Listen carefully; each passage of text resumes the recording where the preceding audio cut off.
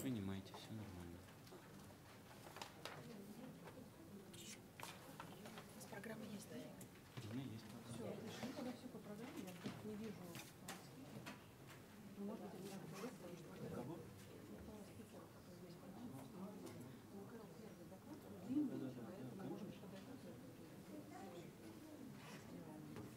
Я его сразу туда поставлю.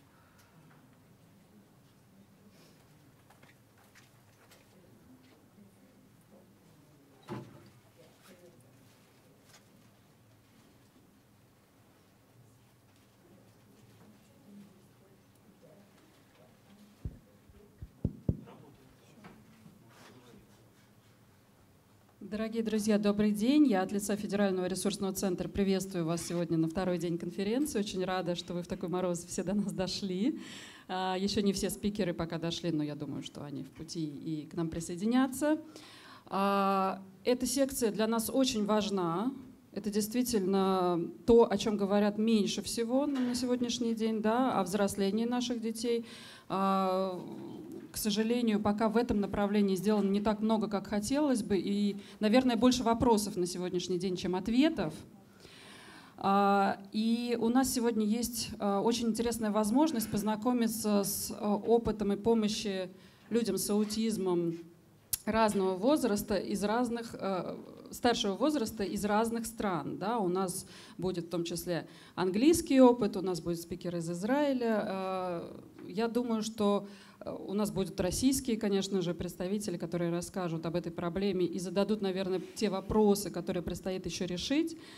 А, Я с удовольствием а, представляю вам первого спикера, который расскажет нам сегодня а, о том, как к проблеме взросления людей с расстройствами аутистического спектра подходят в Великобритании, о том опыте, который накопился, и о том, что интересного мы могли бы подчеркнуть из этого опыта. И э, также я с удовольствием представляю э, соведущего Кэрол э, на сегодняшней секции Игоря Анатольевича Костина. Он тоже сделает свой доклад.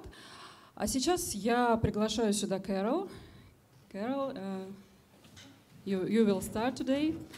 Э, И я надеюсь, вам будет очень интересно начать именно с этого зарубежного опыта. И переводчик. Здравствуйте. Right. Good morning, everyone. Доброе утро всем. Can I first ask, um, what, were you all at my talk yesterday, or are there some people who were not there? А, Хочу сразу э, уточнить, скажите, пожалуйста, все ли были вчера на моем выступлении или есть у нас э, те, кто пришли сегодня первый раз? А, So, Первый раз? So most were. Few people A few not. Okay. It's the reason I ask is the first few slides are repeats from yesterday telling you about the National Autistic Society. So I'll go quite quickly through that so that we can spend more time looking at um, working with adults.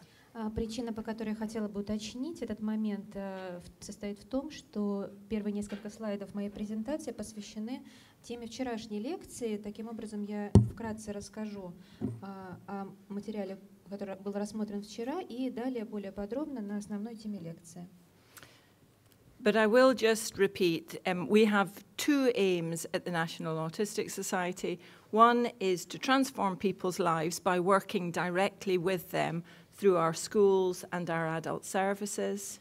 А, Хотела бы еще раз э, сказать о том, что у нашего национального общества аутизма есть две цели. Первое — это сопровождение а, детей с раз по всем этапам их жизни, помощь им, поддержка.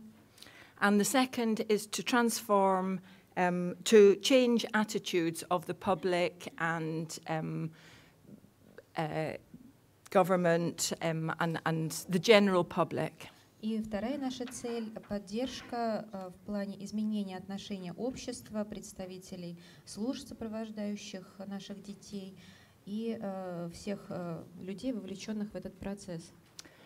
So we were started in 1962, and that in this context is really important because those young children who used our first school in 1965 are still under our support and care and are in their 60s and 70s now. Те дети, которые были зачислены к нам в школу в 1965 году, а, им уже сейчас около 60 лет. А, Хотела бы еще уточнить, что э, основа, основ- основано наше общество было в 1962 году. И на протяжении всего этого периода, с момента открытия школы и обучения детей там, а, мы сопровождаем наших учеников, So we've real sorry. сопровождаем наших учеников, так? сопровождаем наших учеников э, в течение всей их жизни. So we've realized that throughout people's lives, from really from birth to old age and death, their individual needs change.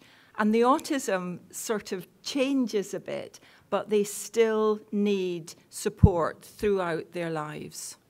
Нашим а, подопечным нужна поддержка в течение всей жизни. Дело в том, что их потребности меняются, и хотя особенности их остаются теми же, но возникают новые потребности, которые нужно учитывать э, при сопровождении и поддержке этих людей в течение всей жизни.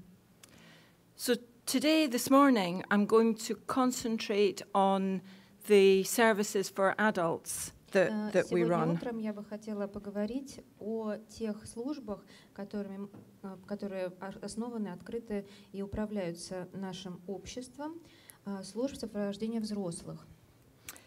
So we have 80 adult centres across the United Kingdom. У нас 80 служб для лиц, э, взрослых людей по всей Великобритании. They consist of um, some group homes where up to maybe eight people live together. Э, Это э, групповые дома, э, в которых могут жить до 8 человек. The largest congregation of autistic people that we have that live together is where we have um, 42 people that live on a rural, uh, rural campus where they all have individual um, small group homes, but there's 42 people that live there. Sorry? Yes. А, Вот одно у нас э, есть э, один, одна служба, в ней живут 42 человека, однако это находится в сельской местности, и они все проживают небольшими группами в отдельных домах на расстоянии друг от друга. И это, конечно, исключительная такое, такая служба, в основном до 8 человек. The more usual model that we have is where people will have their own flats, but they will be in a group of flats, maybe six, um, where people have their own flats with their own bedroom, their own kitchen, their own living room, but there will be a group of maybe six flats. А, Типичная наша служба выглядит следующим образом. Несколько квартир, а, в, которой, э, в каждой из которых живет один, максимум два человека. У них есть места для э, индивидуального пользования, своя собственная кухня. Вот. И тем не менее, эта группа квартир находится под нашим наблюдением и считается одной службой. We also have day services and um, student services, and we have uh, outreach support where people live in their own homes, in their own flats, separately, and our support just goes in to help them to, to in their daily living. Есть еще такой вид дневной службы, а, то есть люди живут самостоятельно а, в своих собственных квартирах, и им предоставляется помощь в дневное время. Приходят наши специалисты, поддерживают, помогают решать вопросы, а а живут они, соответственно, у себя дома. So you can see there isn't one model of support for adults. it all depends on that individual's needs. Таким образом, нет единой модели, каким образом можно помогать, поддерживать взрослых. Вот у нас представлено несколько, как вы видите. We also have an accreditation scheme, which are quality standards for both schools and adult services. And we review other people's services as well as our own. We review other people's services and help them to meet these quality standards. У нас существуют стандарты аккредитации, э, которые мы присваиваем при обеспечении надлежащего качества обслуживания в школах или в службах, а также наша служба может присваивать аккредитацию другим э, э, службам проживания в случае, если они соответствуют надлежащим стандартам. We have our website, and one of the resources on our website is this book called Aging with Autism, which is some work that we did a few years ago to look at the needs of older adults. На нашем сайте, вот ссылка, есть книга. а, Она называется буквально «Взросление и старение а, для людей с аутизмом». И в ней рассказывается о жизни наших воспитанников. Вот они как раз на фотографии представлены. И можно поз- познакомиться материалом. The next one because it's not relevant to adults and go to this one. So, a few years ago, maybe uh, 20, 15 years ago, we realised um, there wasn't enough recognition of the needs of adults. All the focus was on children, and there wasn't a real understanding that autistic children grew up to be autistic adults. Около 15 или 20 лет назад мы осознали, что недостаточно внимания уделяется взрослым, а, весь, все внимание сфокусировано на детях, на их потребностях, детях с раз, и мы забывали о том, что взрос... дети вырастают, становятся взрослыми и тоже нуждаются в нашей поддержке.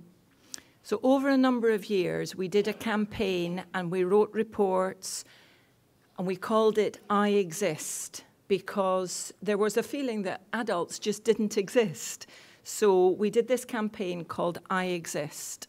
Мы а, в течение нескольких лет проводили кампанию под названием «Я существую» для того, чтобы повысить осведомленность общества о существующей проблеме со взрослыми, о нехватке внимания э, данной теме. And our government kept saying to us, that's fine, but we, you know, you don't need legislation, there's enough legislation already. А, От правительства мы получали следующий ответ, э, что не, не нужны никакие дополнительные законодательные акты, что достаточно сопрово- законодательного сопровождения существующего на тот момент. And in, in the UK government, we have an opportunity occasionally for individual um, parliamentarians to bring forward what they call a private member's bill. So any member of parliament can bring forward one, one bill every year or so, and i- it very rarely goes through. Does that? Есть такая возможность в нашем парламенте. Каждый член э, парламента может раз в несколько лет предложить так называемый частный законопроект, и, э, собственно, этой возможностью мы воспользовались. We got a, a, a member of parliament who had, um, she didn't have a child herself, but a lot of her friends had autistic Мы children. познакомились с членом парламента, у которой не было ребенка с раз, однако несколько ее друзей или знакомых имели э, таких детей. And she brought forward private members' bill, which we got lots of people to vote for, so it got through as an act of parliament, which is really, really unusual. И она выдвинула частное э, предложение о законопроекте частным образом. А, м, Очень много людей его поддержало благодаря тому, что мы организовали массовую кампанию, и он был принят. So in 2009, we got the Autism Act, И в 2009 году появился акт о- по аутизму, which is the only act of parliament which is disability specific.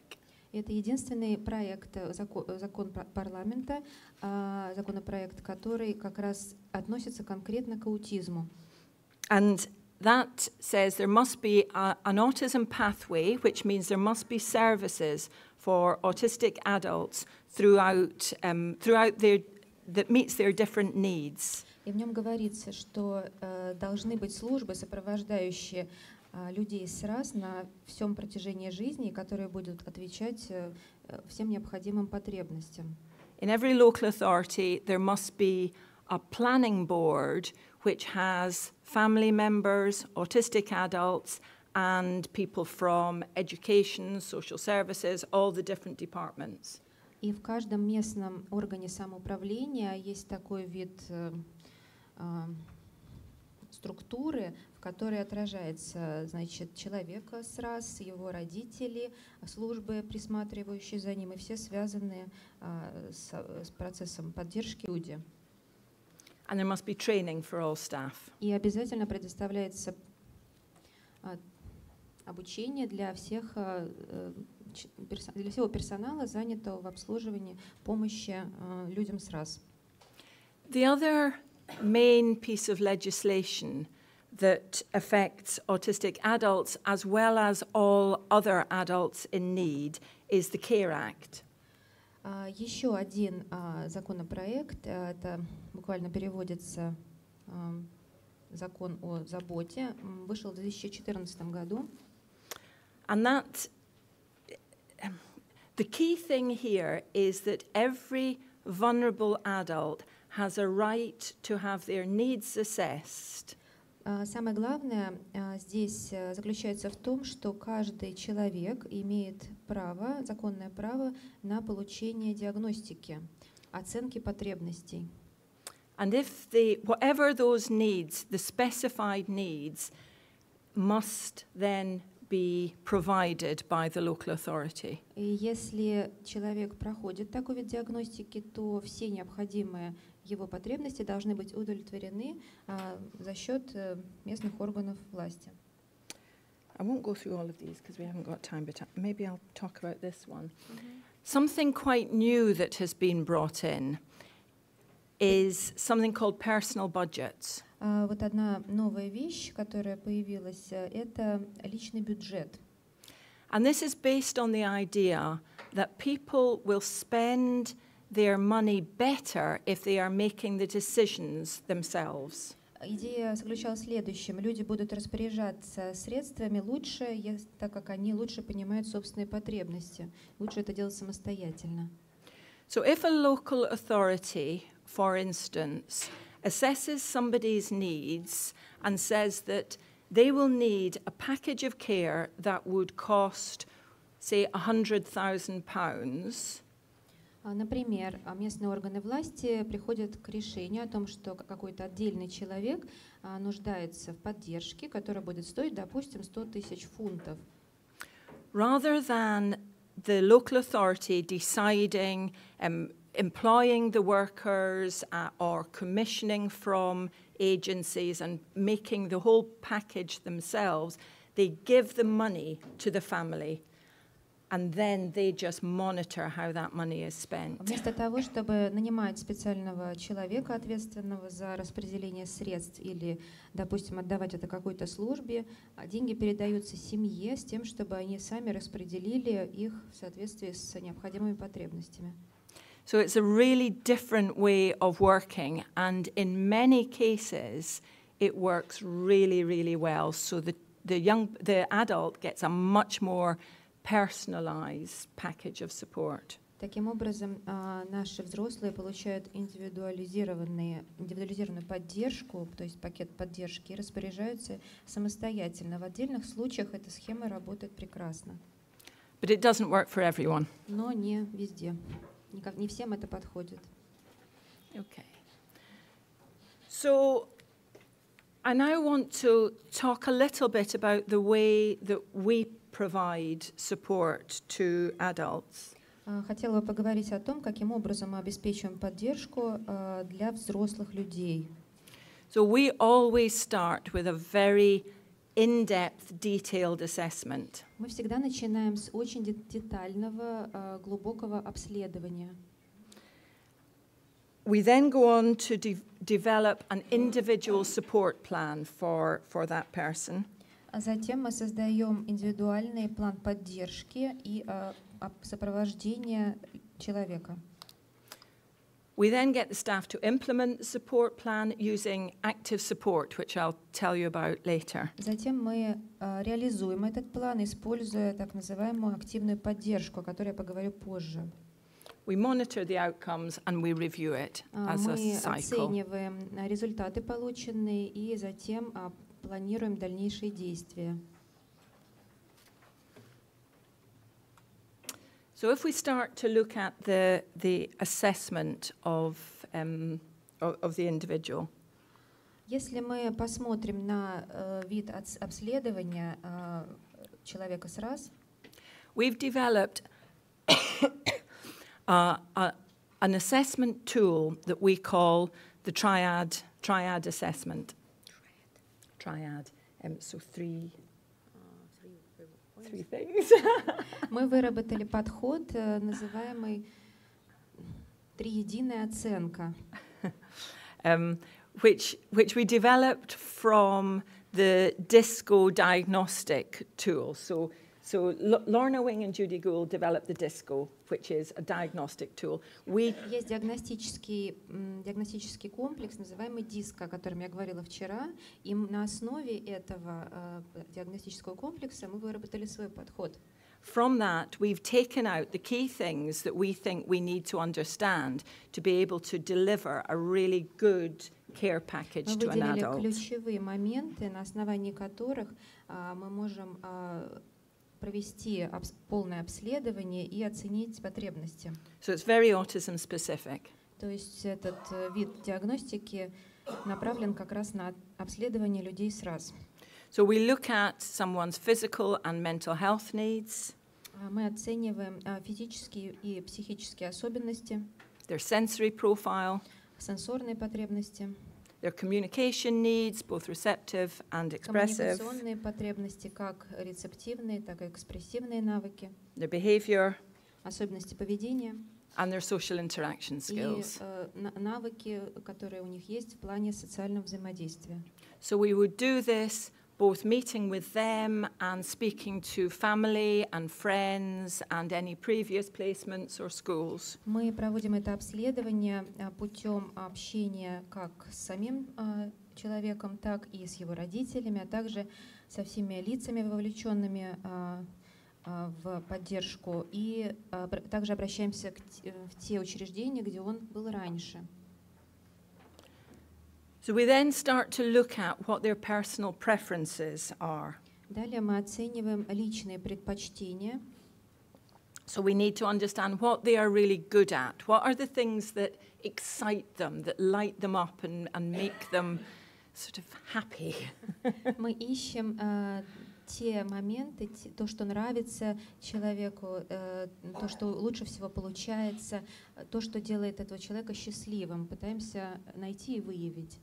and their special interests and hobbies, because all of you will know that if you can capture the s- people's special interest, you can build their whole curriculum around that to, to, to get real Мы success. пытаемся выявить их интересы и хобби с тем, чтобы п- выстроить всю- весь процесс обучения и сопровождения а, на базе этого интереса, э, таким образом, чтобы была выше мотивация. So we need to understand the things they like, the things they don't like, and who knows them best, who constitutes their close circle of support. А, Мы э, работаем а, с людьми, которые лучше всего знают э, этих людей, а также э, пытаемся определить, как, что им нравится делать и что они делать не любят. And very often, we find in um, the adults that we work with, they may be unusual people. It might not be um, mum or brother or sister. It might be the, the, the man in the shop where they always get um, their, their newspaper or it, people that they see on a regular basis might be really important to them. И вот этот близкий круг, то есть люди, которые их лучше всего знают, это могут быть вовсе не родители и не люди из службы поддержки. Может, допустим, быть человек из магазина, который постоянно продает им какие-то товары. И здесь они а, как раз, допустим, близко общаются. И вот именно от этого человека можно узнать а, все особенности вот, насчет а, любимых вещей или того, что не нравится. So then we need to understand the causes of anxiety and stress and what techniques can be used to calm people. А, Далее мы определяем причины возникновения тревоги и стрессовых ситуаций, и что можно использовать, какие технологии для успокоения. We're finding more and more that um, really high levels of anxiety are the biggest barrier to people leading good lives. И вот высокий уровень тревоги и стресса как раз и является барьером, препятствующим а, нормальной жизни. And whilst that's very often easy to see in very high functioning, more able autistic adults, you, you, you see the anxiety, you see the mental health issues.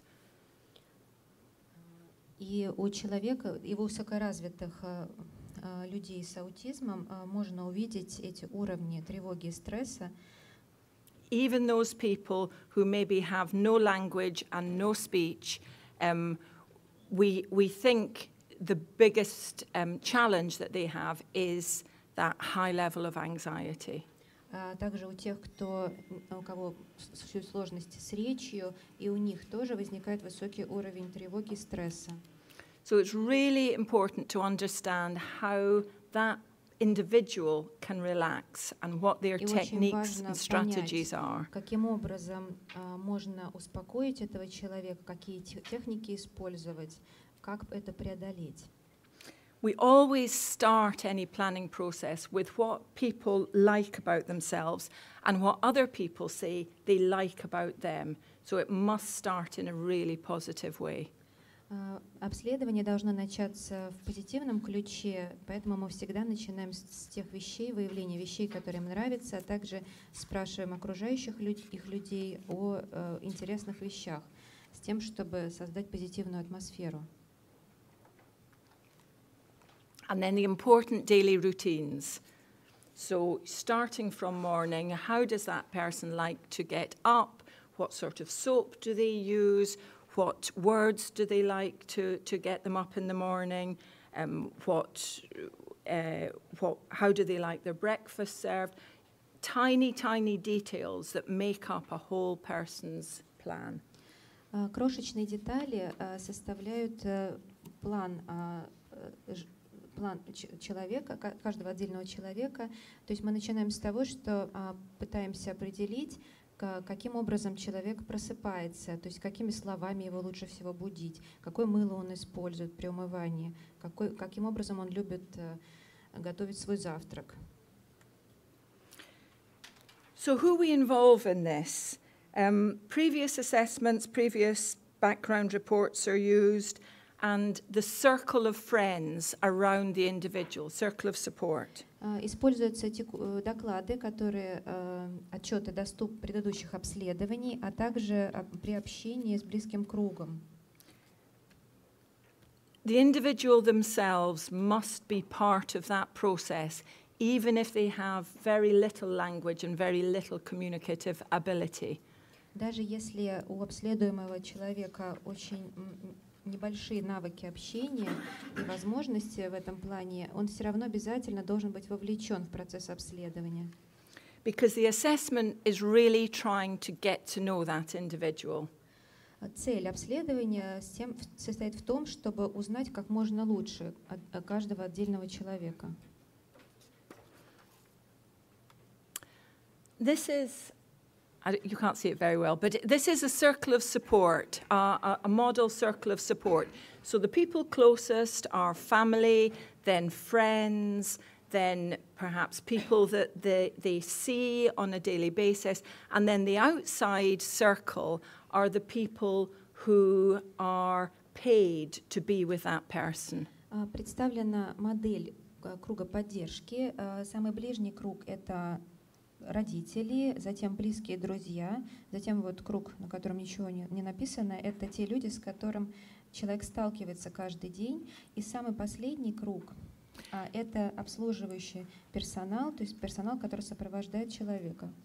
And the, um, the website address at the bottom is um, Helen Sanderson Associates, which is a really good website which has got lots of really useful resources. Um, they are all in English, of course, but there's some good resources in there. А, Много полезной информации находится на сайте Helen Sanders Associates. Yeah. .co.uk. А, Там, а, конечно, все на английском языке, но ресурсов очень много полезных, рекомендую ознакомиться. Now, that's just, it's a duplication. Это Just- повторение. So, from the assessment, we should be able to write an individual support plan. После обследования необходимо написать план индивидуального сопровождения. And that plan should be able to state what that person wants to achieve and how it will be achieved. В плане содержится следующая информация, чего хочет достичь человек, его цели и способ достижения. So, who should be involved? We need to match staff to the person. А, Кто будет участвовать в данном процессе? Нужно подобрать коллектив, который а, будет хорошо ладить с человеком.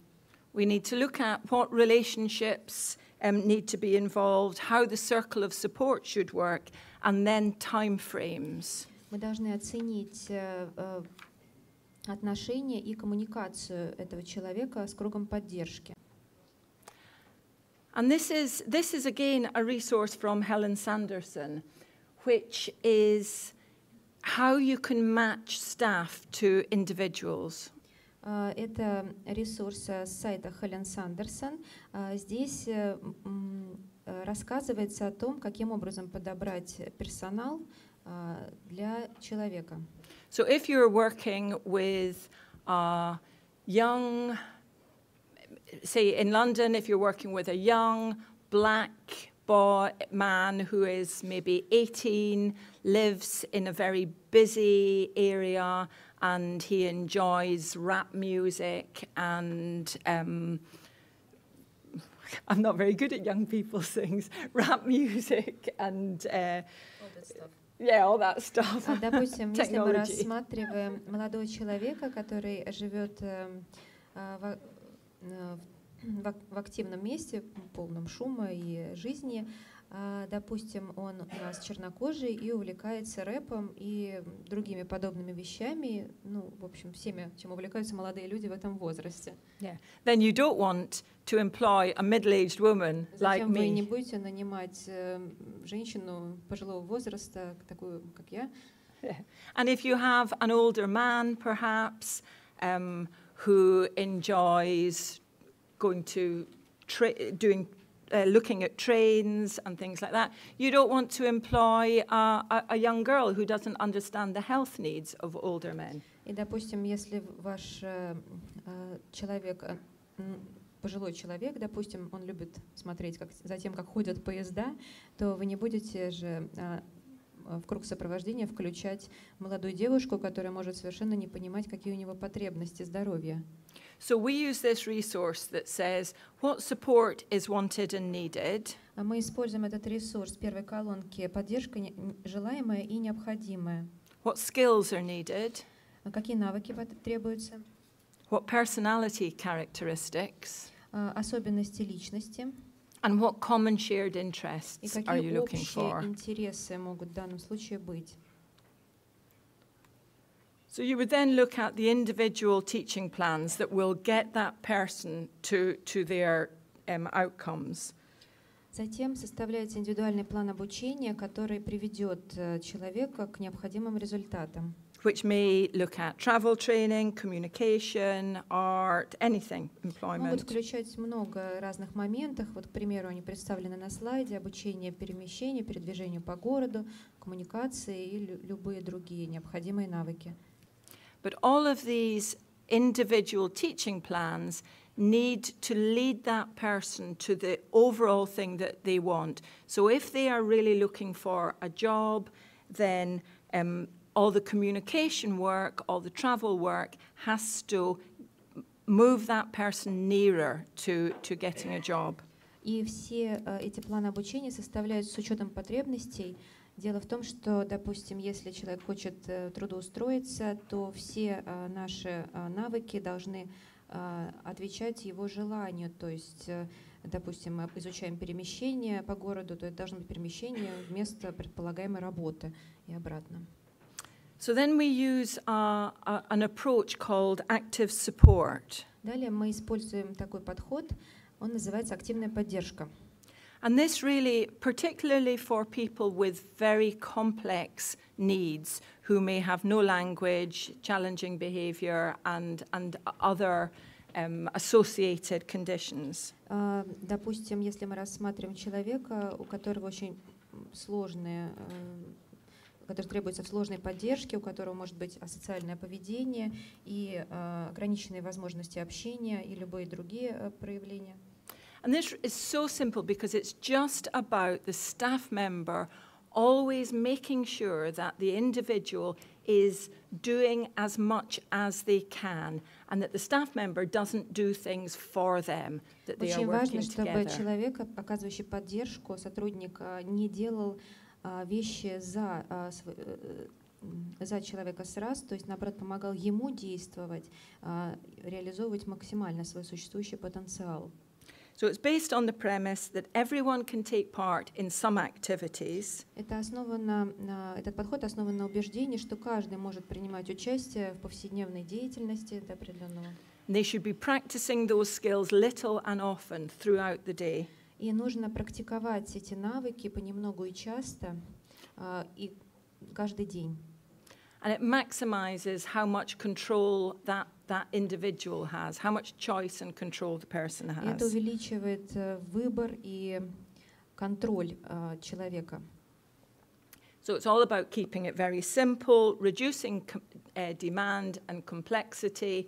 So even if you're making a cup of tea, it would be about working out exactly what that person can do, and each time you do it, giving them a little bit more to do so that eventually they're able to undertake pretty much the whole task on their own. Самое главное — это построить уверенность. То есть если мы говорим о процессе заваривания чая, то нужно а, выявить какую-то небольшой а, оп- определенную операцию, которая лег- удается легко, и практиковать ее постоянно, с тем, чтобы даже вот на этих незначительных действиях начинала строиться уверенность. И таким образом человек может развиваться и дальше достигать необычайных результатов. And that can take a long time, but making sure that you keep really tight records helps the staff member to feel that they are making progress. И, конечно, это может занять огромное количество времени, однако даже такие небольшие достижения помогают и человеку с раз, и сопровождающим его людям понимать, э, что идет прогресс, что все развивается, и чувствовать оптимизм. So then, of course, you have to review that. Um, and you have to have regular reviews to, to measure that progress towards outcomes. Далее а, х- не- необходимо сказать, что обязательно важно проводить осмотры а, э, с тем, чтобы оценивать прогресс. So the person and their circle of support should always be present with staff and therapists, even if they're only able to be in that situation for a short time. Short time, um, it to be in the meeting. So the, the, the person, their circle of support, and the staff and therapists need to be there. But sometimes people can't um, tolerate being in that situation too long. А, Иногда людям трудно находиться в процессе осмотра слишком долго, но все равно крайне важно с тем, чтобы и человек, и его круг поддержки, и сотрудники, и врачи э, все присутствовали на этих осмотрах. And we try to get people to lead their own reviews wherever possible, and, and often to use technology to do that, to use film or um, whatever sort of technology suits. Мы также поощряем а, проведение самоосмотра с тем, с тем, чтобы человек самостоятельно отслеживал а, свои показатели, предоставляем фильмы и другие необходимые моменты с тем, чтобы помочь в этом. But it's really important that they are at the center of that process. Э, Самое главное, чтобы человек понимал, что он в центре данного процесса. So, to, to finish and, and summarise, we think it's really important that a really thorough assessment must take place at the beginning of uh, getting to know any, any individual, any adult. А, В заключение хотела бы сказать следующее. А, Самый детальный осмотр, а, самое детальное обследование и наиболее максимально близкое знакомство с человеком должно происходить в начале. Our experience is when things have broken down, and sometimes they do, and people have to maybe go into more secure environments when, um, when we're not able to, to meet their needs. When we look at the initial assessment, there have been things missing from the assessment. The, the assessment has not been done fully and properly. That's nearly, nearly always the reason for things breaking down later on. А, Все неудачи, которые случаются в дальнейшем, и а, человек перестает себя чувствовать в безопасности и должен уйти из нашего центра, а, такие ситуации случаются, и чаще всего, в большинстве случаев, а, при изучении ситуации, почему так произошло, мы смотрим на первоначальный осмотр и видим, что было, были упущены какие-то важные моменты. So the person needs to be in the centre of all plans and all activities. Человек должен участвовать э, во всех э, планах, во всех видах деятельности. And the teaching needs to be really small step and um, achievable.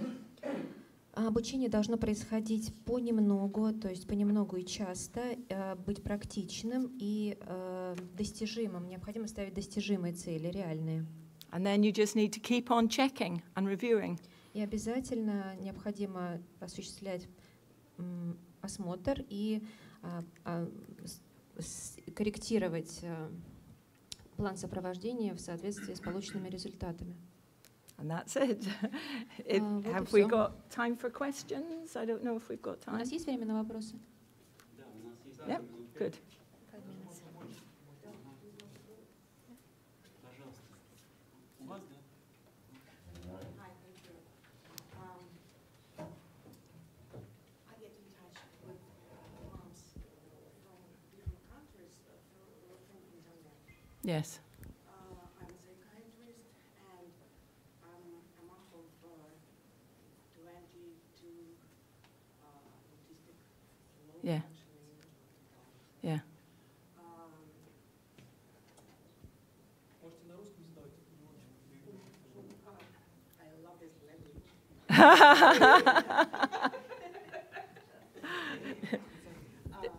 I'm just wondering, do you, do you want to translate for, for them? Or? А, Я сама психиатр, а, работаю с 20... э, я мать 22-летней. а, 22-летним, мгм. И у меня есть 22-летний ребенок а, сразу. Да.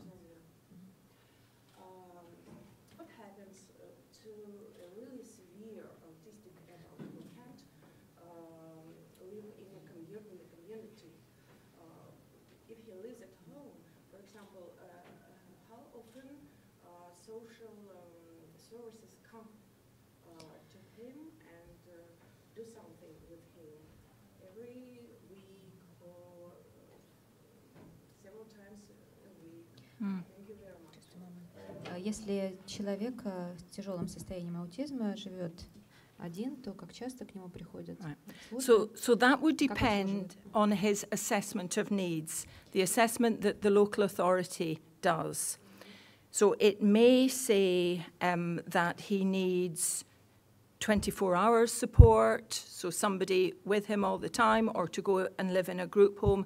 But it may also say um, this person, if, if you said to them, I think my son just needs um, five hours support a day, if they agreed with that, then that's what you would get.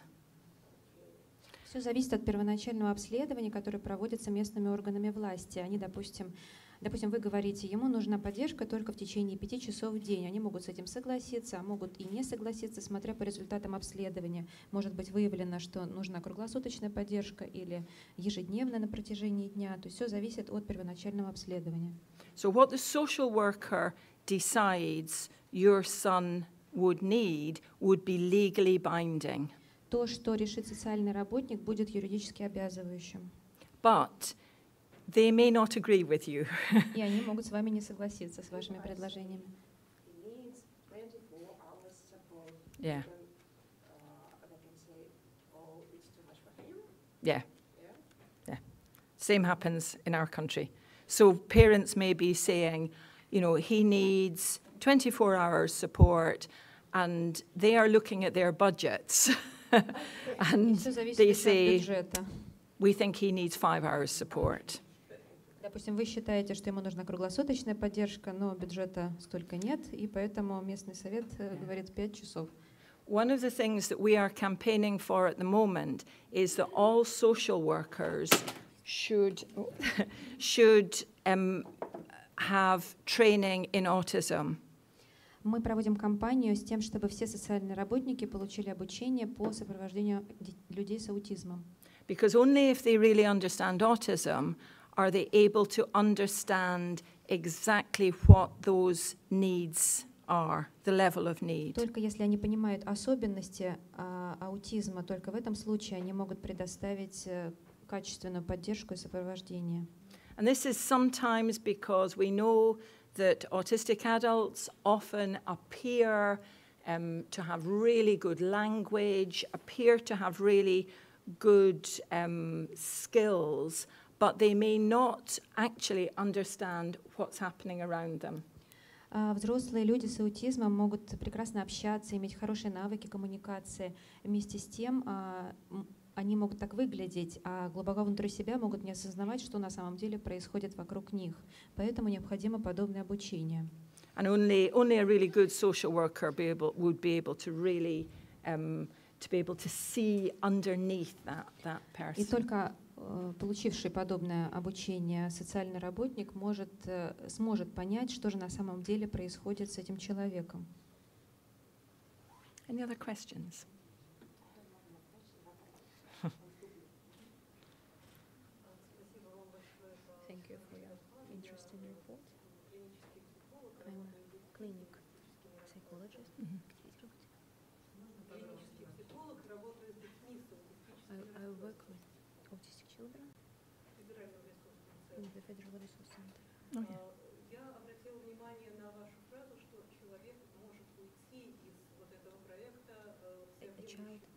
Can leave this project of support.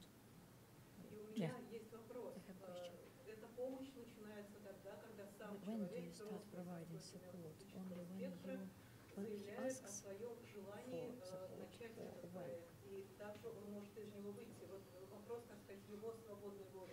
About his will.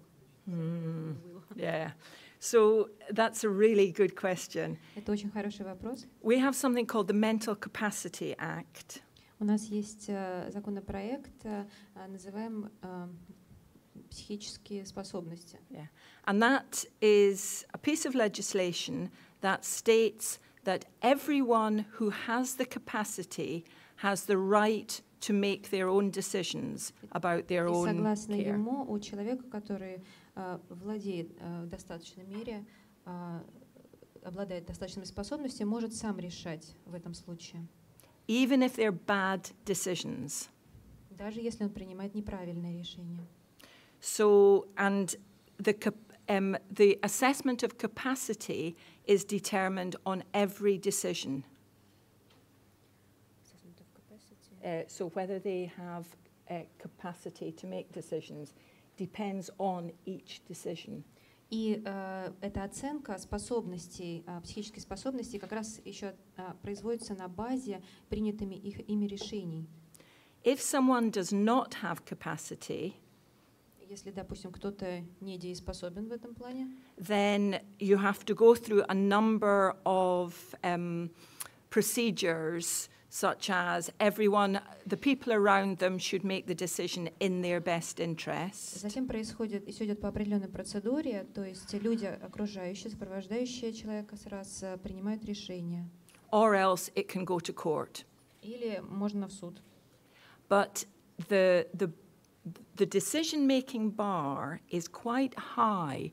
So, Но планка принятия решения находится довольно высоко. so for lots of autistic adults, they, they may live their lives making decisions that are really bad for themselves. And if the court says they have got capacity to do that, there is nothing anyone can do. А, то есть э, ча- бывает такая ситуация, что человек э, живет э, э, самостоятельно, принимает э, неправильное решение, но э, дееспособен в этом плане, то есть э, суд решает, что да, он вправе принимать такие решения. And we've got a case going through, um, going through court at the moment where some families are challenging that. Yes. А, У нас есть сейчас в настоящее время идет процесс в суде, а, когда а, несколько семей как раз э, выступают против этого. Because as soon as someone becomes 18, legally their families have no say in what they do. А, Когда человеку становится 18 лет, э, получается, что его семья не может уже за него решать. And families find that very, very difficult. И это очень сложно для э, родителей и других родственников. In Scotland, it's different. В Шотландии все по-другому. So in Scotland, you either have capacity or you don't. And if, if you are judged not to have capacity, parents have uh, guardianship. So parents can then make all the decisions for that individual um, throughout their lives. If they have no capacity, yeah. Если человек не дееспособен, то в Шотландии существует а, опекунство, и э, родители могут э, таким образом обратиться за помощью. But it's, it's, very, it's, it's a really difficult um, situation because, Is the bar lower in yes, it is. И планка вот дееспособности в Шотландии, она ниже. So, just as an example, if, if we are supporting someone in their house and they say, we, I, say if it's a, a young woman, she says, I'm going out, I am going to get drunk and have sex with all these men, We can't do anything about it. Допустим, если у нас в Англии происходит э, следующая ситуация, то есть взрослая девушка говорит, э, я буду жить самостоятельно и вообще пошла развлекаться ночью а, во, всех Legally. смыслах. И она это может делать э, совершенно легально.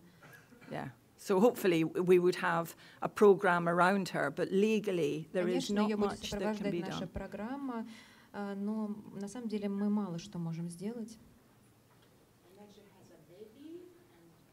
Well, th- there, there was a, a case recently where a very similar situation happened. It went to the Court of Protection, so it went to legal court, and um, eventually the Court of Protection stepped in and um, there were the, the, the staff were allowed to um, constrain her and uh, well, that's the problem. They have to. They ha- had to stop her from going out.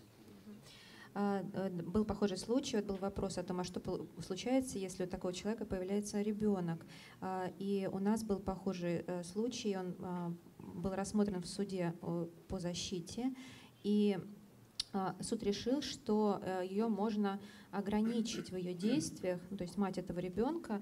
Но проблема в том, что вот каким образом это все реализовать и насколько, какие ограничения поставить, вот реализовать вообще сложно. But those are unusual cases. Но это необычный случай. Светлана, простите, я на одну секунду прерву. У нас Любовь Георгиевна и Иван Николаевич появились? Да. Добыли, да? И вы готовы, да?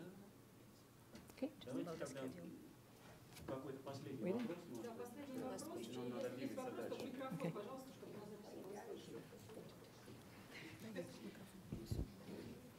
Задавайте, пожалуйста, по-русски все-таки. А, Хорошо, это моя боль, вопрос моей боли. Э, Отношение к психиатрам среди родителей do the э, взрослых с аутизмом.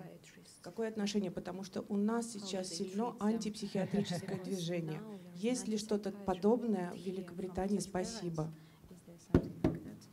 Yeah. yeah. Um, I think psychi- I don't know Russia so well, but I think in Russia, psych- their psychiatrists have had more power and influence than in the United Kingdom. А, Я, честно говоря, не знакома с ситуацией в России, но, как мне кажется, в России больше прав и возможностей для работы у психиатров, чем у нас в Великобритании. I think um, for most families, they would like more psychiatric support, and they, there aren't enough psychiatrists in У the нас не UK. хватает э, психиатров, и многие родители, конечно, хотели бы больше получать такой поддержки, но, к сожалению, ее недостаточно. Particularly with teenagers, Особенно с um, подростками. there's simply, we don't have enough psychologists, psychiatrists, um, and, and families are desperate to get more help for their child's mental health needs. А, э, с- с- Семьи не получают достаточно поддержки психологов и психиатров и отчаянно стараются получить ее как можно больше, но, к сожалению, невозможно, не получается это пока. we, need, we need you, we need more. Спасибо большое, Светлана Кэрролс. Thanks a lot. Давайте двинемся дальше. Пока готовится Любовь Георгиевна Бородина, я хочу передать привет и извинения от Анны Львовны. Написала пару дней назад с извинениями, большим приветом и пожеланиями продуктивной работы для всех нас.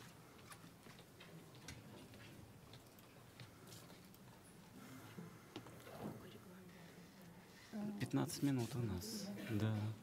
По-моему, вот это у вас, да? Или нет? Нет, вот это вот СД, точно. Мгм. Вторая снизу, да. Двигать вот здесь. Если позволите, я за три минутки буду делать отчаянные знаки. вам, ладно? Хорошо.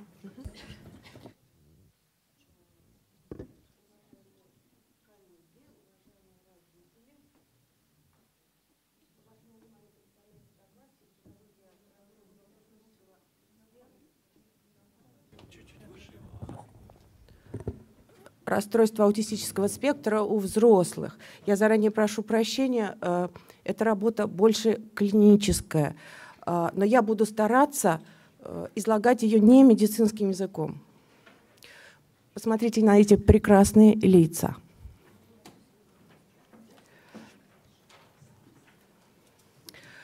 Э, В то время как аутизм привычно считается детским расстройством, его драматически растущая встречаемость э, вместе с отсутствием средств извлечения означает то, что он быстро становится расстройством взрослого возраста. При этом, как указывает американский автор Смит, на взрослых с аутизмом приходится менее 2% исследований. Целью настоящего исследования была оценка психического состояния и э, социального статуса взрослых людей с аутизмом с выделением особенностей психопатологических расстройств и э, клинических вариантов э, аутизма у взрослых. Были опрошены, опрошены родители 70 взрослых, 56 мужчин и 14 женщин, имевших в детстве диагноз детский аутизм, атипичный аутизм или синдром Аспергера. Более половины пациентов были обследованы очно автором исследования хотя бы раз, и треть наблюдались динамически с раннего детства. Средний возраст составил 26,8 лет, но преобладали люди от, 20, от 18 до 28 лет. Лишь двое э, были э, возрастом за 30. А, Вопросы, адресованные родителям, касались уровня адаптации, занятости учебой и работой, возможности посещения центров реабилитации и наличие или отсутствие когда-либо в прошлом, после 18 лет или до, повторяющихся действий компульсив- компульсивного характера, эпизодов немотивированной злости, физической агрессии, аутоагрессии, периодов беспричинно сниженного или повышенного настроения, эпизодов или периодов, в которых сын или дочь высказывали идеи преследования или воздействия, сообщали о слуховых или зрительных обманах, эпизодов или периодов хаотического возбуждения или застываний и судорожных припадков. А, Для удобства было использовано, использовано принятое деление а, аутистических расстройств по уровню функционирования на высокофункциональных и низкофункциональных. Однако э, на практике оказалось, что не хватает чего-то между ними, и добавлена э, группа среднефункциональных. Таким образом, деление соответствовало уровням а, потребности в поддержке по DSM-5. Первый, второй и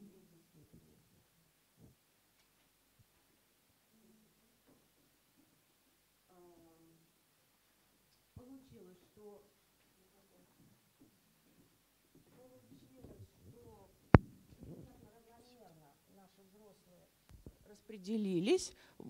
Более трети а, оказались высокофункционирующими, а, 41% низкофункциональными и а, 23% среднефункциональными.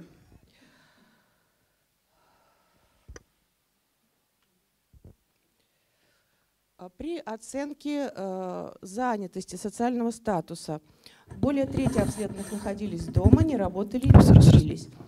Пятая часть учились в колледжах, в том числе на отделениях для лиц с ментальными нарушениями. Около 13% посещали центры занятости для лиц с ментальными нарушениями.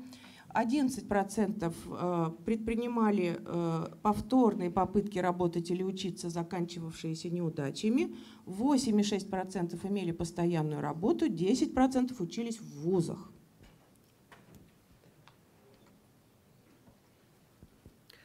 А, Все психопатологические расстройства были поделены на фоновые, постоянные, хронические нарушения и вариабельные, которые могли возникать периодически.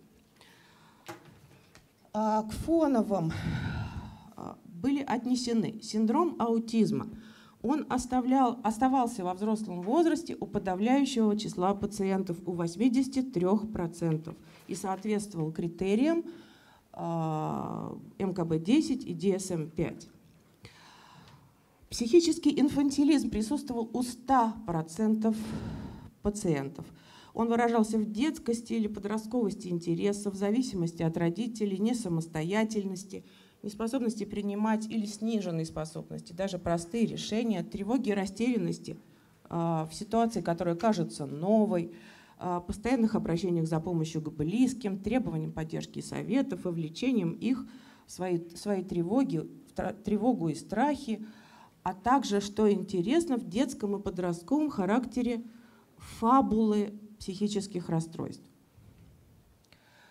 Также определялся эмоционально-волевой дефицит, интеллектуальный дефицит у 65% и э, хронические психомоторные расстройства кататонического регистра, негативизм, импульсивность, моторные стереотипии, гримасы, малая предсказуемость поведения. Это выявлялось у четверти обследованных.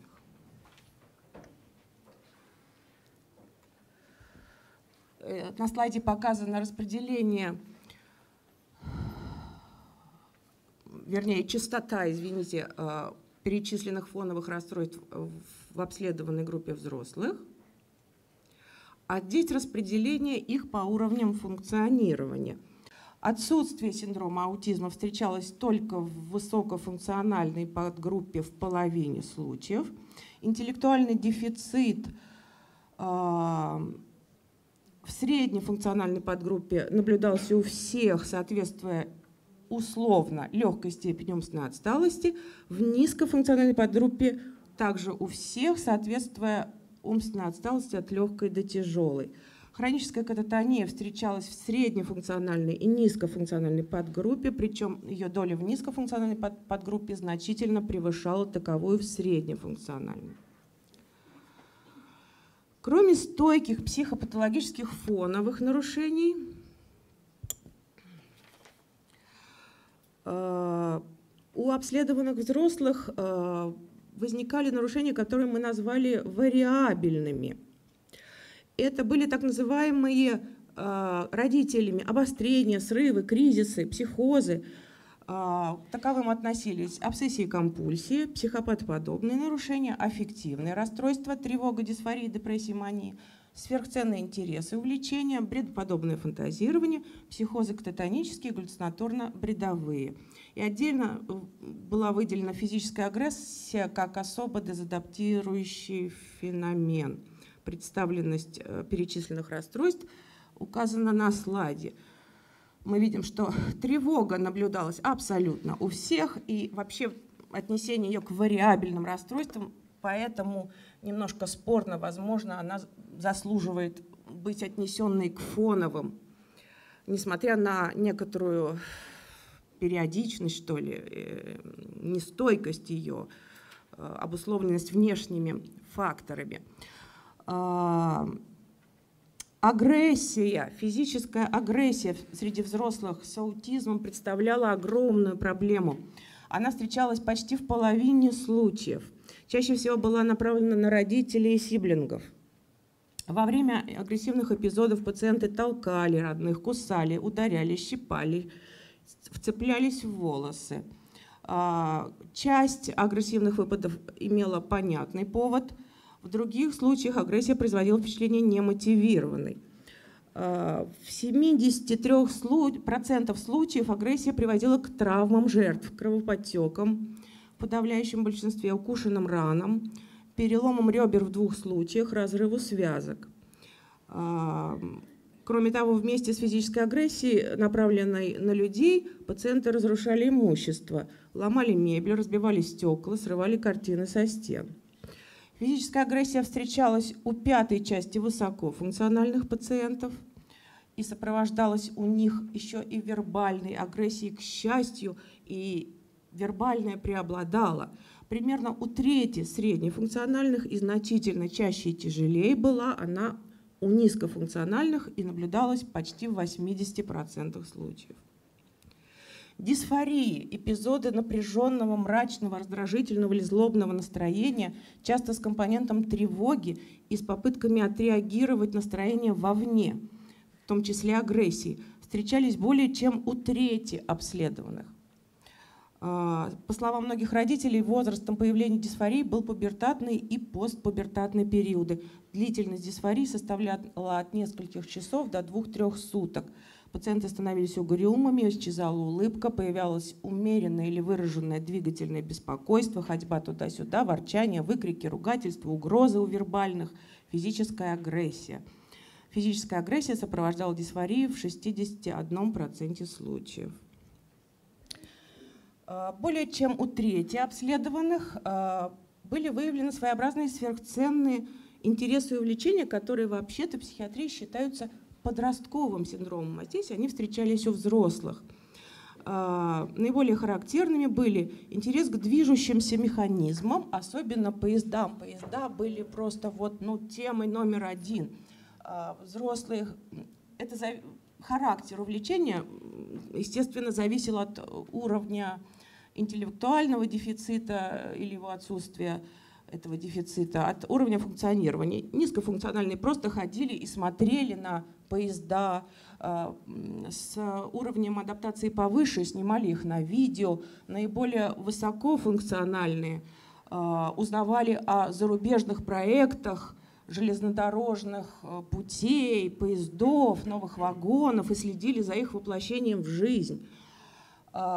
Очень многие любили ездить на электричках, уезжали, высокофункционально уезжали в другие города – а, при этом держа в курсе свою семью, звоня оттуда и говоря, например, «Мама, я приехал во Владимир, все нормально». Уже 15 минут прошло? Окей. Депрессии встречались в 20% случаев. Более предрасположенные к депрессиям оказались высокофункциональные взрослые. А, состояние приподнятого настроения – Э, и неврозоподобные расстройства встречались не так часто. Психопадоподобные нарушения были достаточно грубые, э, длились обычно, начинались с пубертата и были выявлены 12%. Интересным представляется факт, что было выявлено бредоподобное фантазирование, считающееся детским синдромом. Оно было выявлено у четырех взрослых. Например, молодая женщина говорила о вымышленных друзьях, появление которых вызывало произвольно. Психозы возникали у пятой части, э, извините, у почти у трети больных, у 20 больных. По клинике это были кататонические в большинстве своем и два случая галлюцинаторно-бредовых психозов. Я хочу особо подчеркнуть,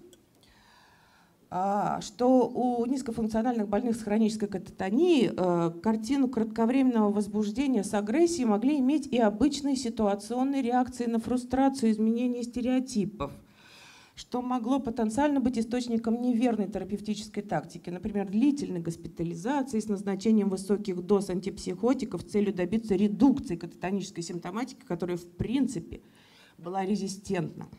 А, пребывание же в незнакомой обстановке больницы вызывало еще большее усиление тревоги и грубых поведенческих расстройств, что также могло расцениваться как проявление психотического обострения. На самом деле было реакцией на изменившуюся ситуацию.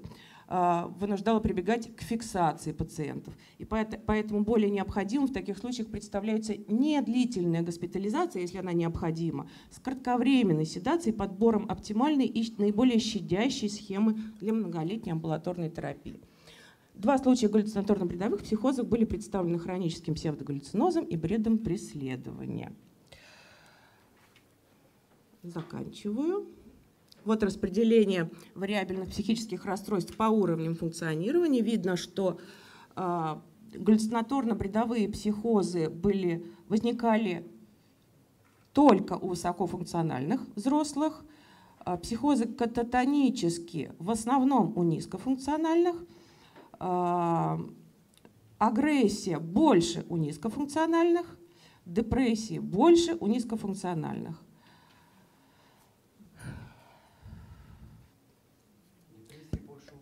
Да, да. Более того, э, в самом сохранном, самом благоприятном варианте, э, вот они, варианты, так называемые сохранные, я специально заменила неприятные психиатрические слова более такими метафорическими, что ли, обозначила шизотипические с эффективными колебаниями как сохранные. Вот в этом варианте, самым благоприятным, депрессии наблюдались в 100% случаев – это самые высоко функционирующие взрослые. Как мы видим, следующие варианты – это провокативный э, с нарушением поведения, э, торпидный, э, напоминающий органические расстройства, фантазирующие эти самые случаи предподобного фантазирования. Их мало, но они очень интересны подозрительный таким э, э, безобидным словом обозначена, в общем-то, тяжелая параноидная симптоматика. Импульсивный, этим словом обозначена тяжелая кататоническая симптоматика. Дурашливый, этим словом обозначена тяжелая гибефренная симптоматика. И пассивный – это самый распространенный как бы вариант клинической картины, когда на первом плане э, эмоционально-волевое снижение, причем оно может быть как легким, так и тяжелым. И Таким образом, вот проценты этих клинических вариантов, как мы видим, самый распространенный – это э, пассивный вариант. Да. Э, таким образом, э, степень адаптации функционирования взрослых людей, имевших в детстве диагноз расстройства аутистического, аутистического спектра, была различной. Уровни функционирования были представлены равномерно – доля же не имеющих постоянной занятости преобладала. Анализ фоновых психопатологических расстройств показал сохранение синдрома аутизма у большинства пациентов, тотальность проявления психического инфантилизма и частоту хронической кататонии. Продуктивная психопатологическая симптоматика тяготела к эффективно-кататоническому спектру, высокофункциональные пациенты обнаружили склонность к депрессиям, низкофункциональной кататонии. Дисфории и физической агрессии встречались у лиц с разным уровнем и представляли серьезную социальную проблему. А, семьи жаловались на полное отсутствие социальной помощи а, в таких случаях. А, в целом больные даже в психотических состояниях часто демонстрировали зависимость от близких и некоторую степень внушаемости. Галлюцинаторно-бредовые психозы оказались довольно редки. В заключение мне бы хотелось э, пожелать, чтобы психиатр присутствовал среди вариантов помощи, которые должны быть около а, взрослого с расстройствами аутистического спектра. К сожалению, отношение к психиатрам в нашей стране ужасающее. Родители боятся э, обращения, уверены изначально, что человека залечат, э, поставят ужасный диагноз. При этом отношение к диагнозу какое-то тоже предвзятое и неправильное. А, да, с учетом особенностей тактики, а, с учетом необходимости все-таки подбора наиболее щадящей терапии, вот в таком случае ведения психиатр должен быть постоянно рядом с нестабильным взрослым с аутизмом. А психиатр, в свою очередь, пожелание не назначать препараты просто из-за диагноза, а все-таки по состоянию, а не по диагнозу. Спасибо за внимание. Спасибо огромное. К сожалению, у нас сейчас времени на дискуссию, на вопросы нету. Но я думаю, что еще будет возможность сегодня и обсудить при необходимости, и задать вопросы. Сейчас я приглашаю Ивана Николаевича. Вы представьтесь пока сами, а я открою вашу Да, я покажу просто, что, что нужно скопировать.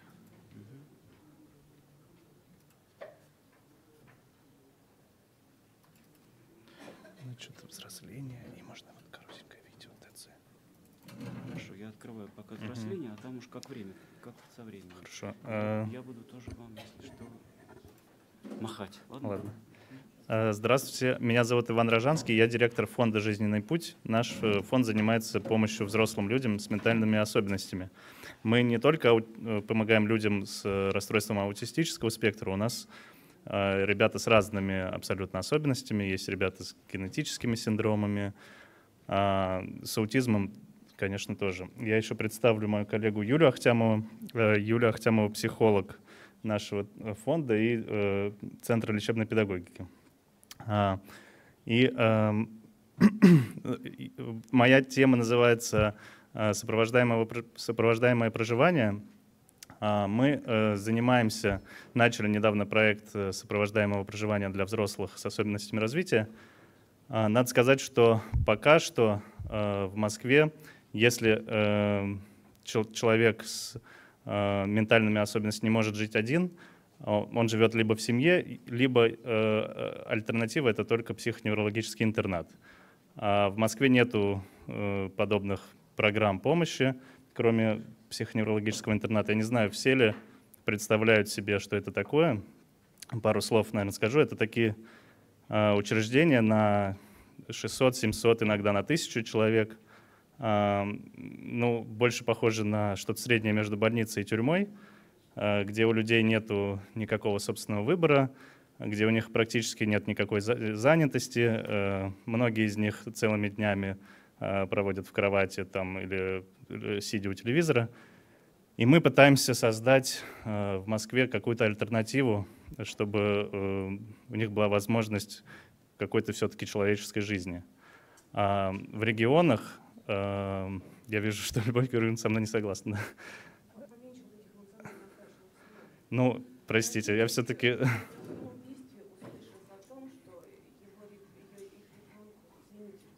Мгм.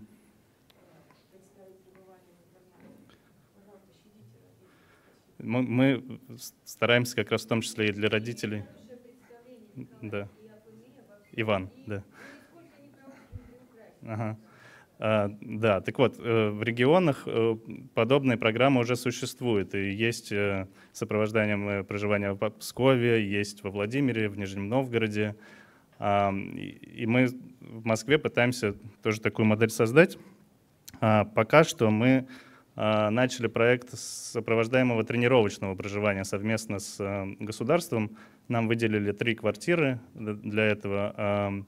И вот первая группа уже начала жить в октябре. Ребят живут пять, раз, пять дней в неделю, на выходные уезжают домой к родителям. А, Мы надеемся, что э, вскоре появится и постоянное сопровождаемое проживание. Мы совместно с родителями а, этот- эту программу разрабатываем. К сожалению, у фонда нет возможности покупать квартиры для там, постоянного проживания, но а, вот этот тренировочный этап, он важен, чтобы это такой переходный, переходный этап между жизнью с родителями а, к самостоятельной жизни. Вот, я, эм, ну, нету времени про все рассказывать, и вот доклад Кэрол э, очень был мне близок. Мы э, делаем те же самые вещи, э, что делает Кэрол, включая и диагностику, и сам подход, и планирование, и разработку индивидуальной программы. Стараемся делать все это, включая самих ребят с особенностями развития в процесс, и, ну и, конечно же, окружение. Но мы думаем и часто задаемся вопросом, что же такое вообще взрослость и как отличить взрослого человека от невзрослого. Да? И, э, и простите, звонки. И тут, э, ну, конечно, это не только возраст, это э, какие-то совершенно другие вещи тоже отличают. И мы, э, если говорить про самостоятельность, то мы стараемся предоставить выбор и предоставлять какие-то, делать самостоятельные решения людям с особенностями, с особенностями развития. И тут на первом этапе это очень сложно, потому что, ну, если человек живет в интернате, то там практически никакого выбора нету, и на протяжении всей жизни за него все решали. И сложно перейти от, э, от той ситуации к иной. Да? Человек не понимает, что э, вообще-то можно по-другому, можно что-то самому решать, можно самому что-то выбирать. Но также и э, в семьях э, зачастую бывают ситуации, когда, когда родители э, ну, просто за неимением сил, времени э, тоже часто решают все за своего ребенка. А, и мы пытаемся создать ситуацию, когда люди с особенностями, пускай они даже э, с, с тяжелыми ментальными нарушениями, пускай они не говорят, но мы стараемся сделать так, чтобы они сами принимали решение, чем они хотят заниматься, как они хотят жить, с кем и так далее. А, ну и, конечно, планирование — а, мы вместе с ребятами планируем э, их жизни. Кому-то нужен, нужно распланировать какие-то э, ну, какие-то крупные события, да, не знаю, куда он сегодня пойдет, или события на неделю, а кому-то, например, нужно прям детально распланировать весь день, э, там, не знаю, до минут. И у меня есть хорошая история про это. У нас живет молодой человек, 20 с лишним лет с э, расстройством аутистического спектра, и он э, отказывался все время принимать лекарства. Ну, это была проблема большая и в семье, мама никак не могла его уговорить. А, это все делалось обманным путем, то есть лекарство добавлялось в чай, потом он этот чай выпивал, э, потом он стал бояться вообще пить чай, потому что подозревал, что там лекарство и отказывался. И Но то же самое было у нас в квартирах, а, когда поначалу он отказывался. Значит, что сделали наши сопровождающие? Они вместе с ним сели и э, написали этот план деятельности. Позавтракать, принять лекарства, собраться, пойти на работу. Без вот каких-то малейших замечаний он все это сам сделал. Это было первый раз вот за 20 с лишним лет, когда он э, когда он э, не выразил как бы несогласие с этим. Что еще такое вообще взрослость? А, наверное, это забота о себе. А, когда человек а, понимает свои нужды, когда э, он э, может вообще что-то захотеть, попросить, попросить помощи, да, что-то сделать. И часто э, люди с расстройством аутистического спектра и с другими ментальными особенностями, а, у них нет вот этой возможности, да, им часто не дают возможность вообще выразить какое-то желание. А, и мы в этом помогаем не только в том, чтобы сопровождать, э, не знаю, пойти в магазин и что-то купить, но э, мы стараемся выработать вот этот механизм, чтобы человек э, смог что-то захотеть в принципе и захотеть для себя. А, это и забота о другом. А, когда человек, а, когда человек может э, позаботиться о ком-то, кроме себя. Тут тоже у меня есть история. К нам э, раз в неделю приезжают ребята из психоневрологического интерната московского. У нас есть мастерские, где они э, занимаются глиной, делают всякие украшения. Мы с ними там учимся готовить, какой-то есть досуг. И вот целый год а, один молодой человек, он а, ну, все время что-то пытался своровать у нас. А, и ну, тут понятно, что как бы, когда человек живет в интернате, у него вообще нет понятия о, ли, о личном и о личных вещах, да, и ему сложно было понять, там, ну вот лежит что-то, чье это, а это там не мое, это нельзя брать. Вот, и э, когда прошел год, э, на следующий год ребята возобновили э, свои визиты к нам, э, он, наоборот, украл какие-то сладости в интернете и принес их на программу и со всеми поделился. Вот, и нам показалось это таким успехом, что вот он э, смог позаботиться о ком-то еще. Заканчивать, да? Хорошо. А важной составляющей э, жизни взрослого человека это, конечно, является какая-то занятость, а, взрослая занятость, да, и мы стараемся э, сделать так, чтобы ребята не проводили целый день дома. Либо кто-то ходит на работу, кто-то даже сам ездит, а, либо э, кто-то ходит на программы занятости – если у человека нет никакой занятости, мы стараемся вместе с ним э, как-то разработ... ну, найти то, что ему нравится, и подобрать варианты. Там, не знаю, кому-то нравится волейбол, мы стараемся найти секцию по волейболу там, возле нашей квартиры, чтобы человек мог туда ходить. Э, я хотел бы еще дать слово Юле, если можно, вот прям... Ага. Я просто немножко добавлю да, к тому, что э, Иван говорил. Еще один такой аспект взросления, который, э, мне кажется, мы все имеем в виду все время, но про него не звучит обычно, да, что взросление наше с вами, оно происходит всегда в отношениях с другим человеком. И эти отношения, собственно, способствуют. Они, э, другой человек, находящийся рядом, он является как бы спутником и сопровождающим э, взросление ребенка, когда он постепенно вырастает.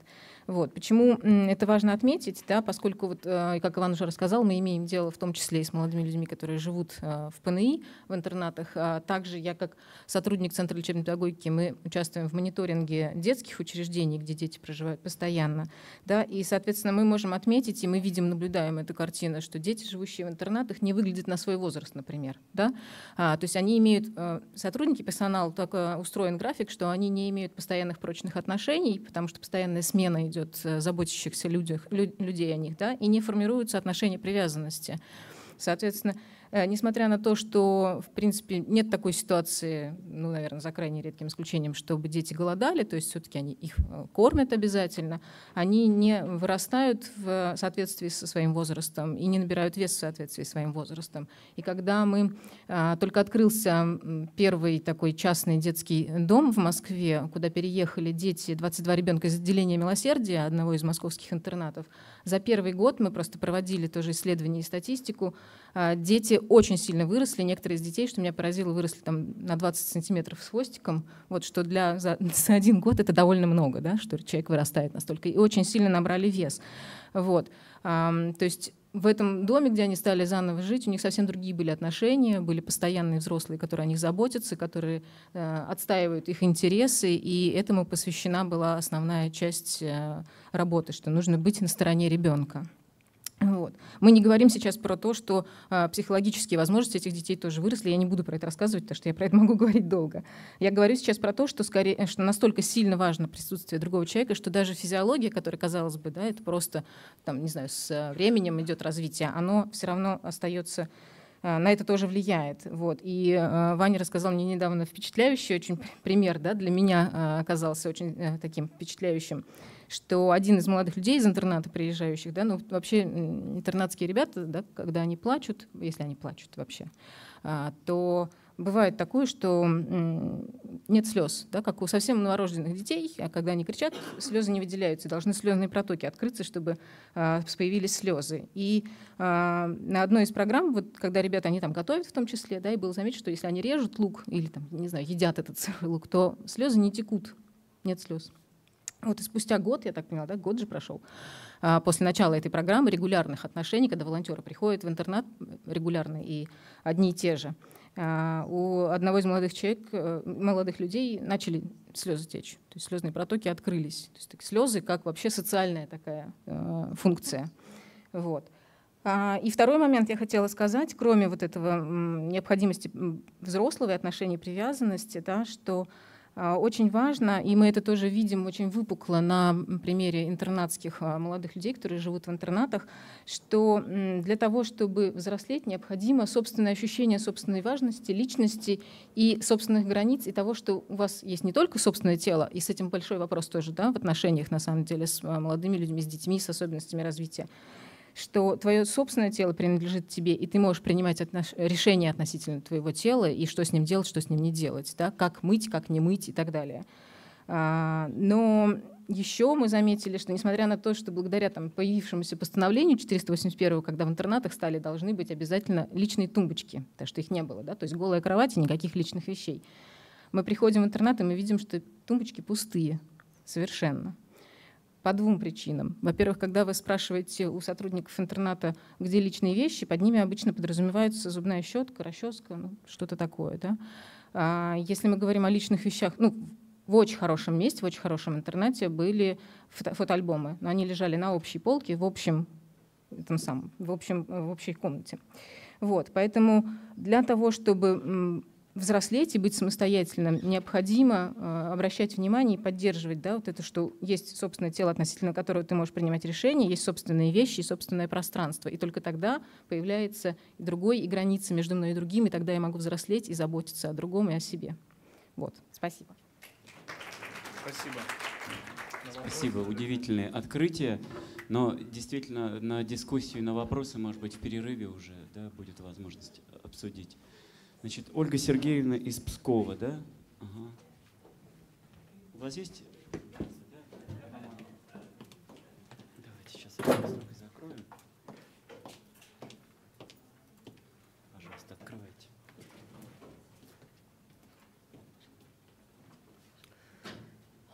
Сегодня я приехала именно рассказать и поделиться своим опытом, опытом работы псковских интеграционных мастерских — это отчасти немецкий опыт, который уже адаптирован и эм, успешно набирает обороты э, в реалиях нашей жизни. Э, учреж...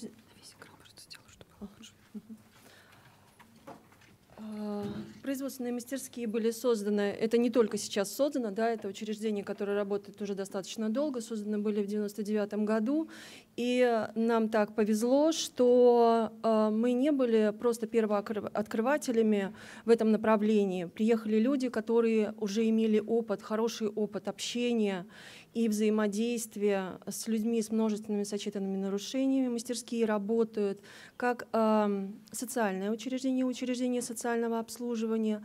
На данный момент мы принимаем 142 э, человека. 10 из них — это на данный момент э, получатели соцуслуг интерната психоневрологического. Остальные живут дома с семьей. 15 человек живет на квартирах сопровождаемого проживания. А, мастерские — это достаточно большое учреждение, а, площадь 3,2 гектара земли, постройками занято всего 320 квадратов. То есть это место не просто маленький небольшой уголок, куда можно приехать, поютиться и как-то организовать свой день. Да? Нет, а, это место, куда приезжают и за дружескими отношениями, какими-то связями, и за взаимоотношениями молодой человек или девушка, И э, это однозначно труд. Любой скажет, что он приезжает туда на работу. И это еще возможность обучения. Но не могу похвастаться, что это прям наш долгий опыт. Но с 2017 года лицензию на образовательную деятельность мастерские получили. И таким образом э, продвинулись еще на один шаг вперед в организации жизнедеятельности людей с множественными ментальными и психическими нарушениями. Э, основная цель работы — это, конечно, профессиональное обучение, трудовая занятость или трудоустройство и, естественно, обеспечение участия в социокультурных связях, социокультурных отношениях. Мастерские располагают производственными и непроизводственными отделениями, а, мы, я дальше э, подробно расскажу о них. Это отделение растеневодства, деревообработки, швейное, картонажное, прачечное и магазин отделение реализации. Это производственное отделение и непроизводственное. Это тренировочное учебное отделение, отделение развития и ухода для людей с множественными сочетанными нарушениями хозяйственное отделение, отделение образовательный центр, отделение сопровождаемого проживания. То есть полный комплекс, как вы видите. Достаточно Э, э, сложно решается вопрос в стране для организации жизнедеятельности людей старше 18 лет. Как правило, к этому возрасту мы имеем очень много вопросов и слишком мало ответов и для самих людей с нарушениями развития, да, и для их семей, которые где-то устали, где-то запутались, где-то не знают вообще, кто может протянуть в данный момент руку помощи. А, что касается Псковской области, то э, система социального сопровождения семей с детьми с особенностями в развитии э, достаточно успешно продвигается и развивается.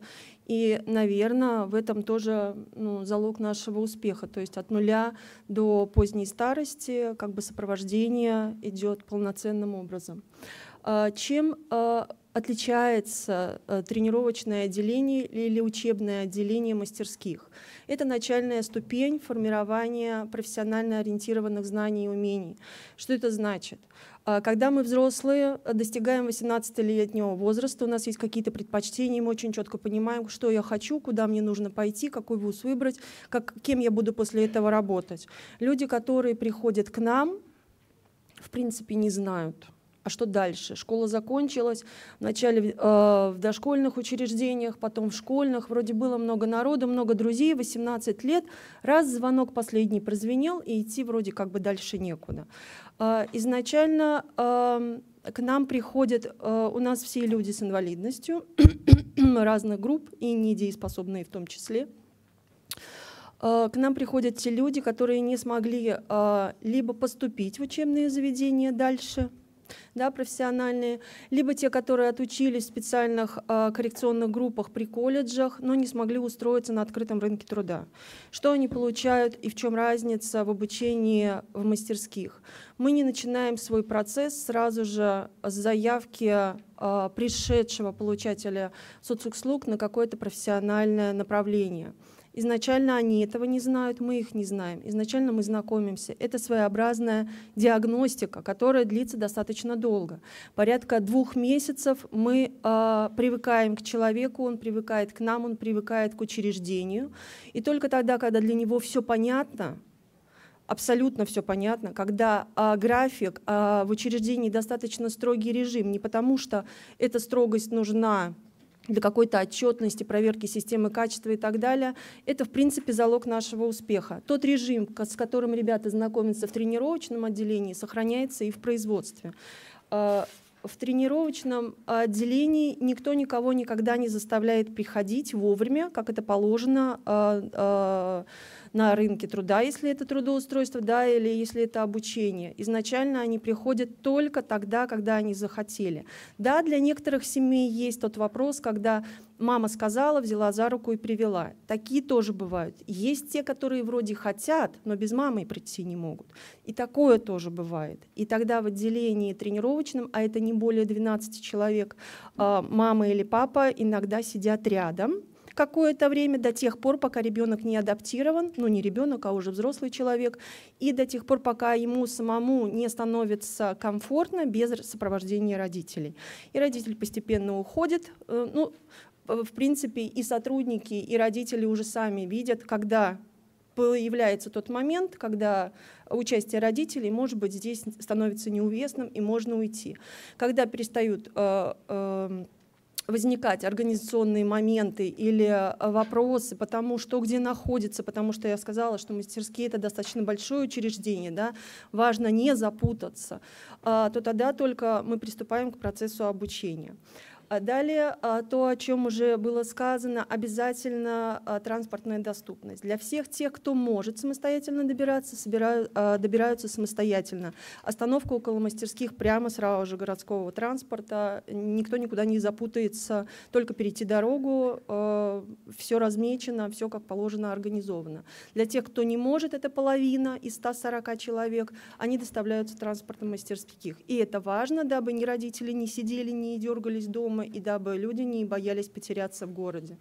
Мастерские э, четко придерживаются структуры. Очень многие родители, приходя из Центра лечебной педагогики, когда дети их достигают 18-летнего возраста и должны уже выпуститься из учреждения, говорят, работа, трудоустройство, у вас реальное производство – это нереально для моего экспрессивного ребенка, он будет бегать, орать, там, я не знаю, драть на себе волосы и так далее. Я говорю, посмотрите, у нас часть э, э получателей соцуслуг — это те, кто пришел из Центра лечебной педагогики, из тех, кто пришел с надомного обучения, или те, кто вообще до 26 лет нигде никогда э, приехал из какого-то села, просто случайно услышав, что здесь есть такие мастерские. И действительно, вот этот вот режим, он очень четкий. 45 минут остается, может быть, это какая-то э, в памяти структура, связанная с организацией дня в школе, да, 45 минут работы, 10 минут или 15 минут перерыв, 45 минут работы, 15 минут перерыв. И даже когда возникают какие-то э, переполняющие душу эмоции, да, э, кто-то с кем-то поругался или какие-то взаимоотношения любовные, они очень четко понимают, вот 45 минут и уже там можно будет встретиться, поговорить, обняться, если нужно, да, или сходить на улицу, или даже если кому-то нужно еще какие-то вопросы решить, это все можно. Они очень четко привыкают вот к этой вот структуре, режим, он дает нам, реально дает очень положительные результаты. Те, кто приходит, особенно с э, частыми какими-то возникающими паническими атаками в силу э, каких-то резких звуков, шумов, там, я не знаю, э, смен ситуаций, Э, постепенно привыкают к режиму, и родители зачастую просят, мастерские работают круглогодично, и, мастерские, и родители просят, можно мы не пойдем в отпуск? Вы э, э, то спасение, когда ребенок, э, ну, взрослый человек, приходит достаточно в меру утомленным, он вроде еще и активен, но у него не хватает вот этой, у, у него пропадают вот эти вот бесконечные экспрессии, да, и нахождение дома становится более реальным, нежели когда человек находится в отпуске. В мастерских э, получатели соцуслуг берут отпуск тогда, когда они хотят, и настолько, насколько они хотят. Изначально мы ставили временные рамки, но э, теперь ушли от этого, потому что не все выдерживают месяц дома, кто-то ходит только на неделю, вроде как показалось, что устал, неделю, больше недели уже не, вытащить, не вытянуть, да, и возвращается в мастерские. Дальше обязательное планирование рабочего дня, обязательно в присутствии всех, кто приехал на данный момент, да, мастерские, оно, э, если кому-то является непонятным, если у кого-то вопросы э, с памятью, неважно, кратковременные или долговременные, это все фиксируется на доске в виде пиктограмм. И э, для каждого отдельного приехавшего на сегодняшний день человека. А, и выглядит это вот так вот. То есть это приехало достаточно мало людей. А, сверху э, стоят имена тех, кто приехал. А, треугольнички — это практические занятия, теория. Это либо конкретный индивидуальный вид деятельности, или же это теория и время. Это время будет сохраняться всегда. Все перерывы так будут от начала учебного момента и непосредственно на работе уже на производственных отделениях. Бывает и так, что вот вторник был таким, а среда вот такая и приехавших уже достаточно больше. Да? Почему не приехали, никто не выясняет, никто не просит принести какую-то справку. У всех разные ситуации жизни в семье, у всех разные особенности здоровья, кому-то тяжело, кто-то просто поссорился, у кого-то не могут родители. неважно, э, когда он приедет, он дополучит все то, что он недополучил. Да, естественно, здесь требуется сопровождение э, на бумаге, то есть это и планирование, и ведение контроля за всем, что человек и совершает, и какую информацию получает, и где какую практику проходит. Но, тем не менее, это возможно. То есть направленность здесь будет всегда индивидуальной, и решаться вопросы будут в частном порядке.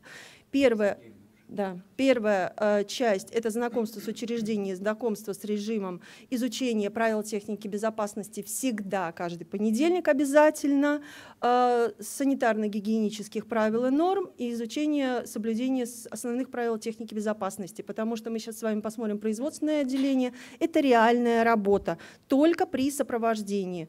Э, в мастерских работают 10 э, человек с особенностями в развитии на одного сотрудника.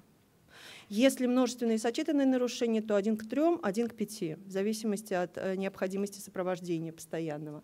Изначально будут работать над тем, чтобы сформировать отдельные операции, потом отдельный вид работ, и потом только в полном объеме освоение специальности для того, кто может ее освоить. А, профессиональное обучение по 14 программам, основанные не на ВГОСах, основанные на ЕТКС, да, справочник для э, работ э, и характеристик профессиональных, э, тарификационные для рабочих и служащих. И, в принципе, наверное, нам было в этом отношении проще прописать программы, потому что мы писали уже, имея опыт работы, и знали, какие достижения есть у молодых людей – на конкретном производстве. Получается так, что есть практика в тренировочном отделении, а потом сразу же тут же работа на будущем месте работы или трудовой занятости. Это достаточно большой плюс для людей с, и с психическими, и с ментальными нарушениями, и с физическими нарушениями, потому что то, что я могу делать в спокойной обстановке, да, в тренировочном отделении, не всегда точно так же получается там, где работают станки. Поэтому все нужно попробовать в разных направлениях. Ну, э, кто-то получит свидетельство по профессии и, соответственно, будет трудоустроен. У кого-то будут освоены основные части, да, моменты программные, но физические особенности, возможно, не дают полноценной занятости да, или трудоустройства, тогда он будет помощником на производстве.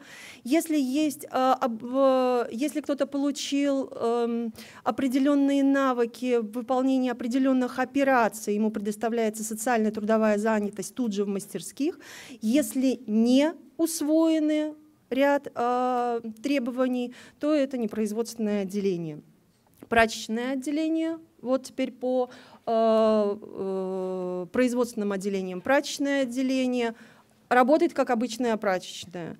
Э, в отделении, в каждом отделении от 10 до 20 человек, один инструктор к 10 э, выполняют заказы городских э, предприятий, стирка, отбеливание, удаление пятен, утюжка. Не все 10 человек будут выполнять все операции от одного до последней. Да? Кто-то будет делать только одно, кто-то может все, кто-то только в помощь. Но, тем не менее, абсолютно все четко знают, что у них есть трудоустроенное такое вот свое, да, организация своего пространства, есть труд, он очень важен, и без него не обойдутся, даже если он помощник. Э, швейное отделение – это большой швейный цех, тоже рассчитанный на 10-12 человек. Кто-то вышивает, кто-то э, шьет, кто-то только выполняет какие-то наметочные да, действия, кто-то только снимает наметку, но тем не менее абсолютно все 12 человек заняты в процессе. Все производственные отделения, абсолютно все работают на заказ. Сейчас на данный момент ну, где-то 3,5 миллиона мастерские зарабатывают самостоятельно. Да, это нам вменено э, тоже в нашим управлением э, в какие-то наши планы, да, которые мы должны увеличивать и так далее. Но э, все заказы подбираются только конкретно под возможности тех, кто трудится. Сотрудники не выполняют ничего. Мы, э, в, для нас важно подобрать работу таким образом, чтобы каждый из трудящихся понимал, что это я сделал, я ответственный, без меня не могут, я не могу подвести. Для того, чтобы это качество формировалось, обязательное участие в каких-то конкурсах конкурсах. Мы своих выставляем на конкурс, предлагаем на конкурс профессионального мастерства. И как бы они ни боялись, долго мы к этому шли. Вначале посиди со мной, потом нет, уйди, потом нет. 33 варианта. В итоге мы э, первый раз попробовали, и теперь ждем и пытаемся, все, я это освоила, я сегодня могу шить сумку, я хочу шить постельное белье, потому что Люда в конкурсе была первой, и я тоже хочу, да, я, да, по крайней мере, это возникло, вот это вот желание, да, я попробую, потому что изначально было, я не смогу, у меня не получится.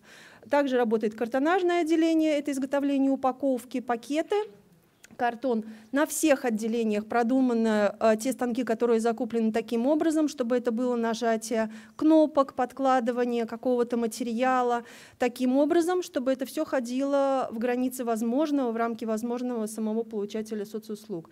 Деревообработка, более э, большое отделение, занимаются изготовлением э, мебели, у каждого свое дело – Нету такого, что в деревообработку все пришли, все станочники, столяры и плотники. Нет.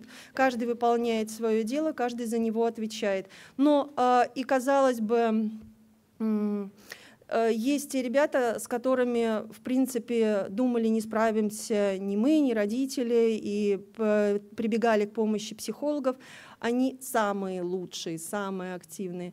Э, в своем труде. Да, возможно, я могу пилить только на этом станке, и его нельзя переносить в другое место, но зато я в этом прям супермастер, это однозначно. Здесь тоже, опять-таки, участие в социальных проектах, то есть мы изготавливаем мебель для детских садов, интернатов, э, детских домов, для того, чтобы они чувствовали, что это прям архиважная ответственность, да, это архиважное задание, и это очень-очень-очень нужно, и обязательно включаем их в доставку, чтобы они приехали и этим детям детям или этим бабушкам, дедушкам привезли то, что они изготовили. Это то, что находится в магазине, в принципе, то, что изготавливают э, производственное отделение. Магазин находится в городе, тоже работают наши ребята и один инструктор, пять человек инструктор. И очень большая территория у мастерских. Э, три теплицы, работа на улице. Э, первая теплица работает постоянно, подключено отопление, полив, это выращивание кала, мы ее сдаем на срезку. Вторая теплица выгонка луковичных, занимаемся выращиванием тюльпанов и рассады. И третья теплица это овощи.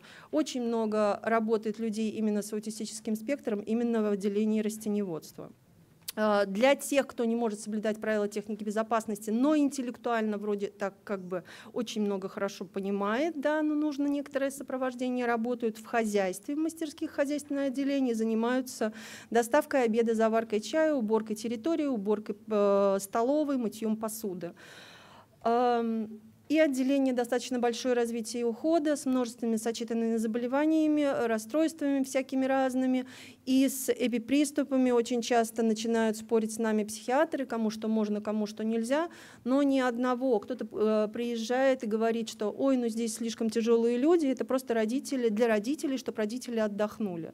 Нет, простите, там каждый знает, зачем он туда приехал. И даже если он не говорит, и вот девушка на нижнем фото абсолютно ничего не может сказать, ничего не может в принципе сделать, кроме как пошевелить руками. И такое настроение это не часто, но э, если мама не э, звонит э, с тем, чтобы автобус приходил за ней каждый день, она устраивает ей забастовку и перестает есть.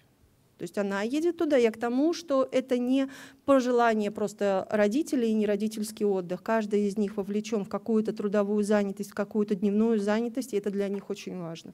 Здесь они раскрываются, здесь они э, находят своих друзей.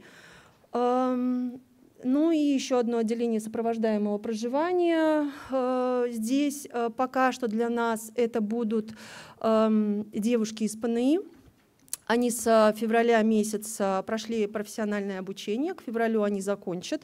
Э, в основном это направление деревообработка, несмотря на то, что девушка ушла на станочное оборудование.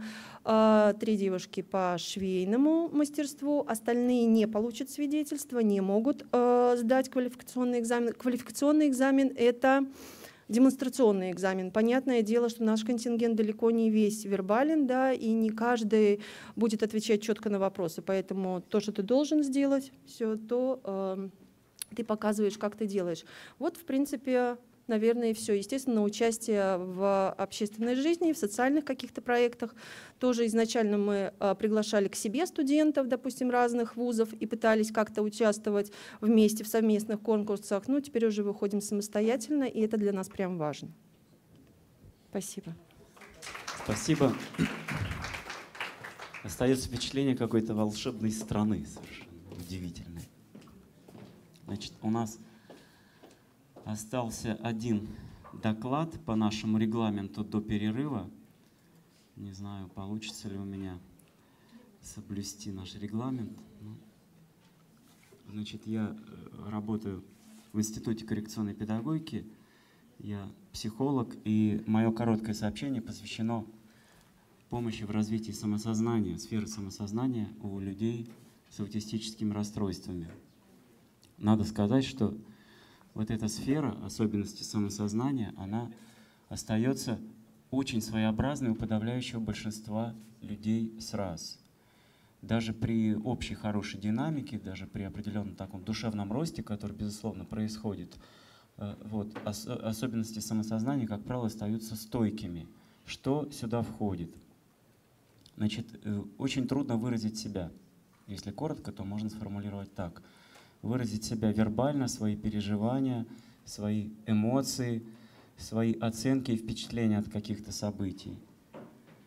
И, э, как известно, есть и концепция несформированности модели психического у людей с аутистическими расстройствами, что таким людям очень трудно отделить свои мысли, свое знание, свои переживания от таковых лю э, других людей. Да? И это, это действительно приходится с этим сталкиваться. Нередко вот выделить свои, свой внутренний мир от э, внутреннего мира другого человека бывает трудно таким ребятам. Для многих трудно даже высказать какие-то свои предпочтения, сделать свой элементарный выбор. Для многих это остается проблемой даже уже Э, в подростковом и юношеском возрасте. Эти особенности накладываются на очень бедный, как правило, психологический словарь. То есть слова, обозначающие переживания, черты характера, нравственные категории, настроение человека, они э, не сильно представлены вообще вот в сознании людей с аутистическими расстройствами. И, как правило, они пассивном словаре присутствует, а вот в активном словаре, чтобы активно их употреблять, это вообще бывает очень редко, не часто, не у, далеко не у всех, у, у меньшинства. Вот. И в целом, вот как у его здесь э, обозначен внизу, в целом внутренний мир э, людей с аутистическими расстройствами очень часто остается таким вот трудно вербализуемым и каким-то неразделенным, недифференцированным. И, конечно, в этом тоже нужна помощь. Вот. Особо хочется два, слова сказать о том, что представления о событиях своей жизни тоже совершенно по-особому остаются в памяти. Автобиографическая память э, устроена очень своеобразная у очень многих людей с аутистическими расстройствами. Это скорее не в виде такого постоянного континуального представления о себе как э, постоянном, но потихоньку изменяющемся во времени взрослеющем субъекте, да? а в виде отдельных, ярких и порою весьма детализированных, точных, наполненных яркими деталями воспоминаний.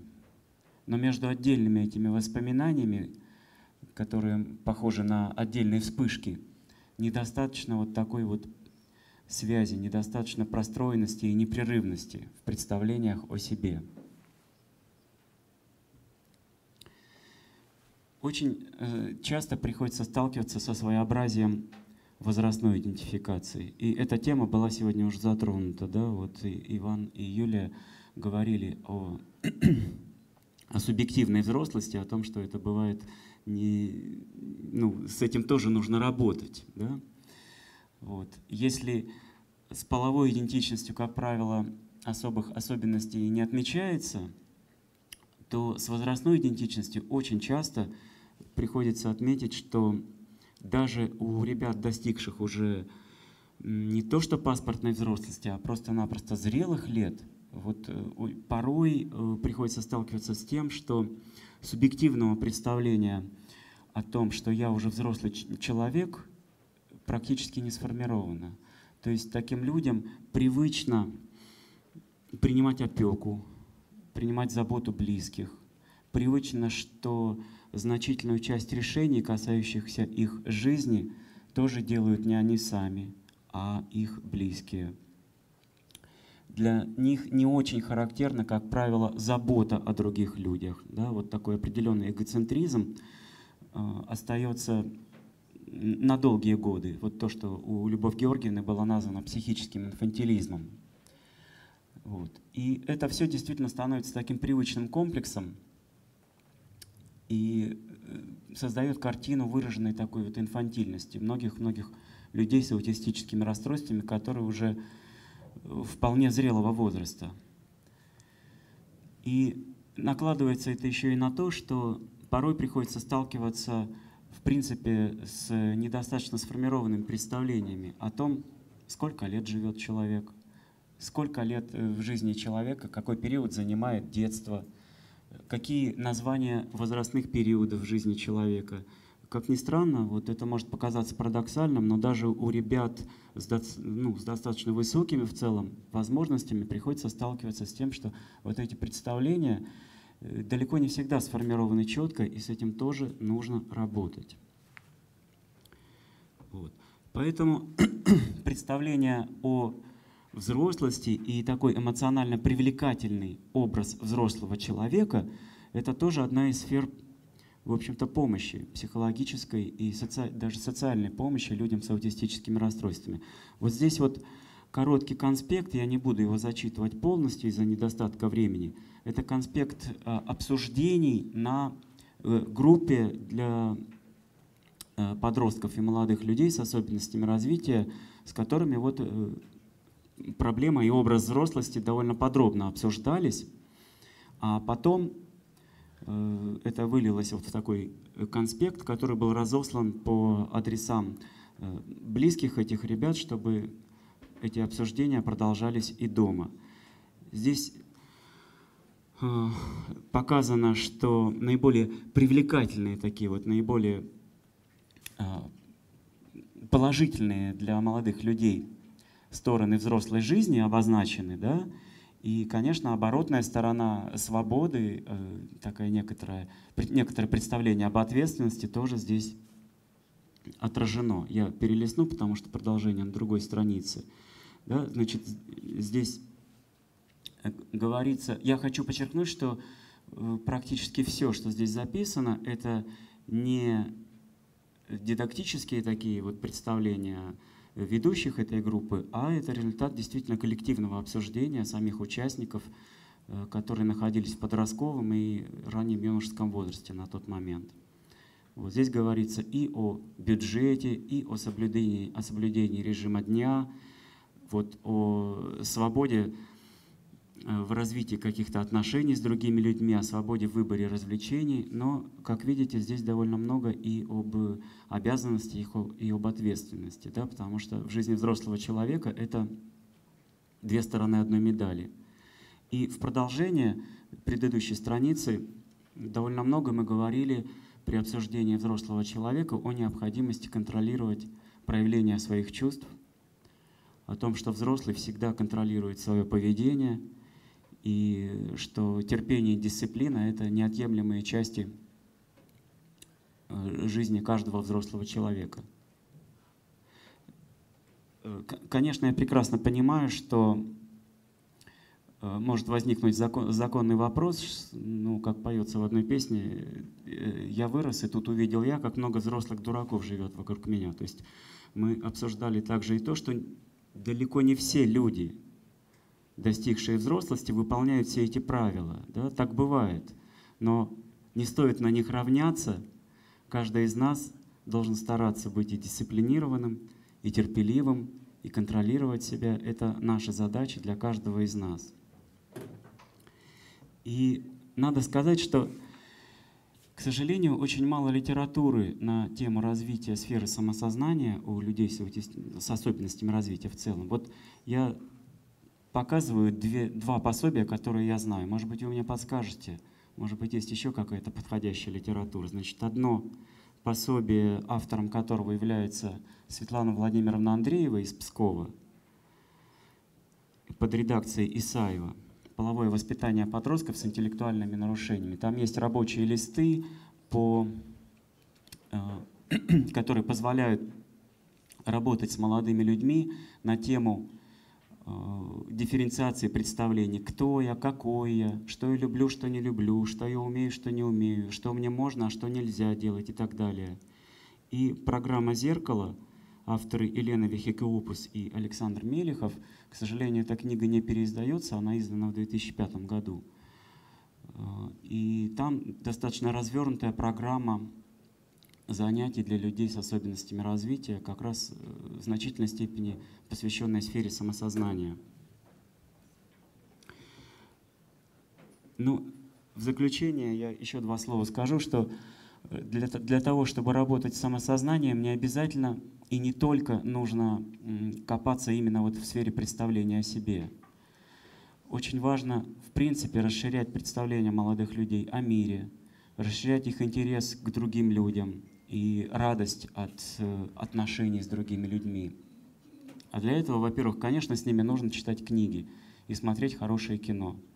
Это очень важная, как нам кажется, форма э, взаимодействия и форма э, психологической работы, психокоррекционной с выросшими уже, с подростками и с выросшими уже людьми с особенностями развития. А также очень хорошая форма работы — дневник.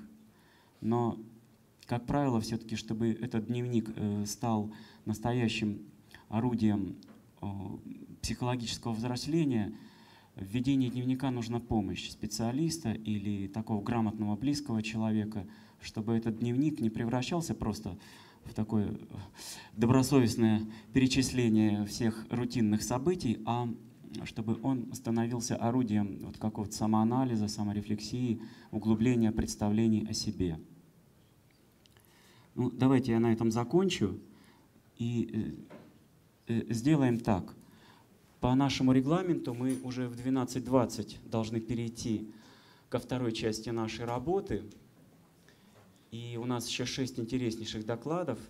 Давайте мы прямо вот в 12.20 вместе со, с чашечками, со стаканчиками садимся и продолжаем работу, а пока можно вот обсудить, обсудить доклады.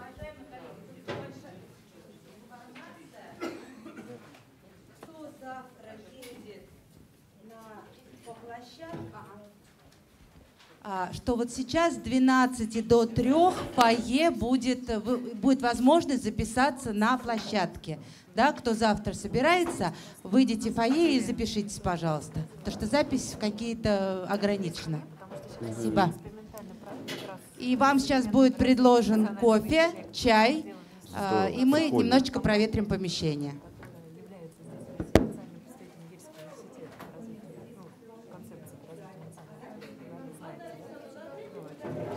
Ну, термин знаю, да. Поэтому давайте стараться в, таком, в темпе работать, потихонечку брать то, что там стоит, и продолжать. Как вам удобно? Вы сидите?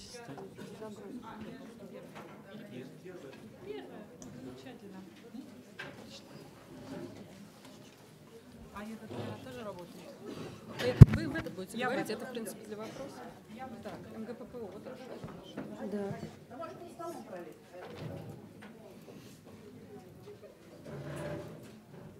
Есть кто-то, кто презентацию еще не отдал, кто из спикеров сейчас выступает? А можно будет проверить, открывается, не открывается экран? Все нормально.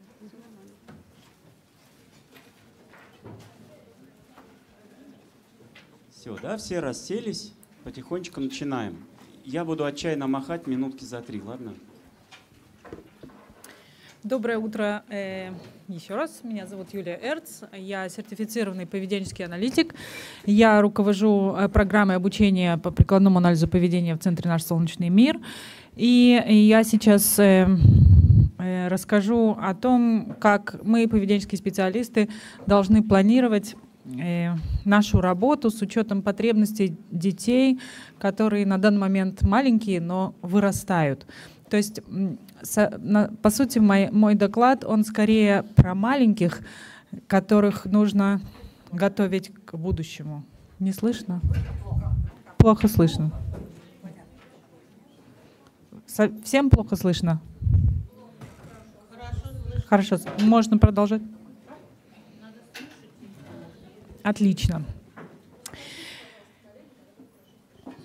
Итак, э, когда мы говорим о взрослых детях, то, э, конечно же, если сравнить маленького ребенка, у которого совсем недавно диагностировали расстройство аутистического спектра, и уже взрослого ребенка, которому сейчас 16, 18, 20 и так далее лет, то, конечно, жизнь этих детей совершенно разная. И, во-первых, э, окружение, окружающие люди становятся другими, и то есть э, могут, может так, такая сложиться ситуация, что кто-то из членов семьи уже не находится в семье, например, э, братья и сестры вырастают, женятся и уходят э, жить своей жизнью. Родители взрослеют, бабушки, дедушки иногда тоже покидают семью, иногда остаются в семье, но они уже не такие молодые, крепкие, здоровые, чтобы помогать родителям заботиться о особом ребенке. И э, это, конечно же, влияет на быт, на, э, на самого молодого человека или девушку. Также я думаю, что такая проблема, как э, отсутствие подходящей помощи или э, сервисов э, для работы, для трудоустройства, для коррекционной помощи, взрослым. Это такая проблема, которая, мне кажется, существует везде, не только на территории России и других русскоязычных стран, но и в Израиле тоже такая проблема существует, и в США существует. То есть чем старше становится ребенок, в особенности во взрослом возрасте, тем сложнее найти место, где он может трудоустроиться, где он может э, продолжить обучаться и так далее. И также в некоторых э, случаях бывает, что если есть возможность трудоустроиться, то она не всегда, э, ну скажем так, позволяет заниматься интересной деятельностью. Например, бывает, э, я про Израиль сейчас скажу, у нас есть такие заводы, например, по выработки нет, э, про, э, в общем, делают там э, пластиковую посуду. И дети, вернее, взрослые с расстройством аутистического спектра, они как бы стоят на конвейере и эту посуду должны сортировать. И это чрезмерно скучная деятельность. То есть э, ребенку, которому и так сложно, ребенку взрослому, который, которому и так сложно устоять, сложно сосредоточиться, заниматься скучной деятельностью и отсчитывать каждый раз по 10 ложечек и складывать их в пакетик, это, э, опять-таки, не, не совсем подходящая деятельность. И очень много взрослых детей исключаются из этих цехов. Почему? Потому что они начинают демонстрировать нежелательное поведение, там, кричать, убегать, плакать. И, и разумеется, работодателю это не помогает. Э, также э, бывают сложности с проживанием, то есть э, сложно выбрать подходящее место проживания. И это очень хорошо, если есть рядом по месту жительства какая-нибудь возможность, где есть сопровождаемое проживание, где люди живут достойной жизнью, могут сами о себе позаботиться. есть человек, который их сопровождает и обучает, как, как в этом быту жить но далеко не всегда. И я думаю, что и на территории Российской Федерации существуют, наверное, единичные случаи, где такое э, проживание сопровождаемо организовано, а в основном большая часть детей живут в семьях или э, переходят жить в э, интернаты. Также во взрослом возрасте могут измениться мотивационные факторы, то есть интересы ребенка взрослого меняется уровень финансирования и изменяются медикаменты, и как дозировки, так и виды медикаментов. Сам человек, конечно же, в процессе взросления переживает физиологические изменения. И очень часто у взрослых увеличивается количество проблем со здоровьем, в том числе и потому, что они когда-то в детстве не были сформированы Э, важные навыки, такие как, например, э, досуговая спортивная деятельность, чтобы ребенок не знаю, ходил больше по улице или ходил пешком по лестнице, или э, ел полезные продукты. То есть это все отражается в будущем. Когда ребеночек маленький, он постоянно ест чипсы, картошку фри и мороженое, и шоколад, это одно. А когда он вырастает, и он всю эту жизнь, все 20 лет ел только вот это, это, конечно же, отражается на здоровье увеличивается количество психиатрических э, проблем, то есть можно увидеть, что у взрослых часто наблюдаются тревожные расстройства, депрессия, обсессивно-компульсивные расстройства. Часто наблюдается снижение интеллектуальных способностей, очень часто наблюдается сексуальное поведение и по-прежнему страдает досуг, потому что человек не может занять себя полезной деятельностью в свободное время. Э, то есть, если подвести итог, то когда мы, мы поведенческие специалисты, я имею в виду, смотрим на взрослых э, людей, я думаю, что к нам присоединяются и родители, и специалисты смежных профессий, то мы часто видим, что на самом деле человек не умеет проводить время, занимая его полезной деятельностью. Часто мы видим детей, которые сидят, смотрят телевизор или телевизор на фоне, а ребенок, э, я говорю ребенок, но подразумевая взрослый, э, а э, человек занимается какой, каким-нибудь стереотипным поведением. Э, очень часто мы видим, что у взрослого человека с э, нарушениями аутистического спектра или другими нарушениями отсутствует система коммуникации. То есть он привык жить в своем окружении, он что-то показывает, что-то мычит, где-то кричит, и близкие его понимают, а другие люди совсем не понимают. И также близкие часто пытаются угадать, от чего он, собственно, хочет, и предлагает ему предмет, или они уже знают, ага, он хочет там свою картошку фри, и все, дает ему картошку фри, и э, так он и живет, не обладая возможностью донести до окружающих свои дополнительные желания, помимо тех, которые они уже выучили. Очень часто наблюдается зависимость от подсказок, то есть человек может выполнять какую-то деятельность только если его сопровождает взрослый, только если ему говорят «мой руки», «открой кран», «бери мыло», или там «достань кастрюлю», «достань э, вилку», «открой холодильник». Постоянно кто-то говорит, что делать, а если никто не скажет, то и не будет делать. Мы наблюдаем часто сложности выполнения последовательности действий, то есть и человеку сложно выполнить что-то одно и сразу переключиться на следующее поведение, э, на следующую деятельность. Наблюдаем часто сексуальное поведение, требующее коррекции, например, э, мастурбация, которая происходит в присутствии других людей, или такие могут быть поведения, как раздеваться, э, дотрагивания всякие разные к, к э, окружающим. Часто мы наблюдаем проблемное поведение. То есть мы видим ребенка, который, э, взрослого, который падает на пол, кричит, и это прям сильно уже взрослый такой дядя, которым с трудом справляется папа, например, или другой взрослый мужчина, чтобы его переключить, перевести и направить на другую деятельность. Это проблемное поведение обычно многофункциональное, то есть с помощью этого поведения человек как просит то, что ему нужно, то есть добивается того, что ему нужно, так и избавляется от того, чего он не хочет. Например, э, он не хочет сейчас э, идти в зубную поликлинику к дантисту, и он на пороге этой клиники падает, кричит и выламывает дверь. Конечно, с таким поведением сложно работать. И также мы видим другие разные виды поведения, э, которые тоже мешают.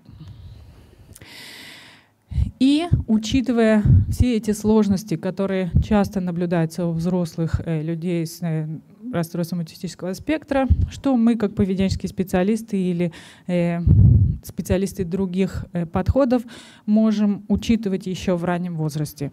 Первая — система альтернативной и, и вспомогательной коммуникации. Я знаю, что существует такой подход. Есть люди, которые верят в то, что системы альтернативной или вспомогательной коммуникации задерживают речь. И они говорят, вот есть маленький ребеночек, зачем ему пексы, зачем ему жесты, будем речь требовать. Вот он не говорит, а мы же речь, чтобы говорил, чтобы говорил. Угу. Но, к сожалению, это не всегда приводит к тому, что ребенок начинает говорить. Или он начинает говорить отдельные фразы, может быть, слова, и все равно неэффективно э, общается. С другой стороны, есть, существует множество исследований, которые говорят о том, что системы альтернативной коммуникации или вспомогательной коммуникации, они не только не тормозят развитие речи, они способствуют более быстрому развитию речи. И поэтому очень рекомендуется, вне зависимости от того, каков сейчас возраст ребенка, ему 2 года, 3 года или 15 или 28, Давайте смотреть, умеет ли он эффективно общаться с окружающим, может ли он донести до других то, чего ему нужно, то, что он хочет. Если не может, давайте ему поможем, давайте внесем систему альтернативной коммуникации. Пексы — это чудо, это, это замечательно. У человека появляется возможность рассказать, чего я хочу. Жесты — жесты. Что-нибудь но нужно дать. И параллельно всегда можно работать на развитие речи. Одно другому не мешает. Другая проблема, которую э, нужно решать в младшем возрасте, это расширение круга интереса и уход от пищевых поощрений. В данном случае это, конечно, больше связано с нашей поведенческой проблемой. Очень часто поведенческие специалисты на занятиях с маленькими детьми не задумываются о том, э, что с ними будет потом и какие поощрения они используют сейчас. Очень часто бывают такие поведенческие специалисты, которые берут, например, набор конфет, шоколадок и еще каких-нибудь вкусняшек и годами тренируют с использованием этих поощрений всякие разные навыки. Это неправильно, это неверный подход. Нужно задумываться о том, что ребенку должно нравиться больше, чем сладости, больше, чем конфеты. Он должен научиться любить с нами играть, он должен научиться играть в машинки и с удовольствием заниматься этой деятельностью. Он должен научиться и любить и пузыри, и воздушные шарики, и ходить в кино, и, и взаимодействовать со сверстниками. И мы можем это сделать. Нам только нужно это запланировать и последовательно тренировать. Также нужно учить, учитывать обращение, физический контакт, соответствующий возрасту. То есть бывают такие дети, которые любят обниматься. Правда. Когда они маленькие, мы их тоже с радостью обнимаем, мы их любим и в шейку целуем. Но они вырастают потом, и они по-прежнему любят обниматься, но это уже большой дядя, которому уже 20 лет. И такие объятия, они уже не подходят э, для взаимодействия с педагогом коррекция зависимости от подсказок и редукция подсказок. Здесь речь идет о том, что если мы заметили, что на сегодняшний день, пусть пока маленький ребенок или ребенок дошкольного, школьного возраста что-то выполняет в бытовой деятельности, в учебной деятельности не самостоятельно, и он может научиться делать это самостоятельно, значит, нужно работать над самостоятельностью. Взрослые должны обращать внимание на то, как они взаимодействуют с ребенком. Если они постоянно говорят, открой кран, намочи руки, возьми мыло, смыль, идем, бери щетку, намаз, э, выдавливай пасту, чисть зубы, закрывай, идем. Теперь одевайся, раздевайся, снимай штаны. То есть постоянно идут инструкции, инструкции, инструкции, постоянные жесты, делай вот это, делай вот это. Мы обращаем внимание на то, мы видим, что ребенок не самостоятельный. Если не сказать, не показать, не будет делать. И это плохо. Но это наш косяк. То есть это мы должны отслеживать свои собственные взаимодействия и смотреть, как мы говорим ребенку, что делать, и как он выполняет это сам. И нам нужно привести к тому, чтобы э, ребенок, когда вырастет, научился делать что-то полностью самостоятельно. Пусть это будет простая деятельность, пусть это будет приготовить салат или сварить суп или помыть раковину, но он должен уметь делать это самостоятельно и последовательно. Часто э, мы, нам не приходит в голову, что мы можем научить ребенка самостоятельно регулировать свое, свой собственный быт. И, например, существует такой замечательный протокол, как научить ребенка выполнять самостоятельную деятельность по расписанию. То есть ребенок смотрит на картинку и берет соответствующие материалы и идет выполнять это действие. И мы можем эти э, расписания расширять до бесконечности. Это замечательная вещь, ее можно пользоваться, начиная с младшего возраста и учить ребенка самостоятельно регулировать свое свободное время и заканчивая взрослым возрастом, когда человек уже должен делать какие-то обязанности по дому, выполнять обязанности по дому и э, тоже заниматься заниматься, может быть, каким-нибудь хобби. И, конечно же, э, многофункциональное проблемное поведение. Во взрослом возрасте оно закреплено.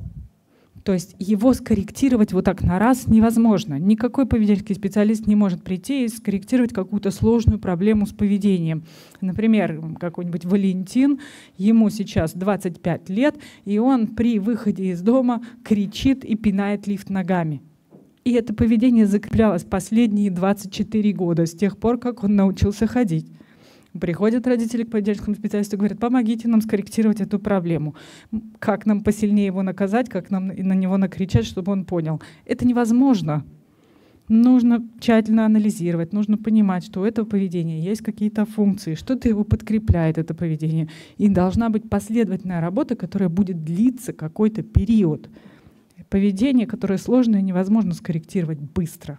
Нужно последовательно работать и не уступать, то есть начать и продолжать. Быстро проговорю, наверное, времени мало. Быстро проговорю о важных навыках, которые должны присутствовать у любого человека, а, начиная от двухлетнего возраста и до пенсии. Э, я сейчас говорю о навыках функциональной коммуникации. И э, первый из них, самый важный, это умение обращаться с просьбой. Человек должен уметь просить еду, игрушки, предпочитаемые виды деятельности, попить водички, а, сходить в туалет и так далее, так далее. То есть пояснить другим, чего он хочет. Если он не может делать это словами, значит пусть пользуется системой альтернативной коммуникации, и мы ему поможем э, овладеть этой системой. Умение просить помощь. Есть очень много детей и взрослых, которые не обладают таким навыком, потому что это важный навык, он базовый навык. Как обычно ребенок с расстройством аутистического спектра просит помощь. Он кричит, у него истерика, он не может сейчас завязать ботинки, он их швыряет. Он кричит, он плачет, и тогда приходит взрослый, другой человек и помогает ему э, это сделать. Нужно, чтобы умел просто сказать «помоги». Умение просить перерыв или умение э, просить прекращения немотивационной деятельности. Тоже чрезвычайно важный навык, и далеко не всегда педагоги вообще задумываются о том, что этому тоже нужно учить. Они думают о том, что нужно развивать высшие психические функции, сортировать по цветам, по формам и категории, а о том, что научить ребенка сказать «я не хочу это делать, можно мне сделать другое упражнение», они не всегда думают об этом. Поэтому важно об этом помнить умение отказываться и подтверждать, то есть э, говорить нам, да, это что-то, что я хочу, или нет, это чего-то я не хочу. Это тоже важно, то есть умение да и нет говорить. И ребенок должен научиться отказываться от предложенных неприятных стимулов, отказываться от сложных заданий, соглашаться на предложенную мотивационную деятельность и соглашаться э, на что-то, что на самом деле не является сейчас высокомотивационной деятельностью, но все равно было бы хорошо, чтобы посотрудничал. Еще чрезвычайно важный навык — умение ждать. Этот навык мы можем сформировать. Нам только нужно поставить его целью и научить. Сначала ребенок ждет 10 секунд, потом 30 секунд, потом одну минуту, потом дойдем до 10 минут и целый час будет ждать. Нужно, чтобы умел ждать получения желаемого, чтобы умел ждать своей очереди. Потому что, обратите внимание на взрослых, они, им нужно где-то подождать, маршрутку нужно подождать, э, в очереди к врачу нужно подождать. И что там происходит обычно? Крики, истерики, убегания, э, пинает двери и так далее. Все это можно убрать, научив ребенка ждать. И взрослого тоже. Умение выполнять простые бытовые инструкции, связанные с сотрудничеством и безопасностью. Здесь перечень инструкций, и я хочу сказать, что Опять-таки, не всегда эти инструкции отрабатываются на занятиях с педагогами. Педагоги могут заниматься, извиняюсь, не очень функциональными навыками, например, похлопай, потопай, руки вверх. А толку с этого руки вверх? Вот педагог научил ребенка поднимать руки вверх, руки в сторону. А дальше что с этим? Когда ребенок, убегая на улице, не может остановиться, когда ребенок, находясь в открытом пространстве, не ищет маму и не подходит к ней или там не реагирует на ее инструкцию. Поэтому вот эти инструкции, они базовые и очень практичные, и сразу научив ребенка этим инструкциям, мы будем способствовать тому, что во взрослом возрасте он будет лучше сотрудничать, не потеряется и будет отслеживать, где другие. Навыки самообслуживания, связанные с здоровьем и безопасностью. Здесь речь идет о том, что мы должны обязательно формировать навыки личной гигиены. Бывает так, даже запрос родителей к этому может не относиться. А запрос родителей может относиться к тому, чтобы у ребенка развивали речь, развивали когнитивные функции. А мы хотим, чтобы он умел пользоваться туалетом, чтобы он умел самостоятельно одеваться. Потому что когда он вырастет, он, да, будет знать буквы, цифры, но он, извиняюсь, попу не будет уметь себе вытирать. И все это, всему этому нужно обучать в процессе, пока он еще маленький. Коррекция проблем со сном э, тоже частая проблема. И существуют отличные поведенческие методики, с помощью которых можно скорректировать эти проблемы, когда ребенок вовремя не засыпает, вовремя не просыпается, когда он просыпается среди ночи и э, скачет по квартире. Когда он маленький, это проще скорректировать, чем когда он большой и не спит уже много-много лет, и взрослые вместе с ним тоже не спят. Здоровое питание, привычки питания — это очень важно, э, потому что когда взрослый человек вырастает, и он, например, сейчас э, демонстрирует какое-нибудь поведение истерики, то если он в большом весе, стучит ногой в дверь. Это намного сложнее остановить, чем когда он худенький, когда он бодренький, когда он э, чувствует себя хорошо. И поэтому привыкать, приучать ребенка к тому, что нужно есть полезные продукты, а и уменьшать количество употребляемых неполезных продуктов, это тоже важно, и это начинается с раннего возраста. Толерантность к медицинским проверкам и сотрудничество. Здесь речь идет о том, что в течение жизни нам часто приходится обращаться с ребенком к различным врачам. Да? И, и, и это ну, как бы жизнь, жизнь есть жизнь, и когда-нибудь у кого-нибудь заболят зубы, уши, или там будет какая-то потребность какой-нибудь операции. И ребенок, который не приучен сотрудничать, он, конечно же, будет себя плохо вести. И поэтому с раннего возраста мы можем работать над тем, чтобы ребенок вел себя спокойно в процессе медицинских процедур, и мы можем делать это на занятиях, отрабатывать это. Навыки досуга, спортивная деятельность очень важно, опять-таки, и э, исходя из принципов здорового образа жизни, и вообще это занятость. Это полезно, это берет время, и это хорошо. Бытовая деятельность, подключение ребенка к уборке, помощи в приготовлении пищи, это тоже замечательно. И он может учиться этому с младшего возраста. Да, сейчас он нас не слушает, да, он бегает кругами и трясет руками. Ну и ладно, он же так будет делать и когда вырастет. Тогда почему работать над тем, чтобы он готовил себе суп или приготовил бутерброд только когда вырастет в 35 лет? Давайте подключать его к этой деятельности в 5 лет.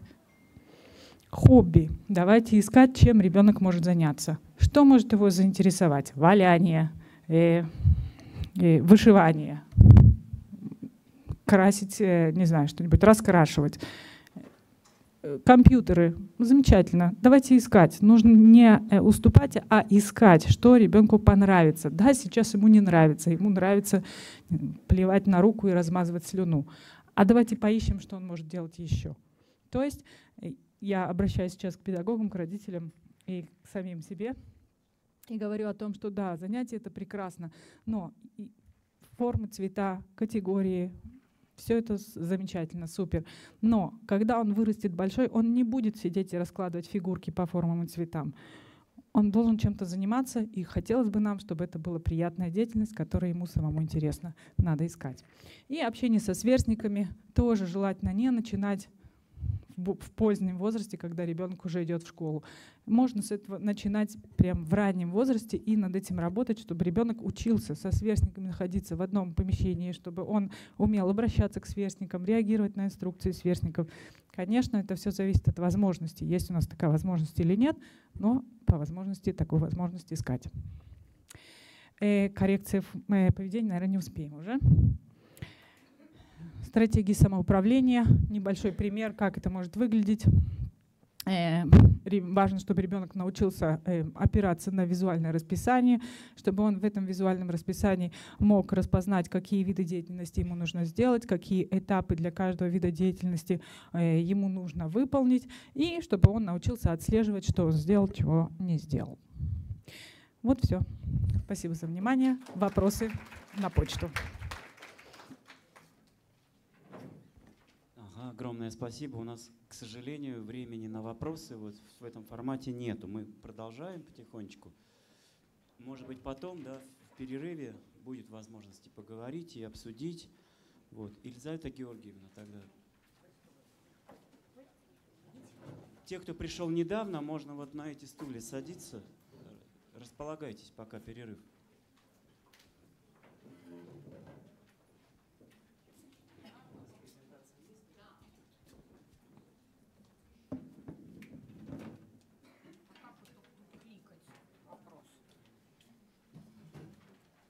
Техническая помощь и поддержка. Сейчас. закрываем. А вы сохраняли здесь, да? Да, да. Это Иночка Это Нина, да. А я перед этим должна быть. Приходил с утра.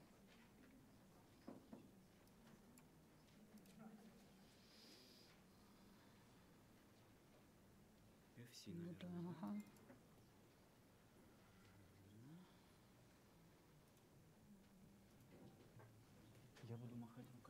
Постараюсь говорить еще быстрее, чем Юлия Михайловна, но не знаю, удастся мне или нет. А, Я буду рассказывать про технику облегченной коммуникации, про которую сейчас только что в нашем переводе вышла книжка. И все желающие могут ее приобрести. Книжка вот только-только вышла, ее, ее много где. Нет, эта книжка еще только вышла. Ой, а чем кликать-то? Кликать чем? Ага. А, нет, не то.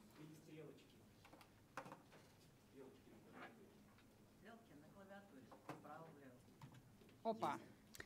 Так, это наш опыт представлен на этом слайде, где мы сами обучались этой технике много лет в разных местах. Я проходила много тренингов.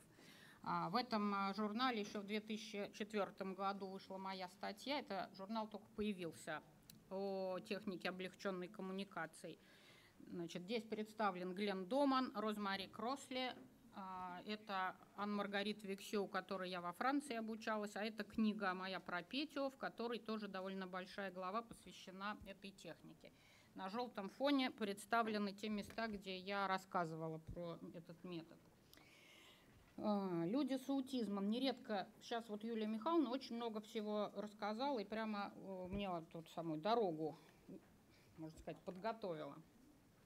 Люди с аутизмом нередко не могут пользоваться не только устной речью, но также жестовым языком глухонемых или самостоятельным письмом, так как это требует значительного развития нейромоторных навыков, то есть именно того, что часто является основной проблемой при аутизме.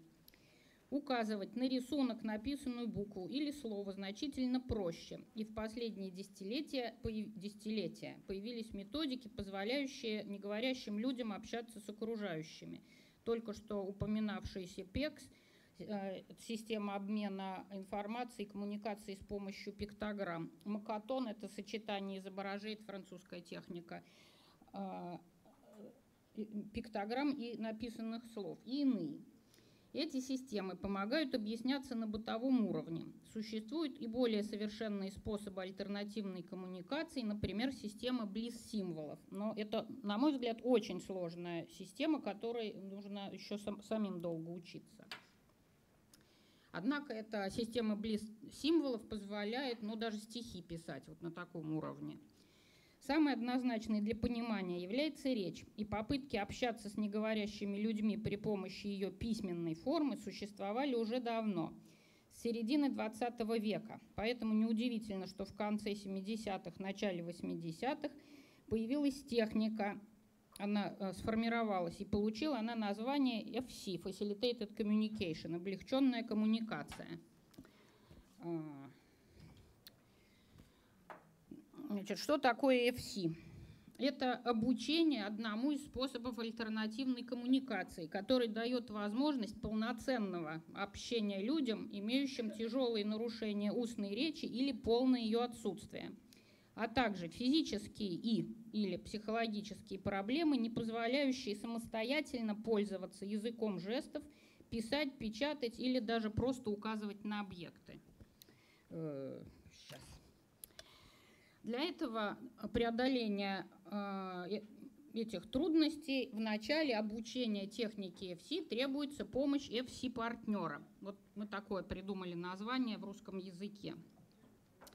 Помощь его заключается в физическом контакте с рукой ученика и психологической поддержке. Для экономии времени здесь вот написано, э, какие проблемы помогает преодолевать э, FC-партнер. Конечная цель обучения техники FC – полная самостоятельность. Это очень важно. Вот здесь представлена фи- как физическая, так и психологическая ну, поддержка. Вот, э, разные формы поддержки э, видно, что начинается за- с поддержки за запястье, а иногда и в руке держат полностью кисть человека, которому помогают. Его обучают правильным действиям, правильному паттерну пользования клавиатурой. Так, следующий слайд. Бум. Вот устройство, которое можно использовать для, э, при обучении и работе этой техники. Значит, вот э, смотрите, тут просто самая обыкновенная бумажка, вот сверху это наша с Петей боевая табличка, она двухязычная, на другой стороне латинский алфавит, с этой стороны кириллица. Это японский, а, японская табличка. Возможно, кто-нибудь читал вышедшую книгу на русский язык переведена «Наоки Хигасида. Почему я прыгаю?». Вот написанная при помощи этой техники. Значит, Canon коммуникатор вот там, вот это как маленькая пишущая машинка, которая выдает ленточку, ну как раньше телеграммы были, лента с текстом появляется вот там. Обычная клавиатура компьютера, это, как называется, планшет, да, по-русски. И вот совсем распоследнее устройство, вот это вот Light Writer, это коммуни... Э, как пишущая машинка, совмещенная с электронной частью, которая исправляет ошибки. С другой стороны есть экран. В общем, самое продвинутое, э, что только можно сегодня. И э, голосовое, как озвучка того, что напечатано. Ну, эта игрушка стоит 7 тысяч и делается пока что долларов. Делается по индивидуальному заказу. Пока. И все равно по-английски. Ну, по-английски, по-французски, с латинским алфавитом. А. Хотя объяснение того, как работает техника EFC, мы просто помогаем человеку правильно совершать движение, преодолевая его проблемы, физические или психологические. Тем не менее, хотя все это звучит очень просто, появление техники сразу вызвало целую бурю критики. И с самого начала приверженцам FC пришлось столкнуться с препятствиями, недоверием и неуважением. Очень важно, что техника требует как опыта и тренировки от обоих участников. Нельзя просто взять за руку и ожидать, что сейчас польются какие-то стихи. Так и соблюдение определенных правил. К сожалению, необходимые условия слишком часто игнорируются. Отсюда некорректные или бессмысленные результаты и заключение, что техника не работает. То есть виноват э, тот, кто помогает, а обвиняется прибор или сама техника виновата. Опа. Вот, значит, поводы для критики основной. Это, конечно же, в первую очередь участие в коммуникации партнера. На начальных и э, этапах освоения действительно, как правило, требуется полная поддержка руки, вот как было на первом слайде, целиком прям за кисть приходится держать. Но, как уже было сказано, окончательная цель – полная независимость от партнера. Однако на пути к этому без помощи не обойтись а достичь поставленной цели в полной мере удается далеко не всем. Буквально единицам удается печатать совсем без помощи. Ну или считается, что, ой, считается, что человек самостоятельно печатает, если достаточно просто дотрагиваться вот до, до плеча его, плечо или легкое прикосновение под локоть. Но вот нам с моим сыном удалось до этого добраться, до этой стадии. Он может печатать отдельные слова, совсем никто его не трогает, но требует это невероятной концентрации, очень медленно происходит, но, в общем, это уже не коммуникация, а проверка того, знает ли он это слово и может ли он его напечатать. Нет такого смысла. Значит, именно в силу сенсомоторных нарушений многим FC-пользователям требуется поддержка всегда в том или ином виде. Не следует забывать, что она предназначена, однако, для людей с нарушениями коммуникации – сплошь и рядом с тяжелыми формами апраксии, одной из самых частых и известных проблем при аутизме. Поэтому более чем странно выглядит апраксия, да, у очень многих встречается. Выглядит заявление, вот только что вышедшим прям в трех томах э, практическом руководстве по аутизму Волькмара и Вайзнер о том, что, кавычки открываются, дети с аутизмом, как правило, пользуются руками без проблем. Ну, это удивительно, что это в третьем томе, после того, как долго рассказывают про проблемы при аутизме. Конечно, существует много спорных моментов и вопросов. Так непосвященному наблюдателю может показаться, что человек печатает, не глядя на клавиатуру. Действительно, людям с аутизмом бывает трудно удерживать взгляд на задание или следить за движениями своих рук – ну, важно, что FC-пользователь, в отличие от профессиональной машинистки, указывает или печатает одним пальцем, поэтому необходимо следить за тем, чтобы он обязательно смотрел сам, попал ли в намеченную цель и имел возможность проверять набранные буквы и исправлять ошибки. Существует действительно вероятность того, что выбор букв окажется результатом управляющих действий партнера. Вот это очень важно, ну вот прямо очень важно. Поэтому ему, последнему, EPSI-партнеру, помощнику, следует быть предельно внимательным, чтобы не увлечься и не начать подталкивать в прямом и переносном смысле своего подопечного. Сомнения нередко вызывают стиль и содержание полученных текстов. Опять цитирую Волькмара и Вайзнер. Именно там две с половиной страницы посвящено FC. Вот оттуда и цитата. Коммуникация, приписываемая ребенку, была просто поразительна и осуществлялась на гораздо более высоком уровне, чем можно было ожидать, учитывая вербальные способности или коэффициент интеллекта IQ данного ребенка – ну, собственно, о том и речь, и в этом и состоит открытие FC, что оказывается вот на таком высоком уровне может происходить коммуникация. Здесь самое время вспомнить основоположников науки об аутизме Каннера и Аспергера, которые независимо друг от друга писали о несомненном когнитивном потенциале детей с аутизмом, непригодности обычных тестов и необходимости поиска адаптированных методов обучения – Наверное, все уже теперь имели возможность переведена статья и Каннера и Аспергера на русский язык относительно недавно, но я, тем не менее, прочитаю отсюда цитату из Каннера. Наверное, все знают, тем не менее. Хотя большинство этих детей рано или поздно были сочтены слабоумными, они все, безусловно, обладают хорошим когнитивным потенциалом. У всех необыкновенно умные лица – Поразительно обширный словарный запас у тех, кто говорит, отличная память на события, случившиеся много лет назад, феноменальная способность помнить наизусть стихи и имена и точная память на паттерны и последовательности. То есть хороший интеллект в том смысле, который мы обычно вкладываем в это слово. Значит, в течение двух десятков лет после выхода статей Каннера и Аспергера Диагноз аутизм предполагал нормальный интеллект, скрытый из-за сенсорных и эмоциональных отклонений от нормы, и освобождал детей от тестирования.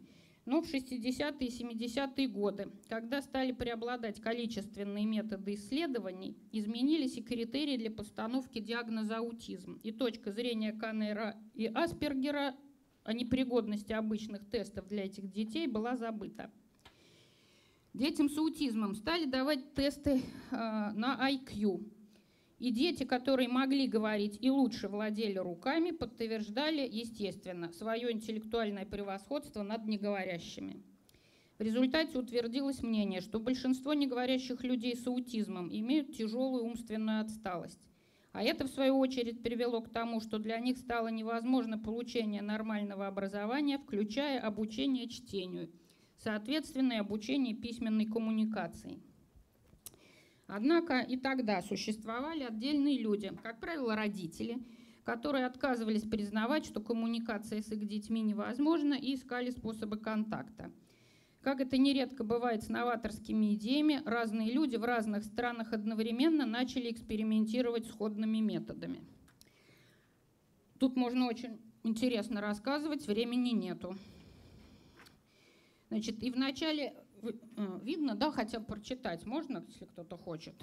В начале 80-х годов прошлого столетия, 1980-х, и появилась, э, оформилась техника, получившая название FC, Facilitated Communication. Ее разработала и сформулировал ее основные принципы австралийский педагог Розмари Кросли – Работая в интернате для детей со множественными нарушениями развития, она использовала поддержку руки, чтобы помогать детям с ДЦП контролировать движение, в частности, чтобы рука попадала в цель, переключатель, клавишу изображения. Впоследствии оказалось, что техника работает и в других случаях, при травмах, генетических синдромах и аутизме. В 1986 году Кросли и ее единомышленники основали центр ДИЭЛ, который был потом переименован в центр Энн Макдональд. Это вот ее первая, собственно, ученица и девушка, которая с ней всю жизнь прожила. Вот недавно ее не стало. Где на сегодня помощь в обретении способа коммуникации получили более трех тысяч человек с разными диагнозами. Естественно, у всех проблемы с речью. Вот обнаружилось, что многие из клиентов центра, имевшие диагноз глубокая умственная отсталость, обладают навыками грамотности, которые позволяют им выражать мысли письменно, указывая или печатывая слова по буквам. Полученные результаты, тексты, были совершенно неожиданны как по содержанию, так и по стилю. Вот, собственно, в чем открытие и чему удивляются Волькмарс Вайзнер, Ром Рэй. Значит, оказалось, что около 90% клиентов в центр, не имевших видимых физических проблем и считавшихся глубоко умственно отсталыми, просто были лишены возможности продемонстрировать свои умственные способности. Этот вот, э, все это рассказано вот в книжке Кросли, которая, у меня тут есть листовочки, и которая только что вышла, о которой я говорила только что. В 1992 году в центре дел побывал профессор Дуглас Биклин, американский, уже очень давно признанный авторитет в области инклюзии. Он был и специалист по аутизму, настроенный очень критически. Однако, близко познакомившись с Кросли и ее методом, он сделался его горячим сторонником и впоследствии добился наиболее значительных результатов и успехов именно в работе с аутистами. Благодаря его настойчивости и упорному труду уже больше 20 лет в э, частном, это частный университет, Сиракузский университет Нью-Йорка обучаются люди с применением МФС, люди с тяжелыми формами аутизма, в том числе и не говорящие, наравне с обычными студентами, ну, вот в сопровождении помощника. Подобное практикуется и в некоторых других странах, например, в Италии, Австралии, сейчас в Японии.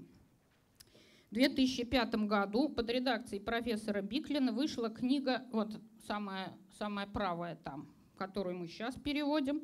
Эта книга написана им с семью соавторами, все с диагнозом аутизм и все не говорящие. При этом все, один мальчик научился говорить, все они пользуются техникой ИФСИ, и все они, это вот просто критерий был выбора этих э, ребят, все они научились пользу, по, печатать без физической поддержки. Но тут уж не скажешь, что кто-то их подталкивает. Очевидный успех, поскольку об истории я немного говорю, очевидный успех письменной коммуникации с неговорящими людьми с диагнозом аутизм при помощи техники FC и возможности, которые она предоставляет, дали толчок развитию различных ее производных вариантов в разных странах. Во французской школе, вот как много, э, я, я училась у Анны Маргариты Вексье, которая это заканчивала принесла во Францию, и потом вот у Адиль, ну, Петях мы ходили печатать. Э, в США, это очень важно, наверное, уже многие успели услышать про существование Informative Pointing Method или Rapid Prompting Method. Это вот авторы, а, но они просто вместе. Порция вытащила э, Сому из Индии вместе с Тита, вытащила в Америку. Ну и они там написал про это книжку. Сейчас у Сомы свой центр, где она учит, э, ну, в общем, фактически это тот же EFC. Так, сейчас кончаем. На сегодня издано несколько десятков книг о методе EFC на разных языках, включая автобиографии, написанные с его помощью. Многие люди, имевшие диагноз умственная отсталость или аутизм достигли большой степени самостоятельности. Одни ведут блоги, участвуют в конференциях и телепередачах. Вот тут э, Сью Рубин и Карли Флейшман. Наверное, тоже видели в Ютубе несколько роликов э, с Карли. Э, другие пишут статьи и книги. Вот замечательная Люси Блэкман, она получила премию по литературе австралийскую. Она совершенно не говорит, у нее очень э, такое классическое поведение аутиста, о чем она с большим юмором пишет в своей книге. Целью любой речевой реабилитации является свободная речь, но это сплошь и рядом оказывается невозможно, как применение техник коммуникации более традиционных и менее спорных. FC не просто техника коммуникации для неговорящих, это мировоззрение, в том числе определенное отношение к людям с нарушениями, которое опирается, по выражению профессора Дугласа Биклина, на презумпцию компетентности. И последнее, да, вот основные положения FC. Видно? Не мешает применению иных техник иногда способствует развитию речи, о чем вот только что Юлия Михайловна говорила. И хочу прочитать э, цитату из э, великий русский физиолог Иван Михайлович Сеченов, сказал больше ста лет назад. В жизни, как и в науке, всякая почти цель достигается окольными путями, и прямая дорога к ней делается ясную для ума лишь тогда, когда цель уже достигнута. Кому дорога истина вообще, то есть не только в настоящем, но и в будущем, тот не станет нагло ругаться над мыслью, проникшей в общество, какой бы странной она ему ни казалась. Благодарю за внимание.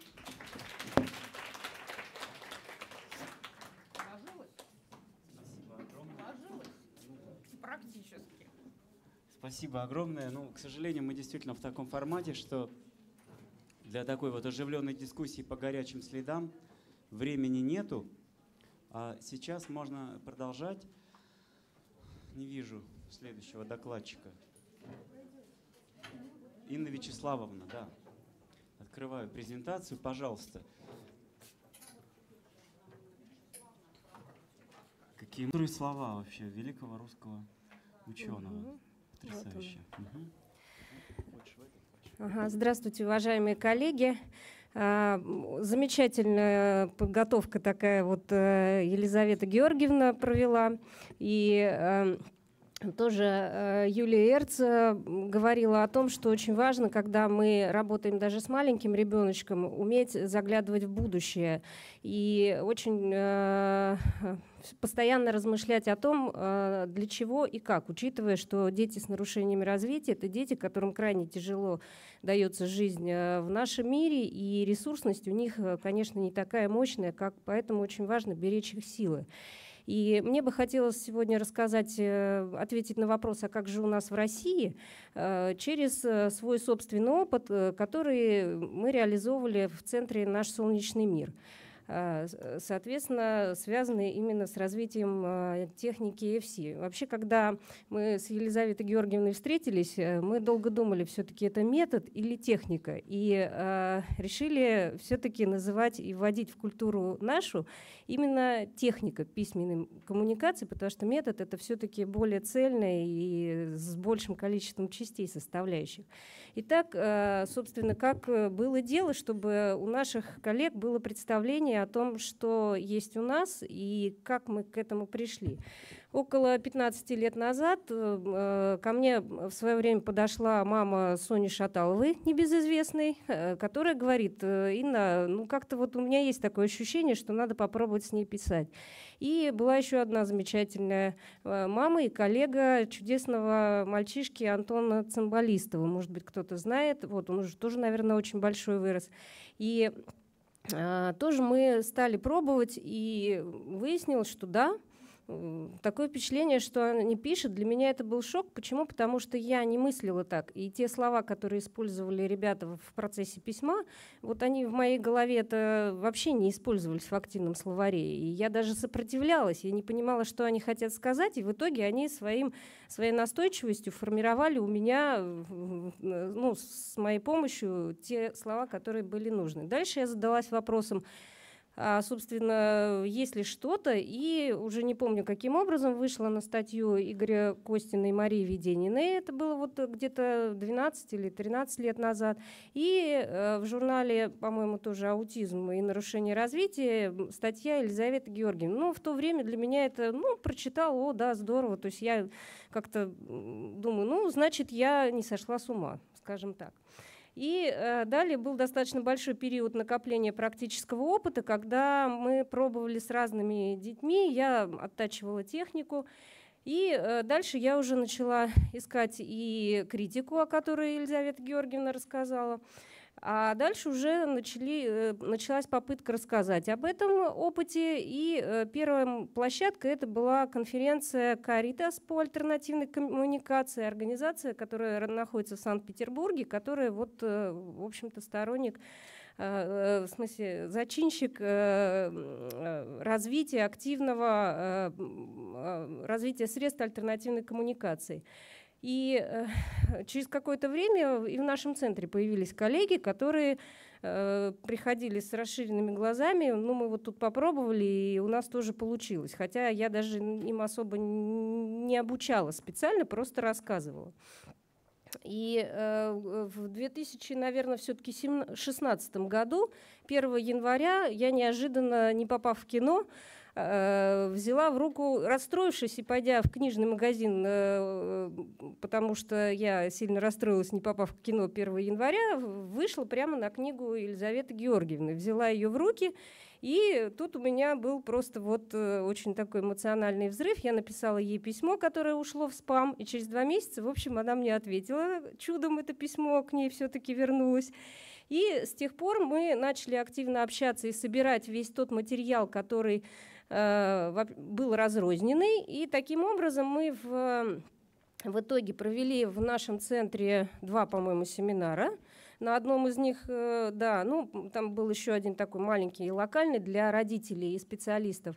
И, э, соответственно, на сегодняшний день э, всем тем, кому это интересно, у нас магистерская работа одна была защищена, немножко там использовалась, а также я вовсю собирала информацию о русскоязычных изданиях, в том числе Ольги Богдашиной книжка о коммуникации, там тоже есть немножко упоминания. Но опять же эти специалисты, ну и Вайзнер, и Волкмар, э, и э, те э, критики, это всего лишь те издания, которые были переведены на русский язык, и опять же это специалисты, которые самостоятельно не пробовали этот метод, они лишь пересказывали то, что они прочитали, то, что они слышали. Поэтому это их хоть как-то оправдывает, но тем не менее. И Стивен фон Течнер, известный специалист, который достаточно много посвятил статье именно критике, он специалист по альтернативной коммуникации. Но нам удалось с ним пообщаться, побеседовать, встретиться, и я ему сказала ответственно, что я тоже большой опыт имею, я иду от опыта, а не от теории. Вот, подарила свою книжку, надеюсь, что ее там переведут на голландский, на голландский по-моему, язык. А, Далее, э, когда я размышляла о том, как же нам вот быть и как нам выходить из подполья, потому что как это такой мощный пресс критики, мне вдруг пришла мысль о том, что из всех описываемых проблем э, основная проблема была, когда у детей пытаются проверять академические навыки. Причем, когда мы говорим о том, что это высокофункциональные ребята, они очень устают и по-своему, как подростки, начинают противиться тому, чтобы их спрашивали, там, покажи на Мишку или там, сколько тебе лет. Ну, он давно это знает, и очень многие ребята принципиально не отвечают на такого рода вопросы. Поэтому мы совершенно... И тут мне пришло в голову, что э, проблемы-то были ради чего? Ради того, что э, если ребенок показывает академические навыки, тогда его будут обучать, и тогда на это будут выделять финансирование. Вот основной посыл из анализа тех э, проблем, которые были в Америке, но, ну, может быть, и в других странах. А, мы не проверяем академические навыки, мы проверяем факты в беседах с родителями. То есть после занятия я выхожу к родителям, которые не присутствовали на занятии, и начинаю выяснять, а, собственно, вот там, ну, в соответствии с содержанием, и выясняется, что да, все так. Тогда я говорю, мол, так и так, попробуйте. И родители приходят и говорят, что да, в общем, ребенок стал себя вести по-другому. Но самый яркий пример был такой, когда мальчик, э, очень сильно ухудшившись в поведении, написал, что у него болит зуб, и его надо вырвать. Я выхожу к маме, мама посидела за эти несколько дней, говорит, я не знаю, что с ним происходит. Я говорю, болит зуб, надо вырвать. Она говорит, к зубному идти? Нет, лучше расстреляйте, потому что предыдущие походы оказывались просто э, разгромом кабинета и так далее. Я говорю, ну, говорит, попробуйте. На следующей неделе она приходит, счастливая, довольная, мальчик тоже радостный. Зашел, дался на наркоз, зуб действительно удалили, там действительно была ну, проблема, и ее разрешили. Вот. Ну, то есть э, уже вот после таких вещей не поверить в то, что это не я придумала, то, в общем-то, достаточно сложно. Ну и как э, психолог по базовому образованию, психотерапевт, э, естественно, мы все руководствуемся техниками психологии, гештальт-терапии, рапорта, Соответственно, если ребенок конгруентен, да, то есть э, обсуждается какая-то ну, достаточно волнительная тема. Ребенок может и по клавишам бить, и там краснеть, и бледнеть. Ну, в общем, проявлять те самые реакции, которые говорят о том, что то, что мы обсуждаем, для него важно или задевает. Или я говорю, а вот мне кто-то там сказал, вот ты там-то был, и вот то-то, то-то. И ребенок расплывается в улыбке, ну, не ребенок, подросток говорит о, ну, говорит о том, что, ну да, да, есть такое дело, ну и так далее. То есть совершенно очевидно, что происходит э, ну, со, соответствие тому, что мы обсуждаем, и тому, что пишет ребенок. Хотя это не всегда бывает, я не всегда могу разобрать, что он хочет написать, и я про это говорю. И он пишет, что я не знаю, как слово подобрать, как сформулировать. Я говорю, ну понятно. Вот. И, естественно, безусловно, мы стремимся к уходу от поддержки. Но мне лично это сделать достаточно сложно, но моя коллега, например, Ольга Николаева, она принципиально это ставит во главу угла и с самого раннего э, ну, возраста, как только начинается работа в этой технике, оказывает минимальную поддержку, поэтому ребята могут, допустим, за все занятие, ну, в начале такого, таких занятий написать там 2-3 буквы, но общаться же хочется, и это является очень большим стимулом, поэтому ребят начинают писать быстрее. А, формы работы, которые мы используем в нашем центре, это общение, в том числе психологическое консультирование. Ну, это вот как раз моя стезя. Э, проект э, Ольги Николаевой – это переписка, это мини-группы, когда находятся два ребенка, и, соответственно, между ними организуются взаимоотношения и общение. Была потрясающая совершенно встреча для меня, радостная, когда Петя приехал вместе с Елизаветой Георгиевной, там еще находился мой друг, э, с которым мы переписываемся, уже взрослый парень, и они вместе немножко друг с другом написали, и меня потрясло, насколько с Петей мы быстро, при том, что он меня видел первый раз, я его видела живьем первый раз, то есть понятно, что все эти моменты притирания в этом процессе, они достаточно, ну, сложны бывают, но мы очень быстро пообщались друг с другом и следующее. Освоение практики удаленного общения. Вот э, коллега моя завела, помогла ребятам завести аккаунты ВКонтакте и потихоньку просила нас, чтобы мы им писали там «Привет, как дела?» Ну, элементарные какие-то вещи осваивали. И у нас ребята еще пишут свои стихи и рассказы в э, стеной газете. В общем, таким образом очень богатый мир у них открывается. Значит, на, пути к звуковой речи. В силу того, что мое базовое образование никогда не было связано с э, глубоким подраже... погружением в то, каким образом растормаживать речь, это я уже шла от практики, то я стала обращать внимание на то, что вот те, кто достаточно долго находится в этом процессе, и у кого идут параллельно занятия с э, логопедами, ну так или иначе, да, если правильным образом фиксировать сознание, внимание ребенка на то, что если он даже сказал, это может быть да, а это может быть нет, то, соответственно, со временем э, ребенок все быстрее начинает и все Э, активнее начинает э, использовать именно управление голосовое. Если это правильным образом поддерживать, э, стимулировать и поощрять, то тогда у уже молодого человека формируется понимание того, как все-таки производить речевые действия, ну, устные речи. И, соответственно, мотивация это заговорить вслух, она очень высокая. Более того, я все время повторяю, что писать-то долго на самом деле. Пока ты там напишешь, да еще пока я почувствую. Да и то только я почувствую, а вот другие же так не могут, поэтому это, в общем, проблема. А если скажет, так э, оно и да. Э, ну, при условии, что э, мой партнер уже понимает и знает, что это возможно. И вот сейчас у меня находится в работе два молодых человека, девушка, которая, у которой есть и моторные проблемы, и она прямо по ней видно, как она думает, как же ей вот моторно запустить именно тот звук, какой она хочет. И когда она запускает какой-то звук, я говорю, смотри, а, она пишет, что я хочу сказать, ну там, допустим, «Б», да, а получается «Я».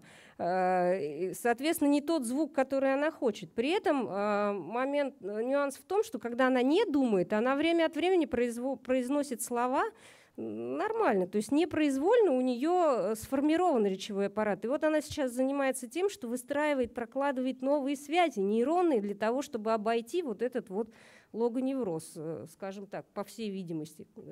И э, очень важно на этом этапе участие логопеда более интенсивное. Они сами, ребята, просят масса, логомассаж, потому что, безусловно, когда э, много лет не тренируется все, ну, вся эта взаимосвязь, то получается очень медленно. К сожалению, логомассажистов у нас не так много, которым бы взрослые дети дались, и, и такие специалисты бы нашли подход к таким ребятам.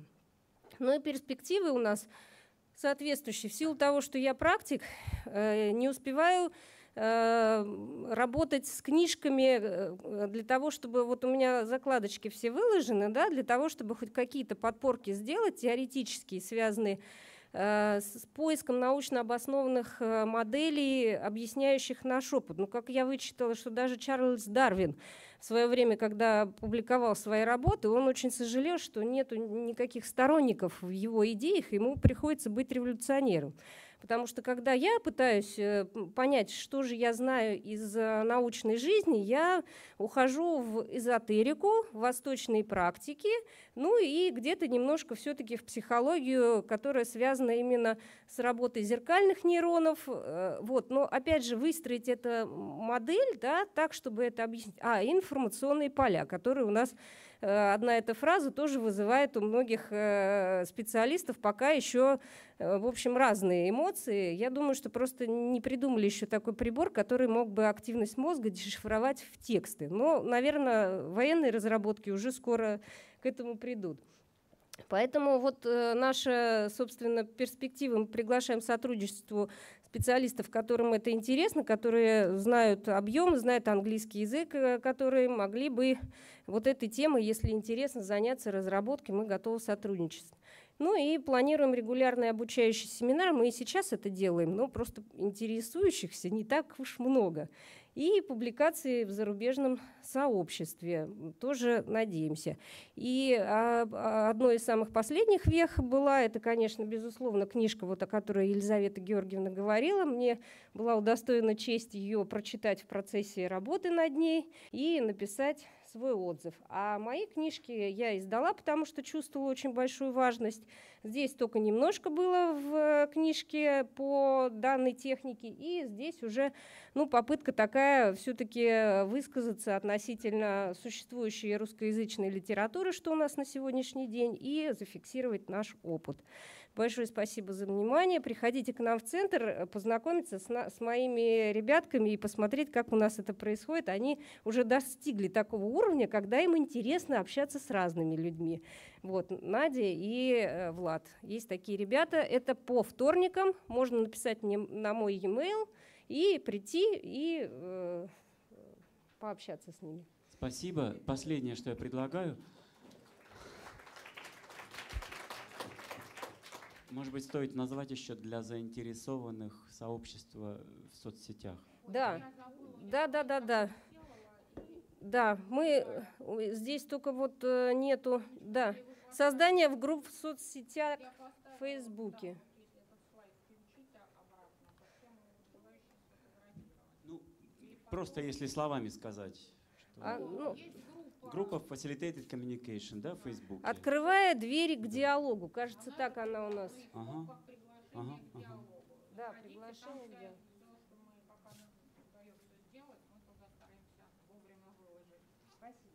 Отлично. А я открываю презентацию, которая называется «Колесо обозрения». Нам приходится двигаться, значит, вот очень в темпе, да, пожалуйста.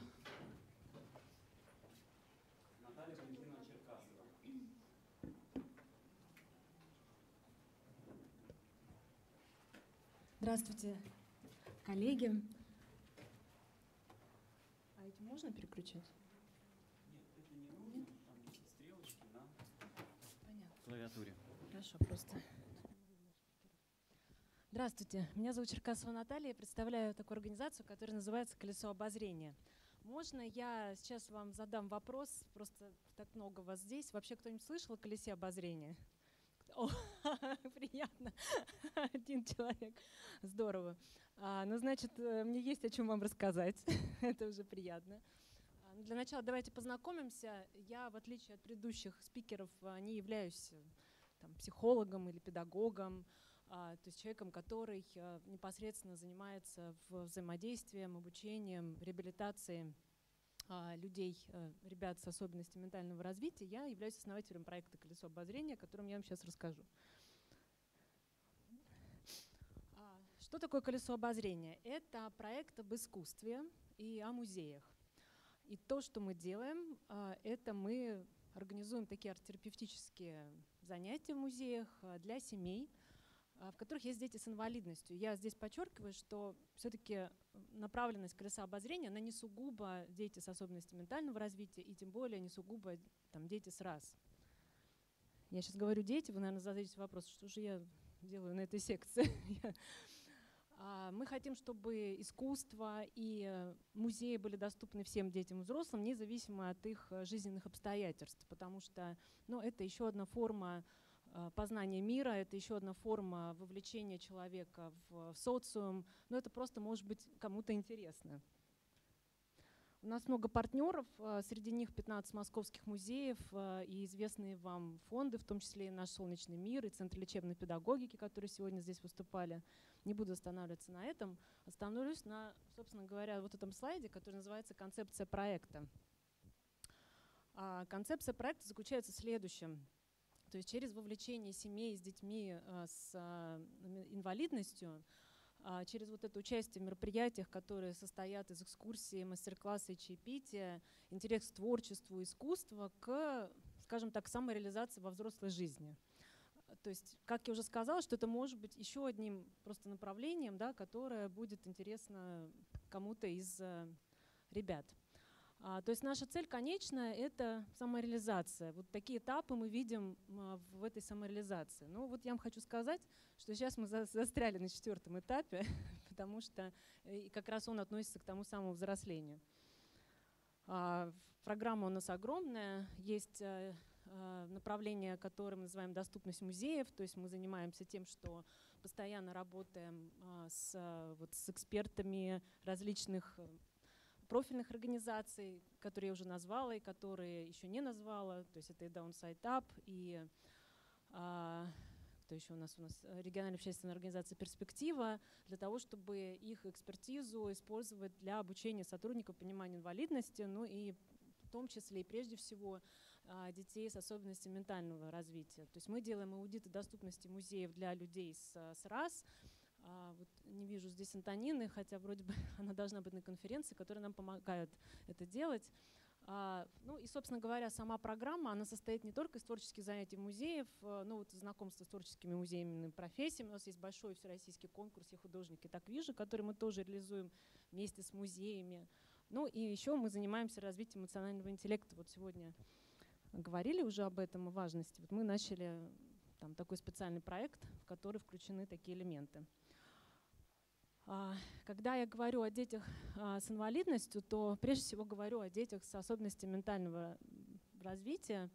А, вообще проект открытый. Меня часто спрашивают, как можно попасть в ваш проект. Попасть можно легко, можно зайти на наш сайт колесообзора.ру, зарегистрироваться. После этого получаете рассылку о мероприятиях, которые мы проводим, организуем, и, соответственно, вы регистрируетесь уже на конкретные занятия, которые мы проводим в музеях. А, мы никаких специальных, а, собственно говоря, действий не совершали для того, чтобы а, в проекте ну, как-то 75% практически были бы дети или подростки, или даже вот взрослые уже люди с, с особенностями ментального развития. В какой-то момент стало понятно, что таких ребят больше, чем остальных. И стало понятно, что по всей видимости, действительно, именно таким семьям сложнее всего самостоятельно записаться там, на открытые занятия в музеях, прийти в музеи. Им требуется вот это сопровождение, такая координация и, в общем-то, комфорт, который создается в, на наших занятиях в музеях. Я отмечу, что все те мероприятия, которые мы проводим, мы проводим а, вместе с музеями. То есть наша цель, чтобы сотрудники музеев сами проводили экскурсию, сами проводили мастер-класс, мы набираем группу, мы сопровождаем ее, то есть есть э, координатор-тьютер, который сопровождает группу, соответственно, помогает во время ведения занятия и ведет чаепитие, э, во время которого, как вы понимаете, семьи знакомятся, начинают дружить, общаться. И важным элементом проекта является то, что он инклюзивный, в нем участвуют, ну, во-первых, э, ребята с разными диагнозами, во-вторых, их братья и сестры.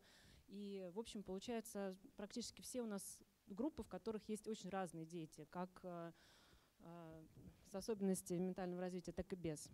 Ну, если говорить про колесо обозрения и наших повзрослевших участников, то есть а почему, собственно, я в этой секции? Ну, во-первых, потому что действительно нашей целью является самореализация во взрослой жизни. То есть э, то, чем мы занимаемся ежедневно, ежедневно, еженедельно, мы проводим там, от э, трех до семи занятий в музеях Москвы. Э, но это такое общение по интересам, да, это вот э, какой-то хороший такой досуг, социализация, там, даже где-то реабилитация.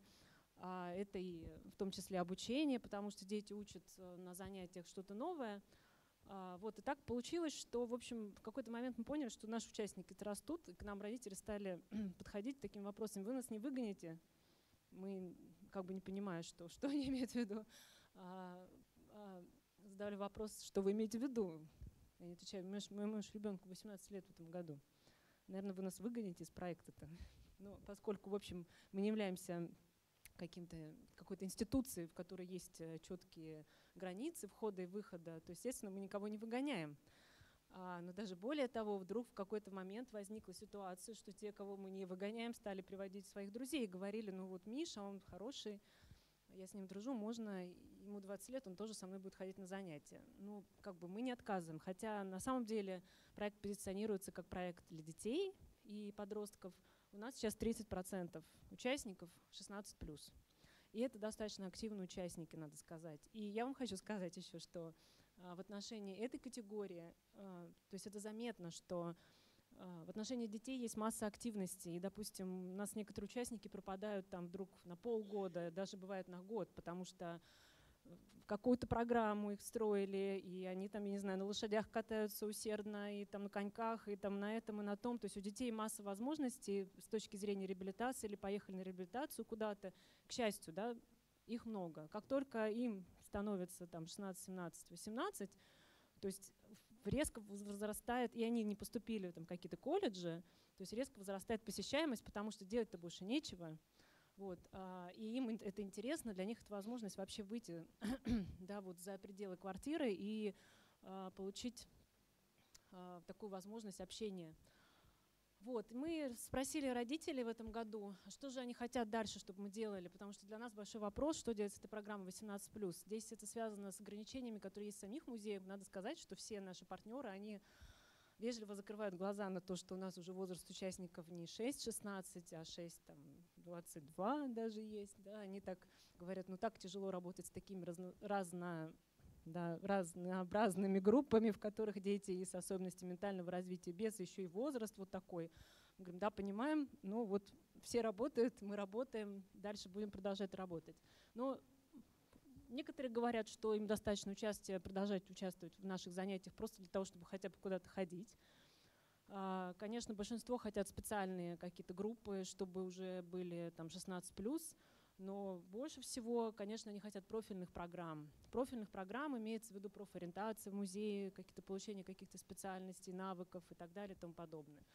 А, хотят они навыки художественных каких-то техник, э, там, не знаю, рисование, там, э, декоративно-прикладного искусства. Отдельно выделила фотографию, потому что к ней есть большой интерес с одной стороны, с другой стороны, это действительно проект, который мы серьезно прорабатывали с одним из музеев. Ну, вот я вам расскажу о некоторых, то есть мой, на самом деле, сегодняшнее выступление, оно не о э, столько решений. Вот мы сейчас находимся в начале пути и решаем массу проблем, о которых сегодня говорили. И с тем, что а, хочется, чтобы наши участники сохраняли, а, сохраняли вот эту радость к жизни, и чтобы они имели интересные для себя занятия, с одной стороны. С другой стороны, хочется, чтобы они не просто занимались чем-то, здесь их попили, там их порисовали, а чтобы они могли самостоятельно жить и имели какой-то, ну, как минимум, хобби, да, то есть лучше всего возможность для заработка. Вот, а, и это большая проблема, которую мы решаем тоже с музеями. Есть у нас, э, расскажу вам про проект, а, я его назвала «Я экскурсовод музея». А, и, значит, этот проект мы реализовывали с двумя музеями. Это Институт русского искусства и музей Стрелецкой палаты. Надо сказать, что э, сам музей Стрелецкой палаты, в общем, впервые выступил с инициативой такой, сказал, что давайте мы ваших ребят, вот там вот двух, возьмем, обучим вести экскурсию по нашей экспозиции. Вот они так прям вот заинтересованы, видно, что у них большой интерес. Это ребята, я сразу скажу, что не с расстройством аутистического спектра, это ребята с особенностями ментального развития, но э, это не конкретно не раз. А, и они это сделали. А, вот. И получилось так, что, в общем, действительно парень, а, вот Андрей, он уже такой молодой человек, ему было очень интересно да, этим заниматься. И начали приглашать там какие-то их, его друзей, школьные группы, в которой, школы, которые, ну, школа, в которой он учился. И настолько ему это понравилось, что мы пошли в другой музей, Институт русского реалистического искусства, и музей тоже подготовил их по своей экспозиции, чтобы они там каждый свой, свой кусочек вели. А опыт, э, с одной стороны, успешный, потому что получилось, да, и на самом деле им было интересно вести, их было интересно слушать, потому что, конечно, это не рассказ искусствоведа и не рассказ э, да, экскурсовода, но у них настолько какой-то свой взгляд на привычные вещи, да, вот, или на то, что на ту, на ту информацию, которую им подавали педагоги, что ну, с ними было интересно. А, и сейчас э, музей Институт русского исторического искусства, собственно, продолжил эту историю. Не взяли сейчас другого молодого человека, которым они тоже занимаются. И он вот 2 декабря будет у нас акция «Музей для всех». В рамках этой акции будет проводить не только экскурсию, но и мастер-класс. Это, то есть они обучались и стажировались, но все это, естественно, бесплатно.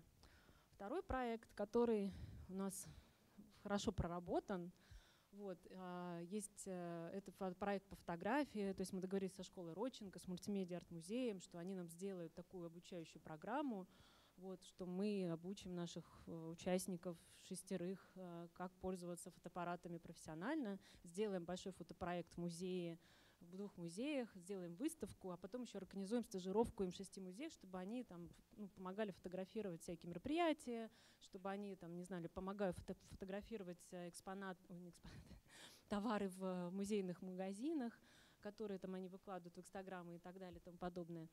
А, вот, это красивый большой проект, э, который, ну, в который мы верим, да, но он находится в проектной ситуации, проектном стадии, стадии идеи. Почему? Ну вот, собственно говоря, с трудности, да, а, трудности всех этих проектов по профориентации, стажировки в том, что они очень дорогие. Да, то есть если взять тот же самый проект э, по фотографии, мы подавали заявку на грант в один из, э, ну, в один из грантов. Нам его не дали по той причине, что как дадут, дают нам гранты? Делят да, сумму на количество единиц, на количество голов, ну, грубо говоря. Вот они поделились, скажут, что 6 человек – а вам надо там и полгода учить, да, и там координатор, тьютер, которых будет потом в этих музеях сопровождать на стажировке, которым нужно зарплату платить и так далее и тому подобное. Вот, то есть если все эти составляющие сложить, получается дорого, да, не дадим. Вот. Как сэкономить, мы не знаем. Ну, можно, конечно, то есть надо сказать, что выставка ничего не стоила, это бесплатно, да, это то, что музей делает за свои деньги. Да, то есть можно подумать, что мы там что-то такое захотели особенное. Нет. А, то есть это вот в чистом виде весь проект связан с тем, что нужно обучить и нужно, соответственно, во время стажировки сопровождать. И это вот, собственно говоря, те сложности, с которыми мы сталкиваемся, да, что требуется большая вовлеченность сотрудников и родителей. То есть мы хотим самостоятельной жизни, но при этом кто-то должен сопровождать э, участника такого проекта на занятия, да, его и вести обратно, потому что те же самые музеи, которые проводили вот эти обучающие программы, они столкнулись с тем, что ну, приехал, там вот, кстати, э, в Институте русскоязычного искусства как раз один парень был с расстройством э, аутистического спектра, но он довольно самостоятельный. То есть он приехал на станцию метро, где там Павелецкий вокзал, да, представляете себе, его просто там какие-то местные мошенники, да, это же вокзал, то есть они его там обокрали. То есть он отдал им там все деньги, что-то там карточки свои, пришел в музей дальше. Вот. И, конечно, мама потом позвонила, сказала, что вы бы не могли бы встречать. Но музей находится не рядом, там почти 16, там, от 15 до 20 минут пешком. Да, и сотрудники говорят, ну, вот, ну, встречать мы вообще, ну, вот, ну, никак, да, ну, то есть это там, не знаю, час времени рабочего человека, который там вот так, да, его уделяет для того, чтобы волонтера не нашли, а, значит, который бы был готов его так вот сопровождать. А, и, соответственно, вот с этим возникла проблема. Да? То есть вроде бы казалось бы, такая ну, ерунда. А с другой стороны, то есть получается, что ни трудоустройство, ни профориентация без этого сопровождения невозможны. Потому что мы хотим, чтобы человек жив-здоров да, и с, там, возвращался к себе на работу. А его хотели даже взять на работу. То есть они готовы были взять его уже по трудовому договору на некоторое время, чтобы он там уже попробовал какие-то деньги зарабатывать. Вот. Ну, собственно, недостаточный опыт самих э, сотрудников музеев, связанных с тем, что ну, одно дело вести экскурсии, мастер-классы, а другое дело работать вместе. То есть это же другие отношения, да, это, ну, вот, собственно говоря, немножко это взаимодействие на другом уровне, это уже какой-то личный контакт, то есть получается, что если мы хотим делать такие проекты, то в каждом музее должен быть человек, который курирует ну, в людей э, с особенностями, ну, трудоустроенных, с особенностями ментального нарушения. Вот. Ну и, собственно говоря, страх, то есть э, это то, с чем мы постоянно работаем. Э, когда мы начинали проект э, самого, ну, вот самого зачатки 4 года назад, есть страх, был страх как со стороны музеев, как мы будем, да, вот как вы. То есть основной аргумент какой был? Вы приведите педагогов, психологов, мы им расскажем, как тут, да, у нас, чего тут у нас висит. А, и все. Ну, то есть наша цель-то, собственно, не в этом. Наша цель в том, чтобы а, те люди, которые работают в музеях, они учились взаимодействию теми людьми, которые а, ну, требуют особенного подхода немножко, да, то есть в этом состоит инклюзия. Мы, то есть я всегда отвечаю, знаете, если мы приведем педагога-психолога, что у вас изменится? Ну, ничего, да. А завтра педагог-психолог не сможет прийти, и вот так как не могли, так и не сможете разговаривать на одном языке с, с, с, ну, с нашими участниками. А для нас важно, чтобы это было. Да. Ну, в общем, страх это тоже есть, потому что все боятся. Я хочу в двух словах, пользуясь случаем, рассказать э, об, об одном проекте, которым, которым мы тоже причастны. Скажите, кто-нибудь слышал об акции «Музей для всех», которая будет 1-2 декабря, а эти субботы и воскресенье? Вот, еще одна рука, две даже. Но вот это как раз досадно, потому что в эти выходные более 300 музеев по всей России, 65 регионов будут проводить а, как раз а, мероприятия для, с той целью, чтобы показать свои возможности для людей с, с, ну, как бы с особенными потребностями. Там очень много программ для людей с, с особенностями ментального развития. Музей, в Москве более 40 музеев, которые участвуют в этом проекте.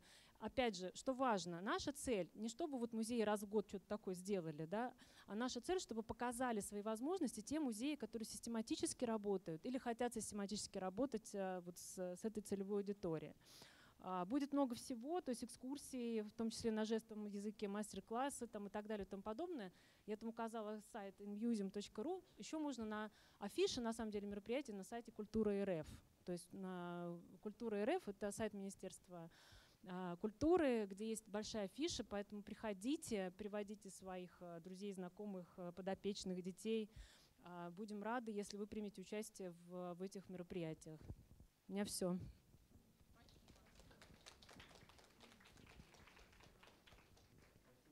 Есть вопросы, может? Нет. Дальнейшее, да, на, на дальнейшее общение. Значит, а сейчас сообщение Светланы Витальевны Белизон. У вас есть презентация или нет? Как вам удобно сидеть или стоять?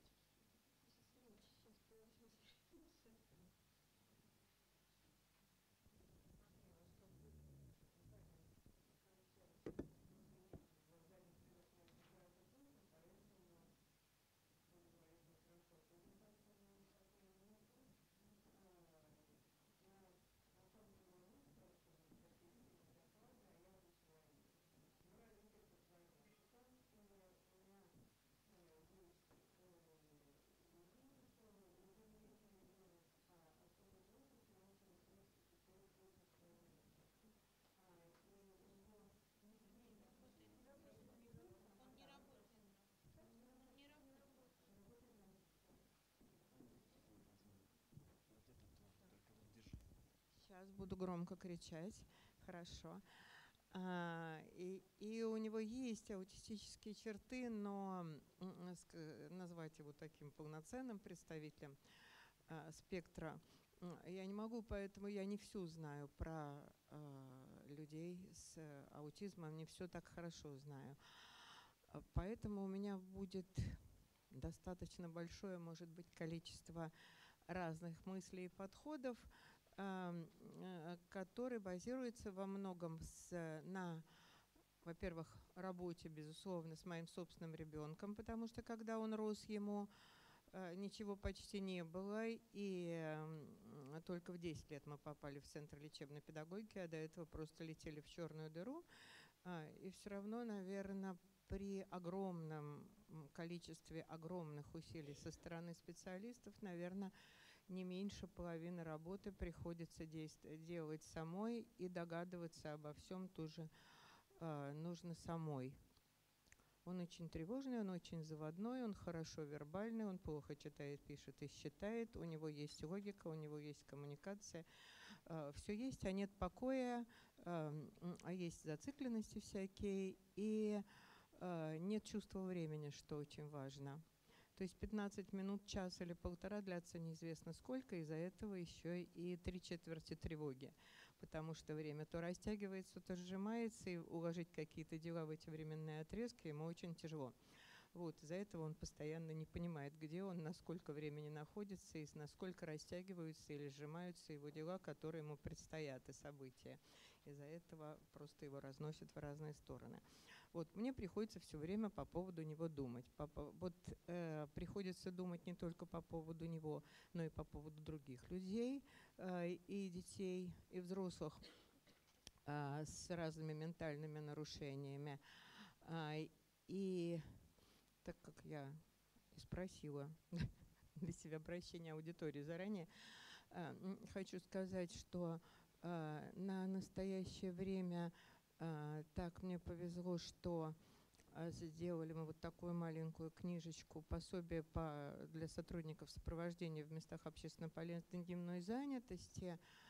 А, и сейчас недавно тоже мне еще больше повезло, что я поучаствовала как редактор с правом голоса вот в сборнике Гарди питерской по подготовке людей с ментальными нарушениями к вступлению в программу сопровождаемого проживания. Интересная достаточно вещь получилась на, сай на сайте Гарди.ру. Она доступна. У нас таких подходов на самом деле не было.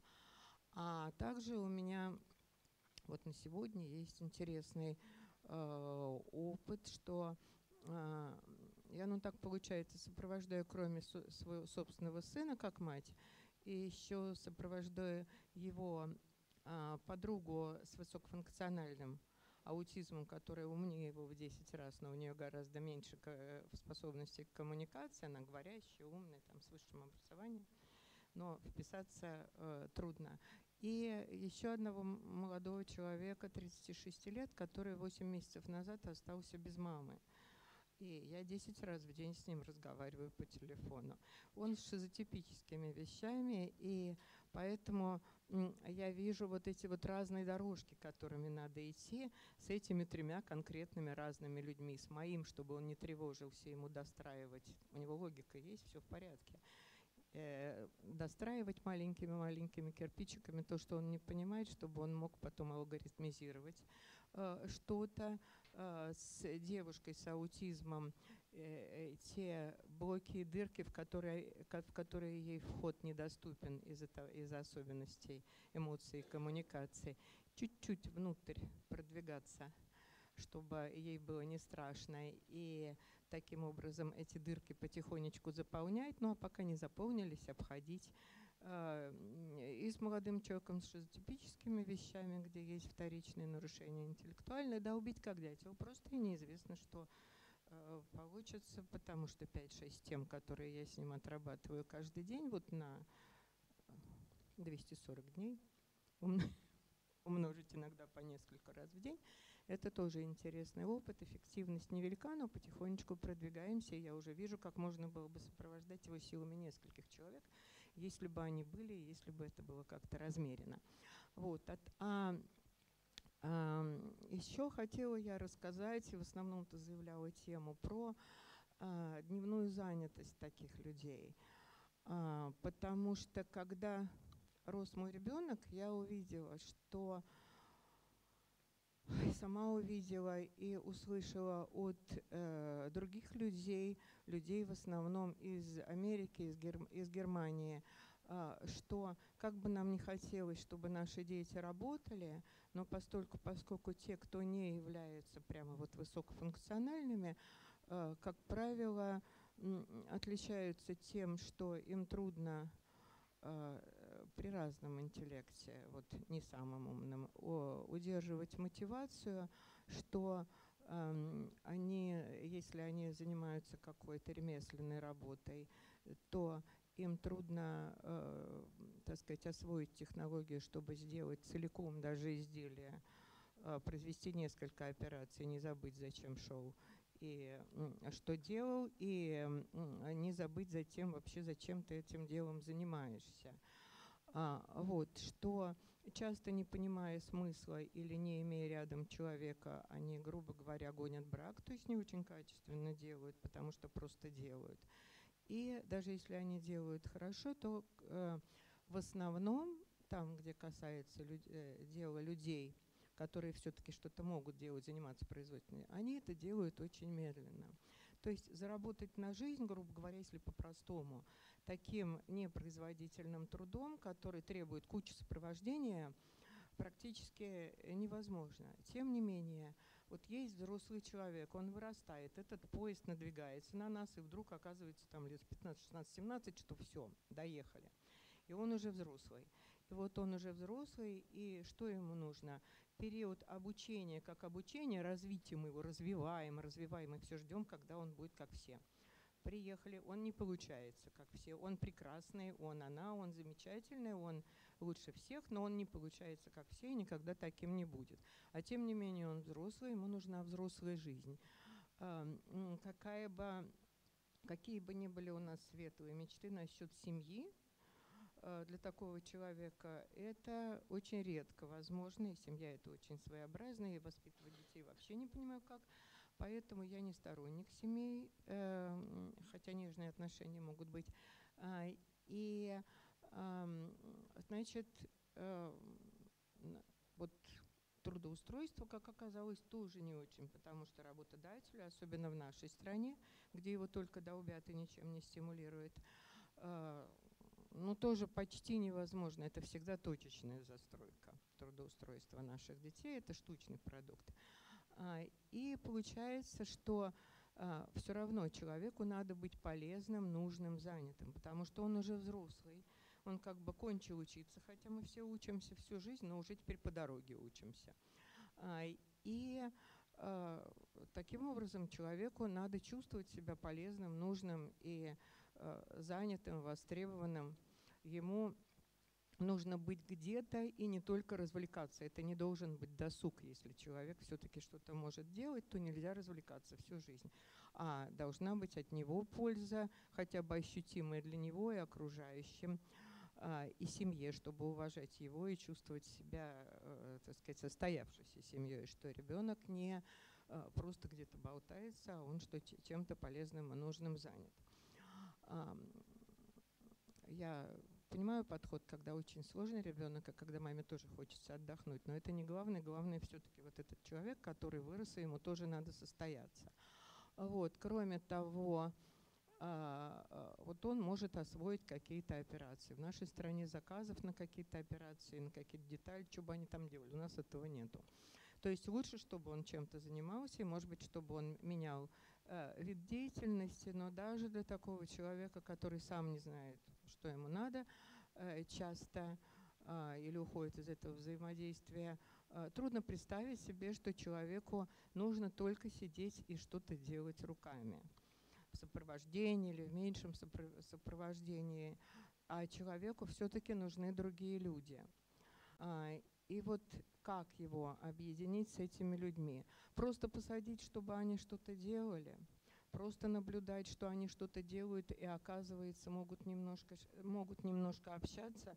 Но люди с аутизмом и ментальными нарушениями не очень хорошо умеют общаться и устанавливать эти отношения.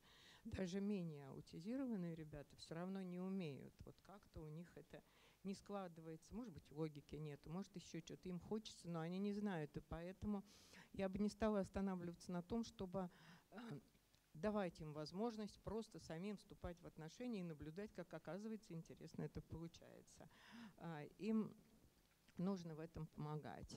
А, и вот э, тут сейчас э, мысль моя извилистая, хоть и не очень длинная, разветвляется на два, наверное, потока. А, первый поток, что значит, в том месте дневной занятости, где ребята могут делать какие-то красивые или нужные вещи, э, одну линейку, несколько, в одной, в нескольких мастерских, вот как у нас мастерской сундук, который мы создали пять лет назад, а, что э, у них должна быть вот эта вот возможность общения. Как? Просто так это общение достаточно трудно стимулировать. Вот мы думали, думали, я там придумала несколько лет назад, что в, мастер, э, в мастерской, куда собирают таких людей, которые является не местом просто труда и не местом производства. Слушай, мой один знакомый сказал, что то, что вы производите, так как вам дают там расходный материал, это говорит, не, не, не, не изделие, не производство, это товарные, не товарные остатки. Ну вот там, где мы красивые наши нетоварные остатки производим, а, вот у ребят должна быть возможность а, а, социального развития, то есть это поддерживаемое социальное развитие, и возможность общения. И что очень важно, мне кажется, что самое главное, самое важное, что они приобретают здесь, они здесь приобретают возможность развития взаимоотношений, то, что им самим трудно. Как это делать? Мне кажется, что э, нужно, чтобы на входе в такой процесс, когда бы этот вход не был, может быть, даже через, через половину времени там, или через сколько-то, когда они уже пришли в программу. Вот, э, сделала я, например, э, нигде еще не опубликованную анкету, там 39 вопросов, зверская анкета, я про своего ребенка думала, и все варианты ответов там э, э, подбирала с вариантами ответов, с дополнительными Э, с возможностью дополнения и с возможностью комментирования по каждому, по каждому вопросу. Вот, и мне казалось, что эта анкета не способ только диагностировать человека, выявить его дефициты, а и не только выявить его сильные стороны, но это родительская анкета, не для ребят. А, но и его предпочтение и немножко окунуться в его историю, в то, где он еще занимался, чему он еще научился, что еще ему нравится.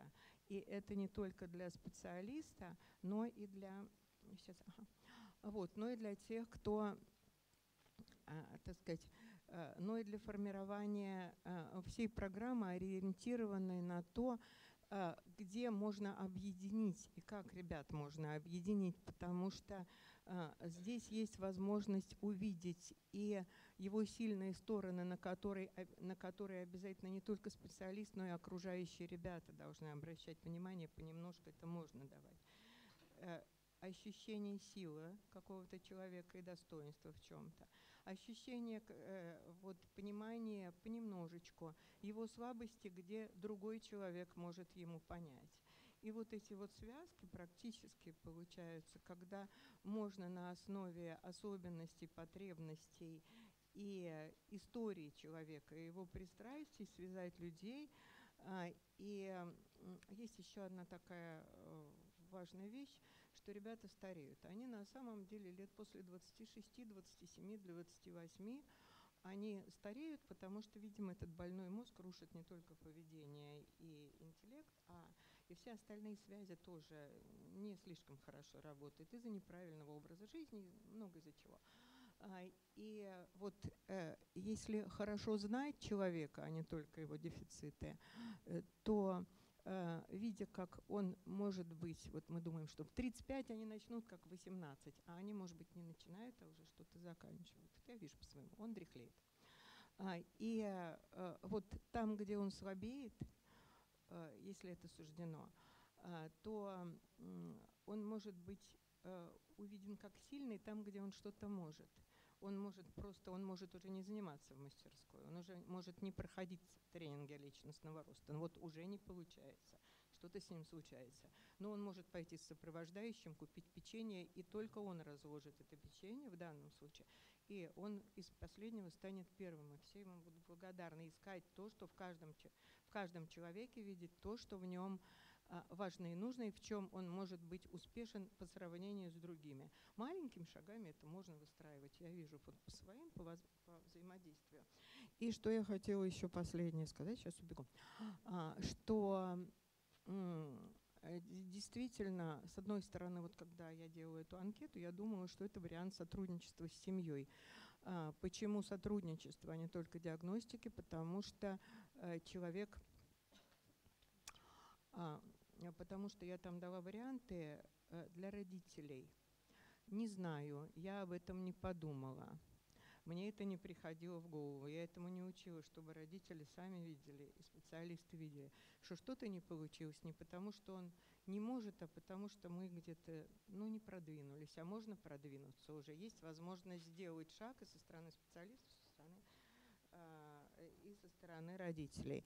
И второе, то, что наши 150 уже, а, э, то, что наши дети в силу необходимости такой вот, потому что они э, ну, неравномерно и поздно развиваются, а, они э, абсолютно абсолютно эгоистичны, даже в лексике и подходе родителей это заметно. Вот весь мир должен принять моего ребенка, а я сама об этом мире ничего вообще знать не хочу, потому что я очень занята и очень устала. И это отыгрывает на так сказать, на очень неудачном а, уровне, потому что а, получается, что дети не только потому, что им трудно, а потому что мы сами не учим их а, не обращать внимание на других людей, не обращать внимание на самих себя, мы все время их обслуживаем. Это даже не гиперопека, а это отношение к ребятам.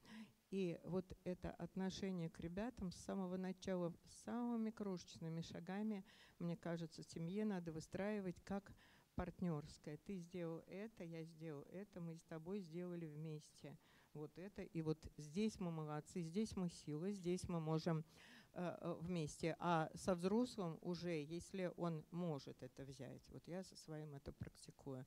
Я говорю, ты знаешь что, мы с тобой живем вместе, ты взрослый человек, и я взрослый человек. Я не обслуживающий персонал. Если ты не делаешь, то и я не делаю. Вот. И через сопротивление это идет, но, но что-то он понимает. И вот с теми ребятами, которых я тоже сопровождаю, которых много, Э, на пути на самом деле встречается, это тоже часто работает, что мы вместе, ты делаешь это, я делаю это, да, вот мы не можем эту задачу поставить как целую, навалить как целую кучу, как, которая а, у нас, э, вот как с обычным человеком, он сам возьмет оттуда и сам сделает. Наши не сделают. Но распределить и потом показать плодотворность этого сотрудничества.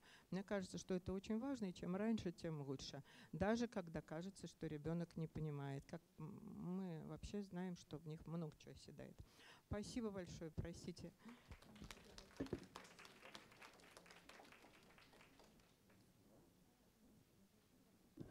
Так, у нас осталось время на одно сообщение.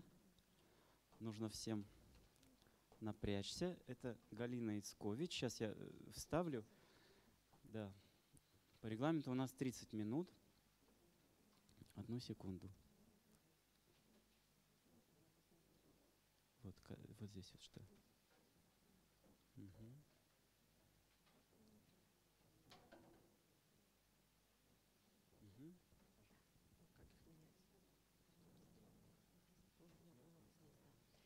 Здравствуйте, меня зовут Галина Ицкович, я практикующий психотерапевт, э, живу, работаю в Нью-Йорке.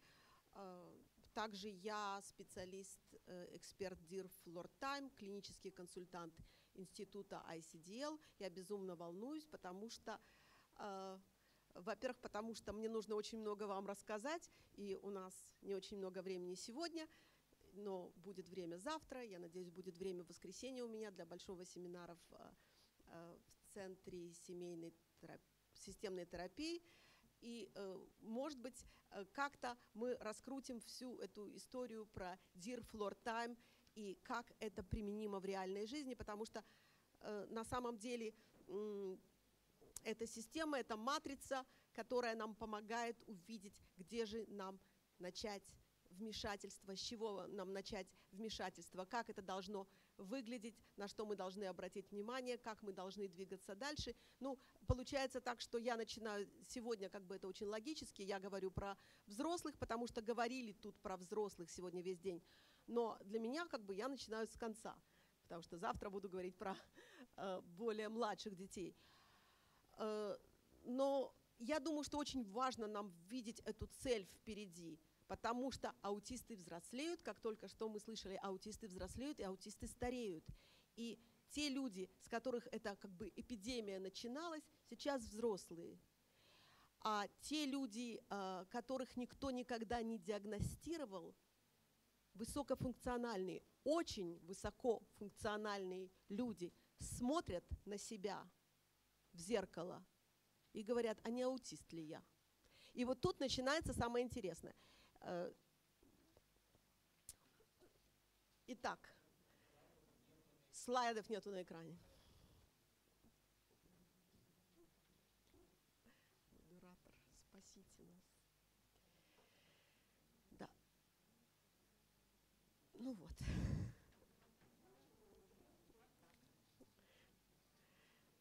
Ну, ладно, я буду рассказывать, и, может быть, что-то как-то это разрешится. Нет, это не мои слайды. Ну, давайте я буду все-таки рассказывать. Пока суть до дела. Э, я хотела э, начать с разговора. Слышали вы уже вчера про Dear Floor Time и сегодня прекрасные э, выступления с утра. Но мне кажется, что сегодня нам надо поговорить о другой работе Стэнли Гринспена, основателя методики Dear Floor Time вместе с Ириной Уидер. И эта книга «Замечательные дети». Эта книга не была переведена на русский, поэтому я просто хотела вам рассказать очень-очень быстро, на что он смотрит, когда он говорит «замечательные дети». Вот это наши замечательные дети. Тут речь не идет о детях аутистического спектра и о взрослых аутистического спектра. Тут речь идет о том, что каждый родитель хочет для своего ребенка. Каждый родитель хочет вырастить эмпатичного ребенка, который обладает полным спектром эмоциональных реакций, ребенка, который умеет общаться с окружающим миром, ребенка, который мыслит логически, может ходить в школу, Э, учиться накапливать академические знания, а потом отдавать их в той или иной форме, то есть работать. Ребенка, который обладает любопытством. Любопытство – это огромная движущая сила. Без любопытства мы ничто. Без любопытства мы не будем знать, э, что э, там за меню в соседнем ресторане, мы не будем знать, что там изучает сосед, мы не будем знать, на каком языке говорят за соседним столиком. То есть любопытство нам нужно для того, чтобы расширять границы нашего мира. И это очень важное качество вот, условно замечательных детей, которых мы все хотим вырастить. И для того, чтобы это любопытство у нас работало на нашу функциональность, на наше умение взаимодействовать с миром, получать и отдавать, мы также должны обладать некой внутренней дисциплиной. То, о чем говорила утром э, Юлия Эрц. Самоконтроль, саморегуляция, умение э, регулировать собственные реакции, умение регулировать собственные э, несоответствие, несоответствие собственного сенсорного профиля с окружающей ситуацией и умение оставаться внимательным.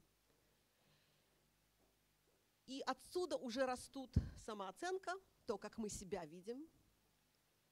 И это очень важная часть, потому что чем лучше мы себя видим, чем более отчетливо мы себя видим, э, чем более доброжелательно мы себя видим, тем, как ни странно, лучше мы функционируем. Потому что если мы относимся к себе недоброжелательно, то результат, наверное, будет недостаточно хорош. Результат, наверное, не превзойдет наши ожидания, то есть он будет абсолютно соответствовать. Он будет, скажем так, сереньким. И, конечно, мы должны быть вовлечены в то, что мы делаем. И на более высоком уровне э, мы хотим, чтобы наши дети, замечательные дети, были творчески э, состоявшимися личностями. И мы, конечно, хотим, чтобы наши дети унаследовал, унаследовали э, некую систему моральных ценностей, то есть нравственные стандарты. Все со мной согласны. Мы все это хотим видеть в своих детях. Правда? Да, собственно, и в себе. Но э, как это сделать? Как это сделать э, аутисту? Тут нам на помощь приходит еще одна модель. Модель психического состояния человека. То есть э, то, что называется theory of mind. То есть понимание того, что вокруг существует. Вот сейчас зал наполнен, тут сидят люди, и каждый пришел со своими собственными мыслями, идеями, которые выражаются в его поведении. Каждый принес с собой некий багаж, и как мне тут функционировать, как мне функционировать в этой комнате, как мне себя вести. Кто-то нахмурился. М, что он обо мне думает сейчас? Я ему не нравлюсь, он со мной не согласен. А, а вот кто-то улыбается, это доброжелательное лицо. Да, я знаю этого человека, я уверена, что этот человек воспринимает мои идеи. Пожалуй, я сосредоточусь на этом человеке. Но правильно ли я распознала намерение? Может быть, я все перепутала, если моя сенсорика меня не поддерживает, если э, мой мозг э, недостаточно э, точно интерпретирует эти сигналы, если у меня эта способность не развита, то есть у меня нет этой нейропроводки для того, чтобы это распознать и понять, и уже утром говорилось про поливагальную теорию, про то, про те системы, которые у нас существуют в мозгу. Спасибо доктор Стивен Порджес, который позаботился о нас, посмотрев на эти древние системы социального взаимодействия, которые развивался, которые развивались у человеческого младенца для того, чтобы выжить, для того, чтобы остаться в живых, в этих нелегких условиях непонятного мира. Мы самые беспомощные создания. Э, студенты моего э, класса ДИР 201 в этом семестре уже слышали про мою э, юную собачку. Но также у меня есть юная, можно сказать, внучатая племянница. Вот они ровесники я мечтаю, что у меня будет возможность рядом положить на один и тот же ковер малыша и щенка. Щенок умеет все. Щенок бегает, щенок играет, щенок взаимодействует, щенок понимает команды. Щенок очень много может для себя сделать самостоятельно, позаботиться о себе, достать еду, сообщить мне, что он голоден или хочет пить. Ничего этого не может сделать четырехмесячная девочка. То есть, если мы сравним щенка и девочку, проигрывает явно человеческий детеныш. Поэтому нам нужна эта система социального взаимодействия для того, чтобы задействовать маму, привлечь ее внимание, научиться ей улыбаться, чтобы она от нас не уходила, чтобы у нее у кормящей мамы продолжало вырабатываться молоко, тут у нашей гормональная система к этому подстраивается. То есть нам нужно держать другого. Если эта система не работает, нам очень тяжело выживать в мире нам очень тяжело закрывать вот эти вот дырки в нашем нейрологическом сыре. То есть что мы пытаемся сделать? Мы пытаемся понять, где в сыре дырки. И каким-то образом это учитывать во взаимодействии с ребенком и во взаимодействии со взрослым. И понять, вот термин тоже из доктора Гринспена – где находится ахиллесова пята, то есть те слабые стороны, которые мешают человеку вступать во взаимодействие с окружающим миром, и как это взаимодействие расширять, как человеку оставаться в контакте. Ну, вернусь к своему загадочному названию «Взрослая жизнь аутиста». А, почему я вам решила рассказать про взрослую жизнь аутиста? Потому что я вижу все чаще и чаще взрослых аутистов, которые приходят ко мне, иногда они приходят ко мне вот прямо вот с вопросом, вы знаете, я тут себе провела исследование, нашла программу онлайн, и она говорит, что я аутистка. Но это, конечно, неправда, я поэтому пришла к вам, чтобы вы мне сказали, что это неправда. Ну,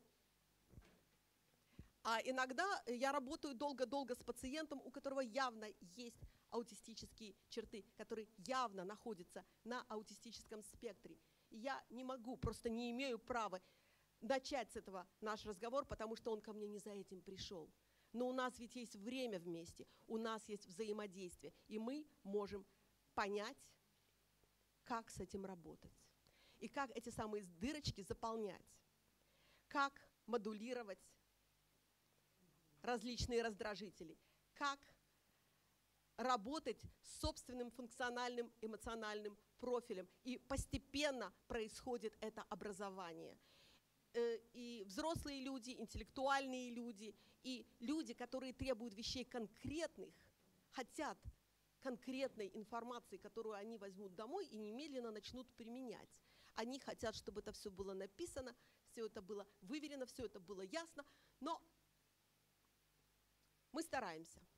Инструментов мало, инструменты есть, какие-то инструменты приходится, э, инструменты тестирования приходится приспосабливать к ситуации. Но очень важно, учитывая индивидуальные особенности того взрослого, с которым вы живете, либо работаете, либо с которым вы просто общаетесь социально. Э, извините, пожалуйста, тут есть люди, которые э, социально знают аутистов, кроме меня? Ну, знакомые, э, родственники знакомых, странный сосед. Есть, отлично. То есть как нам с ними взаимодействовать, мне кажется, очень важно понять. Почему это важно понять? Потому что цифры видели, один из 56, да, 58, какая там цифра сейчас? Нам с, на, с ними жить и им с нами жить. Давайте жить вместе, не лечить друг друга и не вмешиваться. Вот это слово вмешательство, что-то в нем со временем становится не то. Когда мы говорим о маленьком ребенке, это все хорошо и нормально, но потом он вырастает, а потом он э, взрослеет, а потом он начинает знакомиться с девушками, или девушки начинают знакомиться с ребятами, а потом у них появляются дети. Я вам покажу. Итак, мы работаем на высоких ступенях. Про ступени функционального и эмоционального развития немного было сказано, будем говорить об этом еще, завтра у нас целый день, к счастью. Мы работаем на высоких ступенях. Э, мы работаем над эмпатией, мы работаем над э, теорией психического состояния, мы работаем для того, чтобы задействовать зеркальные нейроны. Я надеюсь, что я задействовала ваши. Может быть, нет. Но у нас есть время, к счастью.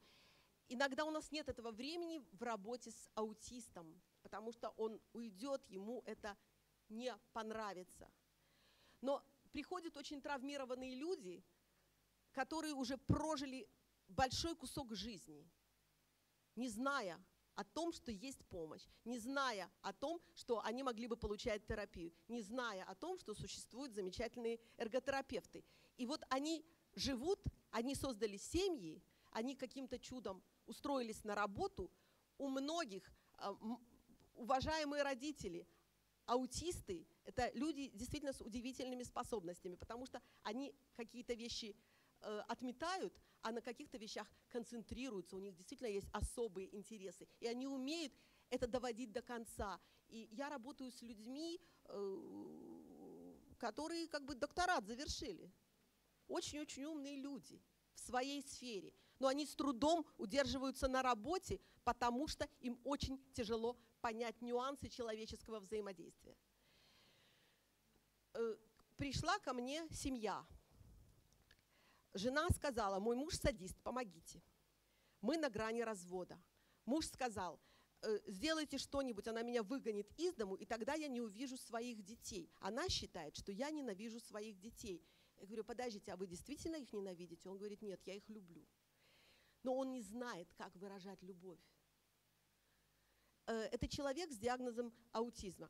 Мы стали играть с ним и его детьми. Что такое Dear Floor Time? Мы говорим о игре, когда мы говорим о маленьких детях. Игра – это тоже вещь условная, потому что с маленькими детьми мы играем, так они живут и взаимодействуют. С детьми постарше мы разговариваем, с кем-то мы играем в ролевые игры, а со взрослыми мы играем на совсем другом уровне. Это уже игра ума. Мы проигрываем различные ситуации на том уровне с учетом тех индивидуальных особенностей, которые есть у этого человека. Нам важно понять эти индивидуальные особенности, то, о чем утром говорилось, сенсорика, проприоцепция, интероцепция – праксис, моторное планирование, то, как человек движется. И очень многие эти люди испытывают невероятные сложности, потому что кофе всегда проливается, потому что ключи всегда теряются, потому что дверные проемы не там, где их ожидали увидеть, потому что расписание меняется, потому что предметы передвигаются в коридорах и комнатах, и он не может найти ту аудиторию, в которую ему надо войти, чтобы прочитать лекцию. То есть все эти вещи никогда не принимались во внимание. Для многих взрослых это открытие. Но счастье заключается в том, что мы можем об этом говорить, мы это можем обозначать, мы можем человеку помочь построить новую карту. Я вам покажу видео, как этот папа учится играть со своими детьми. Это дети, с которыми никогда не играли, потому что мама в воспитательных целях воспит, воспитывает она папу. Поймите меня правильно. Мама в воспитательных целях воспитание детей передала папе потому что она хочет его научить чистить детям зубы. Папа принес мне домашнее видео, и, к счастью, в Dear Floor Time мы очень много используем видео и видеоклипы, и я использую эти домашние видео. Папа принес мне видео, он вкладывает ребенку, кричащему и отбивающемуся в рот пальцы, и раздирает вот так вот щеку, и туда, значит, засовывает щеточку. И зубы они чистят полтора часа каждый вечер. А почему полтора часа? Он говорит, ну она же отбивается. Я говорю, а давайте мы попробуем почистить зубы иначе. Давайте вы попробуйте, попробуйте почистить зубы вместе, а мама будет снимать, как вы вместе по очереди чистите зубы. А потом, может быть, она вам почистит зубы. Вы можете потерпеть, она вам плохо почистит зубы. И поскольку мы уже с этим папой прошли опросник, э, сенсорный опросник и опросник его ступеней, я знаю, сенсорику этого папы. Я знаю, что папа плохо воспринимает речь. Я буду ему... А папа, между прочим, профессор университета. Специалист в своей специальности. Я буду папе это медленно артикулировать и находить те слова, которые он услышит на той частоте, на которой он услышит. То есть я себя подстраиваю под папу. Что я делала? Как я помогла его жене? Я сказала, знаете что? Давайте, чтобы он лучше вас слушал и не игнорировал, давайте вы попробуйте говорить чуть ниже. Не на высоких тонах, а чуть-чуть пониже. О чудо! Папа стал реагировать на мамины комментарии. Он, по крайней мере, стал отвечать. Он просто это не слышал. Все, перегрузка системы он выключался. То есть мама продолжала ему говорить, что он садист, но она хотя бы говорила тише, и папа приходил и мог мне хотя бы пересказать содержание их диалога. До этого он понятия не имел. И очень важно обучить этих партнеров. И что такое синдром Кассандры? Синдром Кассандры, Кассандра, помните, такая была э, древнегреческая, троянская девушка, она все время говорила какие-то ужасные вещи, и это всех очень раздражало, и в результате ее постигла ужасная смерть, потому что э, она абсолютную правду говорила. Так вот, партнеры аутистов – это вот такие Кассандры, которые все время говорят, я же тебе говорила, что ты не можешь взаимодействовать со своими детьми. Я же тебе говорила, что ты сейчас врежешься во что-то. Я же тебе говорила, что ты потеряешь ключи. И очень важно вот с этим работать и помочь этим Кассандрам, бедным, женам аутистов, выжить. И помочь аутистам выжить в этих недоброжелательных условиях. Для того, чтобы в отношениях появлялось хоть какое-то удовольствие. Обычно аутисты приходят за помощью, когда отношения уже мертвы. Тут нам надо приостановиться и помочь партнеру понять, что происходит. И я уже неоднократно э, встречалась с ситуациями, когда жены приводят мужей и говорят, я думаю, что... Э, и мы уже ходили, вот Эйдес подтвердил, что я была абсолютно права. Это аутизм. И очень важно, чтобы хоть где-то, хоть чуть-чуть возникло взаимодействие и возник приятный, спокойный ритм отношений. Точно так же, как мы утром смотрели, если вы видели видео а, папы и новорожденного младенца. Младенец услышал голос папы. И он успокоился. Она, девочка, успокоилась. То есть иногда голос близкого человека может нам помочь успокоиться, отрегулироваться и лучше воспринимать ситуацию из окружающей среды. когда партнер это начинает понимать, и партнер будет очень недоволен, говоря, я, я, что это за жизнь, что это домашняя терапия. Я не соглашалась на такое, я не его мама. Он не мой ребенок. Но если есть еще что-то живое в этих отношениях и есть желание это исправить, партнер потом идет домой и видит разницу. И еще у нас есть такой очень важный механизм, это видео. Иногда, посмотрев на видео, партнер увидит разницу. И это тоже очень хорошо и очень полезно. Да, но это мальчик, который заткнул пальцем дыру в плотине. То есть это очень тяжело все сделать. Ну, давайте, может быть, мы посмотрим, а, посмотрим видео, как папа впервые в жизни, и вы увидите, что девочки, младшие девочки 4, а старшей э, девочки будет 6, но впервые в жизни они с папой да-да-да, стали играть.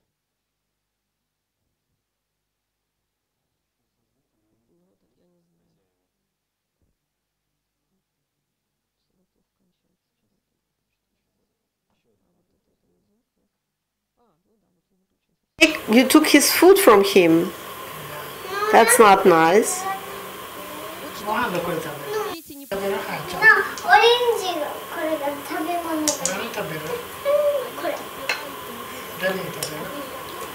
That's what he wants to. Oh, you take you took his food from him. That's not nice.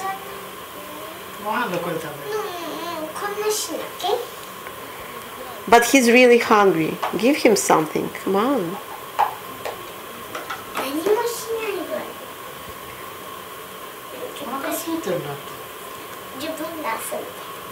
What did you ask for now? She wants to play by house. Oh, okay. So we try try to build obstacles. So your your character is already there. Just get out and be a part of it. She wants to play by herself because she's played by herself most of her life. Don't give up. Try you use you have your character. You can also come and cook.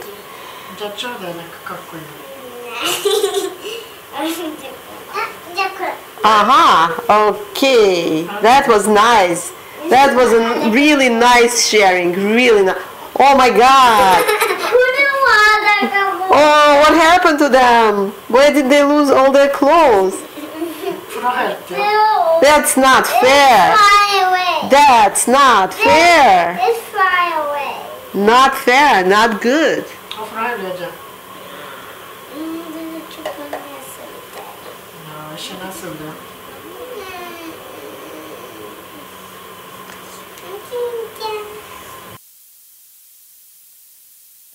Эти дети очень травмированы, потому что они свидетели постоянных домашних конфликтов. Они свидетели, э, им чистят зубы, раздирая рот. Самсон льву. Э, Им очень сложно. И возродить это доверие очень непросто. Но вопрос еще вот в чем. Кто поможет несчастному терапевту, который оказался в этой ситуации? Потому что терапевт становится носителем семейного благополучия. Терапевт берет на себя основные функции семейных отношений. И терапевт пытается предложить какие-то решения, маленькие решения, решения, которые обусловлены индивидуальными особенностями э, человека, который никогда не подозревал, что ему мешает. И на самом деле это очень такой мощный процесс, когда вдруг человек приходит и говорит, я тут эту вашу табличку, а что я делаю, я приспосабливаю таблицу, которую, опросник, который функциональных, эмоциональных особенностей и сенсорных особенностей, опросник Гринстена для детей, я ее- его стала приспосабливать ко взрослым. Потому что взрослым легче, они получили бумагу, где все это распечатано, где все это расписано, и они что-то уносят домой конкретное. Но это очень такой мощный момент, когда э, взрослый возвращается и говорит, вы знаете, я тут думал, и я вдруг понял, почему я никогда, почему мы всегда скандалим в магазинах. Потому что она, она, эта жена, таскает меня по магазинам, где очень все громко гремит, там гремит какая-то музыка, там что-то стучит, и она всегда со мной ругается там. Может быть, стоит ходить по другим магазинам, по более тихим, или, может быть, стоит подождать ее на улице, или, может быть, стоит закончить этот разговор на улице, а потом одеть вот эти вот самые на уши одеть наушники, одеть что-то, и потом зайти в магазин, не решать вопросы в магазине. То есть простые решения для сложных проблем. И это не только вот этот э, э, человек, это также несколько других взрослых аутистов, у которых семейная жизнь зашла в тупик, потому что больше не может э, работать э, семья с тем, что происходит. И нам эти обиды очень важно зачистить. То есть вот эта вот книга э, «Приход, уход обид». Если мы будем очень долго в ней копаться, мы никогда не вырулим на какую-то ровную поверхность, где у нас будет прогресс. Очень важно двигаться вперед. Очень важно накапливать новые впечатления и работать с ними. Э, вплоть до того, что можно семье сказать, вы знаете, мы об этом обязательно поговорим. Но давайте мы это отложим. И у нас должна быть некая регулярность. То есть мы встречаемся, а, если возможно, в конце каждой встречи с аутистом, мы встречаемся с членами семьи. Если нам не удается встречаться лицом к лицу, мы в конце концов э, включаем э, телефон, э, вот у нас такая конференция, я просто хочу повторить какие-то вещи, и мы обговариваем, что именно мы можем обсудить с женой, что именно, потому что она, конечно же, не должна знать всю интимную жизнь аутиста, о которой мы говорим. Что у нас происходит? У нас происходит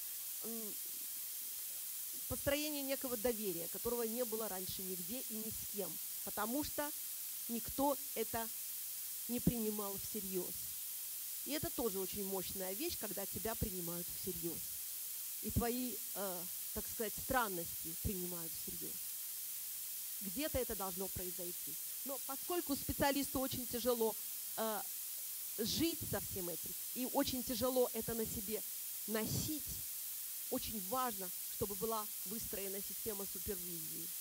Особенно для тех, кто только начинает с этим работать. И я вас уверяю, если тут присутствуют специалисты, которые хотят открыть э, двери своих кабинетов взрослым аутистам, я вас уверяю, что работа это безумно интересная. Работа это э, очень много дает.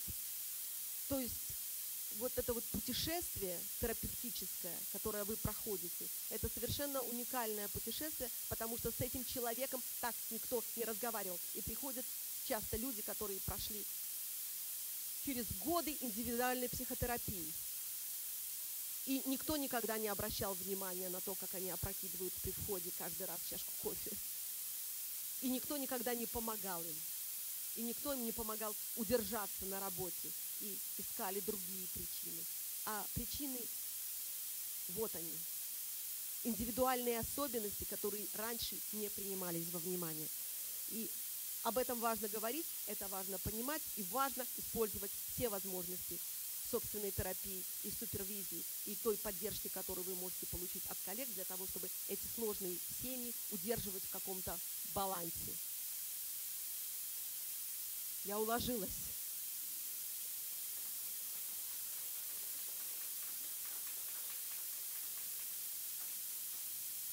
Спасибо.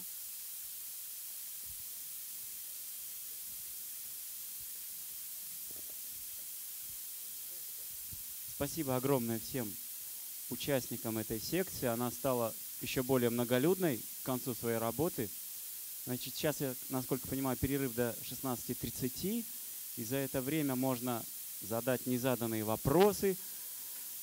До 15.30, конечно. И записаться, это вы скажете про это, да? Да, значит, я хочу напомнить, что записаться завтра на площадке вы можете здесь в фойе. Там висят списки вывешены. А в 17.00 в 506 аудитории будут подведены итоги сегодняшнего нашего здесь дня. Так что кто готов, можете быть. И не, не забудьте записаться, там уже многие записались. Спасибо. Конечно. Очень убедительная просьба, уберите за собой, хорошо? Пожалуйста.